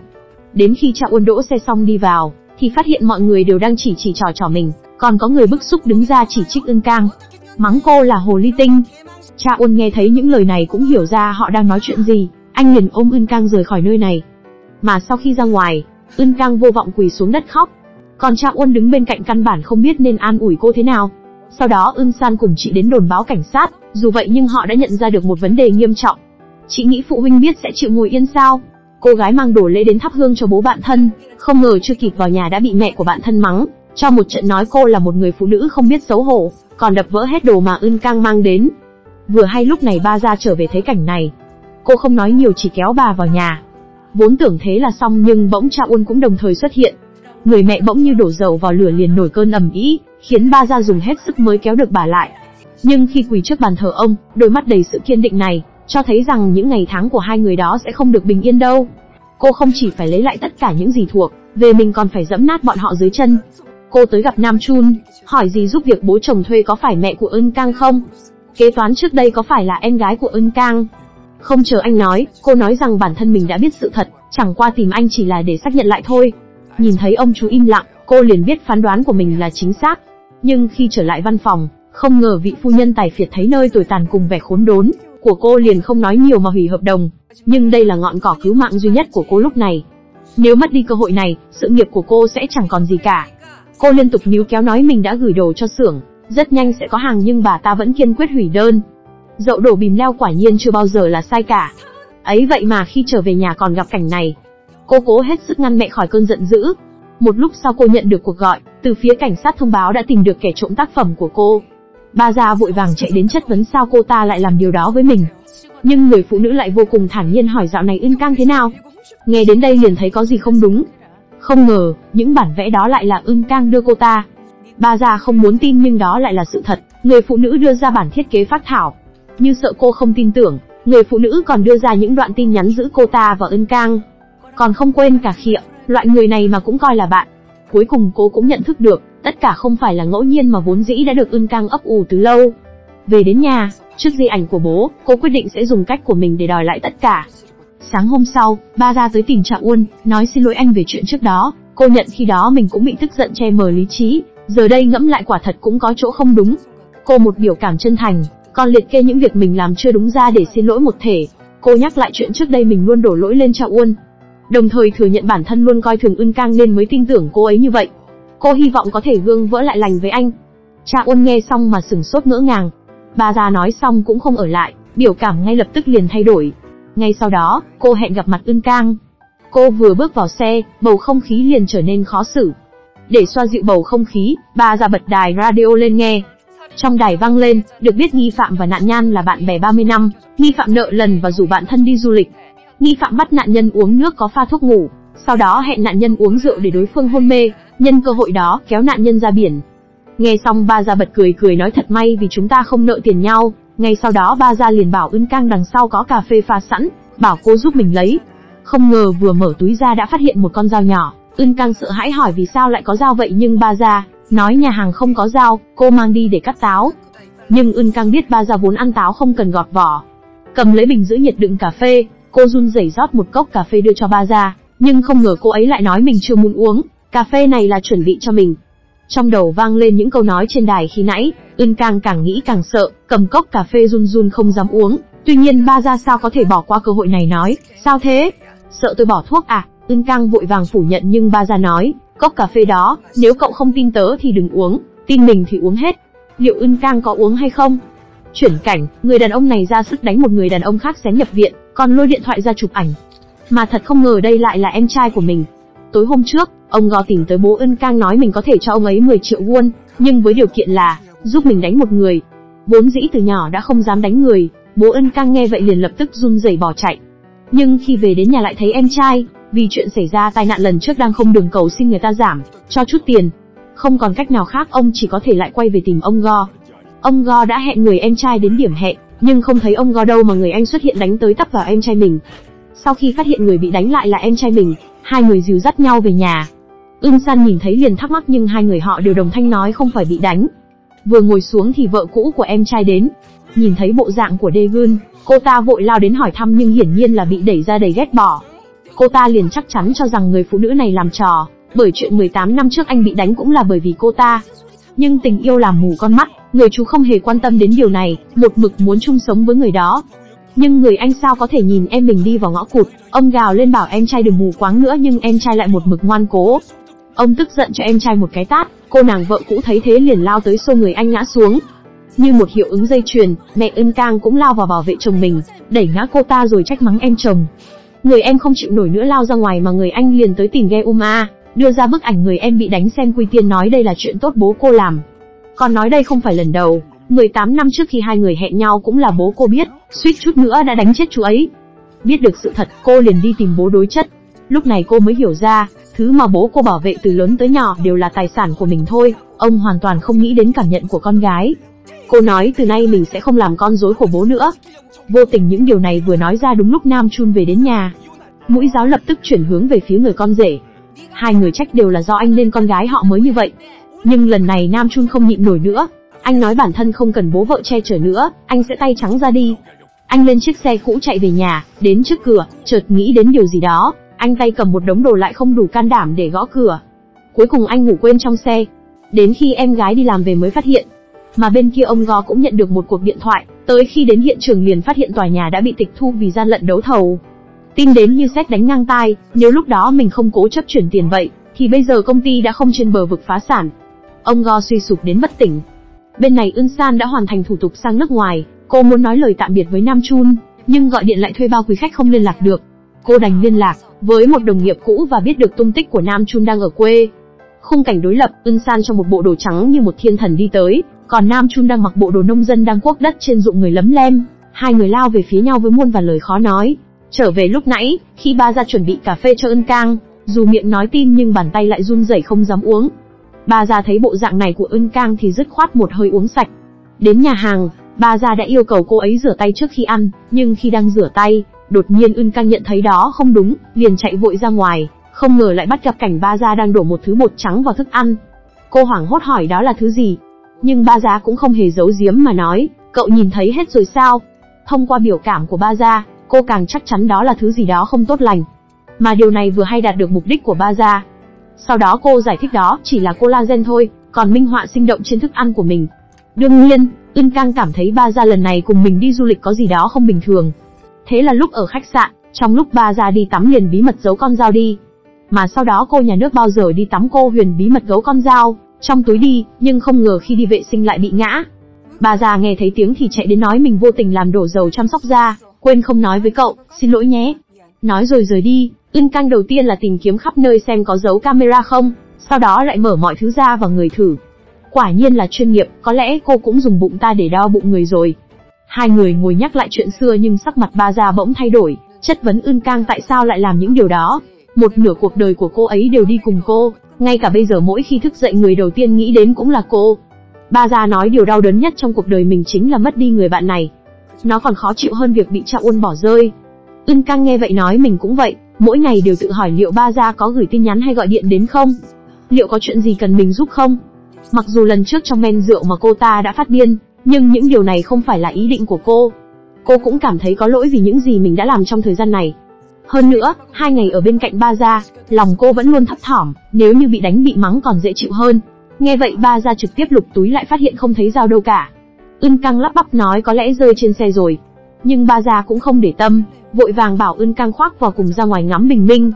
Ưn Cang đang cầm lấy áo bỗng trong đầu vang lên âm thanh bản tin ngày hôm đó, nghi phạm hẹn nạn nhân uống rượu để nạn nhân hôn mê, sau đó kéo nhân ra biển.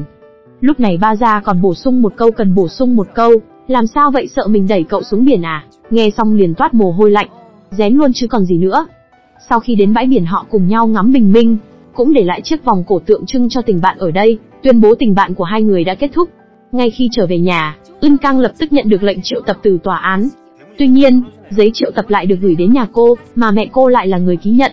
Mà ba gia khi này lại giả bộ như mình vừa đi du học về, bảo cha Uân đưa con mình tới sân bay. Còn Ưn Cang thì tới nhà cha Uân dọn dẹp. Khi đang định ra về bỗng nhiên cô nghe thấy tiếng mở cửa, cô vội vàng trốn vào phòng ngủ. Ba ra bước vào nhìn thấy dụng cụ vệ sinh ở đó liền biết ba ra ở đây, nhưng cô cũng không vạch trần mà dựng lên một màn diễn. Chuyển cảnh, người phụ nữ này muốn kiện bạn thân của mình ra tòa, cho dù bạn thân có chạy theo cầu xin thế nào cũng lạnh lùng chạy đi. Ưn Cang nhìn chiếc xe rời đi cũng biết tình bạn của mình đã thực sự chấm hết. Hóa ra vừa rồi Ưn Cang nhận được cuộc gọi của đồn cảnh sát bảo cô ấy tới, để điều tra vụ trộm thiết kế của Ba Gia. Ba Gia đã khởi kiện Ưn Cang. Cô vội vàng chạy đến bày ra vẻ mặt vô số tội nhìn Ba Gia, nhưng Ba Gia chỉ lạnh lùng ngồi đó. Cảnh sát hỏi có phải cô đã ăn cắp bản thiết kế của Ba Gia, và giao cho một người phụ nữ tên Seo Jun không? Ưn Cang nhanh chóng giải thích không phải mình ăn cắp, cô chỉ lấy bản vẽ mà ba gia đã vứt bỏ đi thôi. Cảnh sát tiếp tục hỏi cô nhận được bao nhiêu tiền từ việc này, Nhưng Ưn Cang nói mình không nhận tiền, mình là bị uy hiếp. Không ngờ trước khi cô tới cảnh sát đã kiểm tra tài khoản của cô, vì vậy liền nói cô ta hãy nói thật đi. Nhưng Ưn Cang lại phủ nhận nói muốn Seo Jun đến đối chất, còn bảo ba già hãy tin mình. Thấy vậy, người cảnh sát ngạc nhiên hỏi hai người là bạn sao nhưng ba gia lập tức phủ nhận nói Ưn Cang chỉ là người làm công ăn lương, trước giờ đều là trợ lý của cô, vô cùng hiểu tính cách và cách làm việc của cô. Hơn nữa, Ưn Cang còn có thể tùy ý ra vào văn phòng, cũng biết mật khẩu máy tính và kho tiền. Cô cũng bị bắt quả tang khi nhìn trộm trên máy tính. Cô yêu cầu cảnh sát nhất định phải đưa chuyện này ra công lý, chính là người đã hủy hoại cuộc đời cô, hủy hoại danh tiếng của cô trong ngành. Ra ngoài đồn cảnh sát, Ưng Cang túm lấy ba ra, giải thích 500.000 won đó là cô lấy tiền chữa bệnh cho mẹ, còn những bản thảo đó là, cô tưởng ba Ra đã không cần đến thật nên mới đưa cho cô ta. Bốn lần đó cũng là muốn lần cuối giúp đỡ cô ta rồi cắt đứt liên lạc, nhưng không ngờ vì điều này, mà đã gây nên tai họa chứ cô ta không hề muốn hủy hoại sự nghiệp của ba gia. Ba gia phất lờ nói cô hãy giữ những lời này mà nói trên tòa án. Về đến nhà, mẹ cô đưa cô thư kiện của tòa án khi trước. Ưn Cang mang đến tìm ba gia nhưng ba gia lại nói tâm trạng của cô tốt không, còn nói vốn tưởng Ưn Cang là kiểu người không sợ bất cứ điều gì, không ngờ cũng lo lắng về chuyện này. Ưn Cang hỏi ba gia, không phải lần trước đi du lịch đã nói là sẽ quên tất cả chuyện của quá khứ ư? Nhưng ba gia lại cho rằng, quá khứ đó chính là 20 năm tình bạn của hai người họ. Mà hóa ra điều ba gia muốn chính là một vết nhơ trong hồ sơ của Ưn Cang, để bản án này được ghi lại cả đời khiến cô không ngẩng đầu lên được. Còn nói hôm trước mình đã đi tìm cha Uân xin lỗi và làm hòa. Đây chính là cái giá phải trả, đồng thời là để dạy dỗ người phụ nữ không biết xấu hổ như cô. Nhìn ưng căng đau khổ, bà già cười lạnh nói mình chưa từng gặp một gia đình nào kinh tởm như nhà cô ta, không chỉ sắp xếp mẹ mình đến làm bảo mẫu, còn đưa bố mình tới làm tài xế. Đặc biệt là cô em gái, vậy mà lại đi ngoại tình với một ông chú đáng tuổi cha mình. Nhưng ưng cang vẫn một niềm đam mê với việc giải thích. Cô nói tất cả những chuyện này là vì nhà mình quá nghèo, nên cô mới phải liều mạng kiếm tiền. Hơn nữa, cô khó khăn lắm mới thi đỗ công chức, nếu như ra tòa thì đời này của cô coi như toang. Ưng San mở máy tính ra liền phát hiện đơn kiện chị gái mình, Đợi chị gái về nhà cô vội vàng tra hỏi rốt cuộc là chuyện gì. ưng Cang, không thể giấu được nữa liền bật khóc nức nở hỏi em gái làm gì mới tốt đây. ưng San an ủi chị sau đó tới tìm cha Uôn, hỏi anh có biết chuyện ba già đã kiện chị gái mình lên tòa không? Còn báo cảnh sát ưng Cang ăn cắp ý tưởng của mình. Cô nói giờ người có thể cứu ưng Cang chỉ có anh thôi. Sau đó cha Uôn tới tìm Tê Di, muốn hỏi chuyện của Ưn Cang nhưng anh ta vốn là một tên vô ơn bội nghĩa, anh ta không hề biết ơn Ưn Cang đã nuôi mình bao nhiêu năm, chỉ một mực nói Ưn Cang là một người phụ nữ thủ đoạn tàn độc, nói dối không chớp mắt. Còn luôn miệng phàn nàn về chuyện anh từng đến ngôi nhà ruột nát của nhà cô. Năm người sống trong ngôi nhà mấy chục mét vuông, căn bản là không có chỗ duỗi chân. Niềm hy vọng của cả nhà là Ưn Cang sẽ lấy được một người đàn ông giàu có, sau đó nuôi cả nhà cô ấy. Bên này Ưn San gọi điện cho chị nói mình tham khảo một người bạn, ở văn phòng luật nói cô nhất định đừng ra tòa, giải quyết riêng là lựa chọn tốt nhất. Tối đó ưn cang ra bờ sông cầu nguyện chỉ cần cô có thể làm giáo viên, thì cho dù mất tất cả cũng không sao. Sau đó tới văn phòng của ba gia, nói mình đã giao tất cả đoạn tin nhắn cùng băng ghi âm cho cảnh sát. Hai ngày nữa sự thật sẽ rõ ràng. Tối nay cô đến đây chính là muốn thương lượng giải quyết riêng, thế nhưng ba gia lại không muốn nói thêm. Thấy ưn cang cố chấp không rời đi, ba gia cũng nói luôn, mình kiện cô không phải vì tiền, mà thứ mình muốn chính là một vết nhơ trong cuộc đời cô. Ưn cang nghe thấy những lời này liền quỳ xuống kêu thả ba gia giết mình còn hơn, kiện lên tòa chi bằng chết trong tay cô. Nhưng ba gia lại lạnh lùng nói những lời này của cô có thể quy về tội uy hiếp. Ưn Cang bày tỏ sự hối hận với ba gia, nói mình nguyện từ bỏ tất cả để được cô tha thứ. Còn nói nếu như ba gia tha thứ cho cô lần này cô nhất định sẽ biến mất khỏi tầm mắt của ba gia, ẩn giật sống nửa đời còn lại. Ba gia nghe những lời này không hề bị lay động, chỉ yên lặng quay mặt đi. Nhưng hai người không biết, từ phía sau Cha Uân đã chứng kiến tất cả. Ngày hôm sau, Cha Uôn đến tìm ba gia, còn đích thân xuống bếp chuẩn bị một bàn tiệc. Ba Gia còn tưởng não cha Uôn bỗng được lắp thêm bóng đèn, nhưng không ngờ anh lại muốn Ba Gia rút đơn kiện ưng Cang. Ba Gia tức giận nói anh đừng lo chuyện bao đồng. Nhưng cha Uôn cho rằng đoạn video ở quán cà phê kia đã bùng nổ khắp mạng xã hội. Đồng thời những năm qua cô ấy cũng đã làm trâu làm ngựa cho Ba Gia. Ba Gia nghe những lời này liền tức giận muốn rời đi. Không ngờ lại bị cha Uôn ngăn lại nói 3 năm trước cô ấy cũng chỉ vì muốn kiếm tiền chữa bệnh cho mẹ nên mới làm chuyện đó. Nếu không phải vì gia đình ép buộc, cô ấy nhất định sẽ không làm chuyện này. Cha Uân hy vọng Ba Gia có thể đặt mình vào vị trí của Ân Cang để suy nghĩ. Cha Uân vốn muốn xoa dịu Ba Gia nhưng không ngờ lại bị tác dụng ngược lại. Sáng sớm hôm sau, Ba Gia tới nhà ông Go kêu tất cả mọi người đi theo mình tới nhà Ân Cang. Trở lại tập trước, Nam Chun và Ân San sau khi chạy mấy chục mét thì ôm chặt lấy nhau. Biết Nam Chun đã rời khỏi căn nhà đó, cô bày tỏ hy vọng Nam Chun sẽ ở lại bên cô, nhưng sự im lặng ngập ngừng của anh khiến cô hiểu được, cô xoay người rời đi, không muốn anh thấy bộ dạng đau lòng của mình. Có lẽ duyên trời sắp đặt cho họ gặp nhau nhưng lại chẳng thể bên nhau. Thế nhưng Nam Chun lại bỗng thấy hối hận, vội lái xe đuổi theo nhưng có lẽ một khi bỏ lỡ cơ hội là mãi mãi bỏ lỡ. Đoạn tình duyên này có lẽ tới đây thôi. Nhưng chưa kịp đau buồn thì một cuộc điện thoại gọi tới, Nam Chun biết tin ông Go bị lừa, lập tức đi bôn ba khắp nơi tìm cách giải quyết vấn đề, thậm chí còn tìm tới người bạn thời đại học làm luật sư của mình. Thế nhưng anh ta nhìn thấy anh lại vô cùng coi thường nói thật không ngờ có một ngày anh lại tới cầu xin tôi. Trong khi chồng đang tất bận tìm cách cứu công ty của gia đình, thì người vợ lạ không ngừng than vãn với mẹ rằng bố không quan tâm đến suy nghĩ của con gái, đem bán con gái như một món hàng. Cô nói giờ mình muốn đi tìm hạnh phúc của mình, muốn đi tìm Daegun. Ông Go nghe thấy những lời này, liền đi ra chất vấn cô vì sao buộc phải làm vậy, thì bất ngờ một người nhân viên chạy đến báo tin Nam Chun, chạy suốt từ sáng sớm tới giờ cuối cùng cũng tóm được bọn lừa đảo đó. Mặt khác, Gươm A đứng bên ngoài cố chấp chờ đợi Daegun, cô có chuyện muốn nói với anh lần cuối nhưng Daegun lại từ chối. Từ khi hai gia đình gặp nhau, anh vẫn không thể buông bỏ mối hận trong lòng, có lẽ gặp mặt không bằng cứ như vậy mà kết thúc mới là sự lựa chọn tốt nhất. Nam Chun vừa rời đi thì Gươm A về đến nhà, nhìn tờ đơn ly hôn trên bàn, cô đờ đẫn hồi lâu. Suy nghĩ cả ngày trời, dường như cô đã đưa ra quyết định gì đó. Cô mở tủ quần áo ra, ném hết số váy ngắn mới mua đi, sau đó nói chuyện với hai con, nói bố con không hề đi công tác, ông ấy cãi nhau với mẹ nên đã rời đi. Mẹ đã làm sai rất nhiều chuyện, thực không có dũng khí đi tìm bố con về. Cô hy vọng hai con có thể đi cùng mình. Quả nhiên con cái luôn là điểm yếu của cha mẹ, mà Nam Chun chính là người như vậy. Cô không cần nói gì mà chỉ cần để hai con mình chạy về phía anh, có lẽ nói nhiều cũng vô dụng. Khi ông Go thấy anh quay về, muôn vàn lời muốn nói lại không thốt ra chỉ gói chặt trong cái ôm này. Cả gia đình cuối cùng cũng buông bỏ quá khứ, bắt đầu lại cuộc sống hạnh phúc bên nhau. Nam Chun cũng quay lại công việc ở công ty, nhưng hiện giờ đã là một vị trí khác. Nhiều năm sau, mỗi khi Nam Chun trở về, chỉ cần ông Go hô một tiếng, cả nhà liền xếp hàng ngay ngắn, hô to chào anh đi làm về. Có thể nói, đây là một cái kết quá là đẹp cho ông chú này, sau bao nhiêu năm nhẫn nhịn giờ đây đã có được sự tôn trọng và hạnh phúc viên mãn với một gia đình thực sự. Quay lại cảnh quay trước, ba ra đưa cả gia đình cha Uôn tới nhà Ưng Cang. Cả nhà họ ngạc nhiên tròn cả mắt khi thấy người bảo mẫu lại, ở cùng với tài xế nhà họ hay dùng. Sau khi biết họ là vợ chồng, ông gó hỏi ba ra đưa họ tới đây làm gì nhưng ngay lúc này, Ưn Cang bước từ nhà vệ sinh ra, ông ấy liền hiểu ra Ưn Cang chính là con gái của hai người họ. Gươm A sợ Đê Gưn cũng bị bại lộ nên vội vàng muốn kéo bố mẹ đi, nhưng nhắc tới cái gì là cái đó xuất hiện liền. Đê Gưn bước ra với bộ dạng ngáp ngáp. Đang say ke thì bị đánh thức thì sẽ như thế nào? Ngơ ngác, ngỡ ngàng, bật ngửa. Lại không tính đến Ưn San khi này vừa từ ngoài về nhà. Màn chào hỏi này cũng quá mức đông đủ rồi. Cả hai gia đình lúc này quả là oan gia ngõ hẹp. Mà ba gia chứng kiến cảnh này trong lòng sảng khoái biết bao. Sau khi trở về, hai người liền gọi con trai là Cha Uôn đến bắt anh nhanh chóng tránh xa Ưn Cang. Thế nhưng bất ngờ là Cha Uôn sau khi biết chuyện, thì không nhưng không ghét bỏ Ưn Cang mà còn lên tiếng bênh vực cô, nói cô phải khổ tâm biết bao thì mới phải giấu đi thân phận của gia đình mình. Sau đó anh tới tìm ba gia, chất vấn cô làm như vậy thì được cái gì? Vì sao chỉ qua một đêm mà cô lại trở nên tàn nhẫn như vậy? Nhất định phải dồn Ưn Cang đến chết mới hài lòng sao? Ba gia lập tức phản bác, vậy Ưn Cang làm tổn hại đến cô như vậy thì phải làm sao? Tối đó anh đi theo định vị tới nhà Ưn Cang, lúc chuẩn bị mở cửa bỗng nhớ đến lời phàn nàn của Tê Di trước đó, liền cẩn thận đẩy cửa bước vào. Bước vào nhà, anh trực tiếp bày tỏ thân phận của mình, cháu là người đã hứa bên Ưn Cang chọn đời. Bất luận xảy ra chuyện gì chúng cháu cũng sẽ ở bên nhau. Vậy nhưng Ưn Cang lại tức giận muốn kéo anh ra ngoài. Một hồi rằng co, cuối cùng cô cũng kéo anh ra bờ sông. Cô kêu anh đừng quản chuyện này nữa, bây giờ cô đã hoàn toàn mất hết thể diện trước mặt mọi người, nên cô quyết định cắt đứt mối quan hệ của hai người. Cô cũng xin lỗi thì chuyện làm anh rung động trước đây, những lời này khiến cha Uôn sững sờ, nói không phải đã hứa, dù có khó khăn gì thì sẽ không phải đã nói với nhau dù có khó khăn gì, cũng ở bên nhau sao?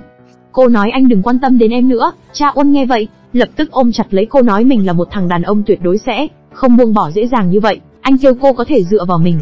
Không ngờ Ưn Cang lại trực tiếp đẩy anh ra, kêu anh hãy thu lại sự đồng cảm ấy đi. Lần này Ưn Cang nổi giận thật rồi, cô cầu xin anh hãy buông tha cho mình. Tất cả đều tiến triển theo hướng có lợi cho ba gia, nhưng đêm ba gia lại nằm chằn chọc không ngủ được. Cô nhớ tới bộ dạng thê thảm của gia đình Ưn Cang ngày hôm nay, lại còn những lời cha Uôn nói cô tàn nhẫn lúc sáng, nhớ lại những lần Ưn Cang tìm châu báu cho mình trong đêm, còn những lần cô đấm bóp cho mình, còn mua đồ ăn vặt mẹ mình thích ăn, khi buồn cũng chỉ có Ưn Cang ở đó an ủi, và cả những lời Ưn Cang nói lúc say rượu hôm đó. Tất cả mọi chuyện cứ như vậy, tuôn trào thành một dòng chảy mạnh mẽ thôi thúc cô tới gặp cha Uôn. Cô hỏi anh, Ưn Cang nói, trước khi cô phát hiện đã đề nghị cắt đứt mối quan hệ này có đúng không? Cha Uôn xác nhận là thật. Mà lúc này Ưn Cang đang khoác lên mình bộ đồng phục chuẩn bị cho lần đầu tiên trong cuộc đời tiến lên bục giảng. Còn ba gia sau khi nghe được đáp án liền chạy tới trường học, cô trực tiếp tháo chiếc băng rôn mẹ mình đã treo lên đó, nhưng lúc này mẹ cô không hiểu vì sao cũng chạy đến ngăn cô làm điều này. Khi hai người đang giằng co thì Ưn Cang cũng đến, cô vội vàng trốn vào trong góc nhưng không ngờ nghe được ba Ra lại nói tốt về mình với mẹ. 20 năm qua đều là cô ấy giúp con xử lý những chuyện khó khăn, không thể hủy hoại cuộc đời cô ấy như vậy được. Mặc dù cô cũng rất ghét Ưn Cang, nhưng không thể dùng cách như vậy để hủy hoại ước mơ cả đời của cô ấy được. Ưn Cang đứng ở một góc nghe thấy tin tức này cũng hai mắt đẫm lệ. Tới sáng, Ưn Cang được đứng trên bục giảng giảng buổi học đầu tiên như ước nguyện. Mà không ngờ tới, là sau buổi học cô tới văn phòng của hiệu trưởng đặt đơn xin nghỉ việc lên bàn. Sau đó đến tìm ba Ra nói muốn cho cô nhìn thấy dáng vẻ lần đầu tiên mặc đồ công sở của mình. Hai người tới quán cà phê, Ưn Cang thú nhận tất cả những chuyện này đều là do cô bóp méo dục vọng, tự làm mất đi tình bạn quý giá nhất của mình. Bản thân cô cũng không biết phải bào chữa như thế nào, cô sẽ chịu mọi hình phạt mà ba gia muốn. Sáng sớm hôm qua cô đã ăn mặc thật chỉnh tề, vì lần đầu tiên cũng là lần cuối mình đứng trên bục giảng của mình, cô đã đến từ rất sớm, không ngờ lại nhìn thấy ba gia và mẹ đang ở đó. Còn chưa đợi Ưn Cang nói tiếp, ba gia đã chú ý đến từ lần cuối, ba gia hỏi cô đó là ý gì nhưng Ưn Cang lại bình tĩnh nói cô đã xin nghỉ việc. Ba gia liền mắng cô điên rồi sao, đó là chức giáo viên mà cô đã nỗ lực cả thanh xuân để thi đỗ. Hơn nữa, cô đã tốn cả nửa ngày trời để rút đơn kiện. Ba gia đứng dậy muốn kéo cô đến trường, không ngờ lại bị Ưn Cang bình tĩnh nói thôi bỏ đi. Cô căn bản không đủ tự tin và dũng khí để đối mặt với học sinh, cũng rất ngạc nhiên vì sao đột nhiên ba gia lại buông tha cho cô. Ba gia nói mình đã nghĩ thông tất cả, trước khi bị mình phát hiện thì Ưn Cang cũng đã chủ động đề nghị cắt đứt quan hệ. Hơn nữa chuyện ở ý cũng không nói ra, hôm đó là lần đầu tiên tới nhà Ưn Cang, mặc dù là tức giận đùng đùng đi vào nhưng sau khi nhìn thấy gia cảnh nhà cô, trong lòng liền nghẹn ngào, căn bản không thể tưởng tượng nổi Ưn Cang đã sống như thế nào trong hoàn cảnh đó. Cuối cùng hai người cũng làm hòa với nhau. Sau đó Ưn Cang sắc vali lên và đi tới một nơi xa lạ, chỉ để lại cho gia đình một bức thư nói đừng lo cho mình. Một năm sau, Ưn Cang trở thành một cô giáo ở một nơi hẻo lánh, cô cũng nói nơi mình đang sống với em gái.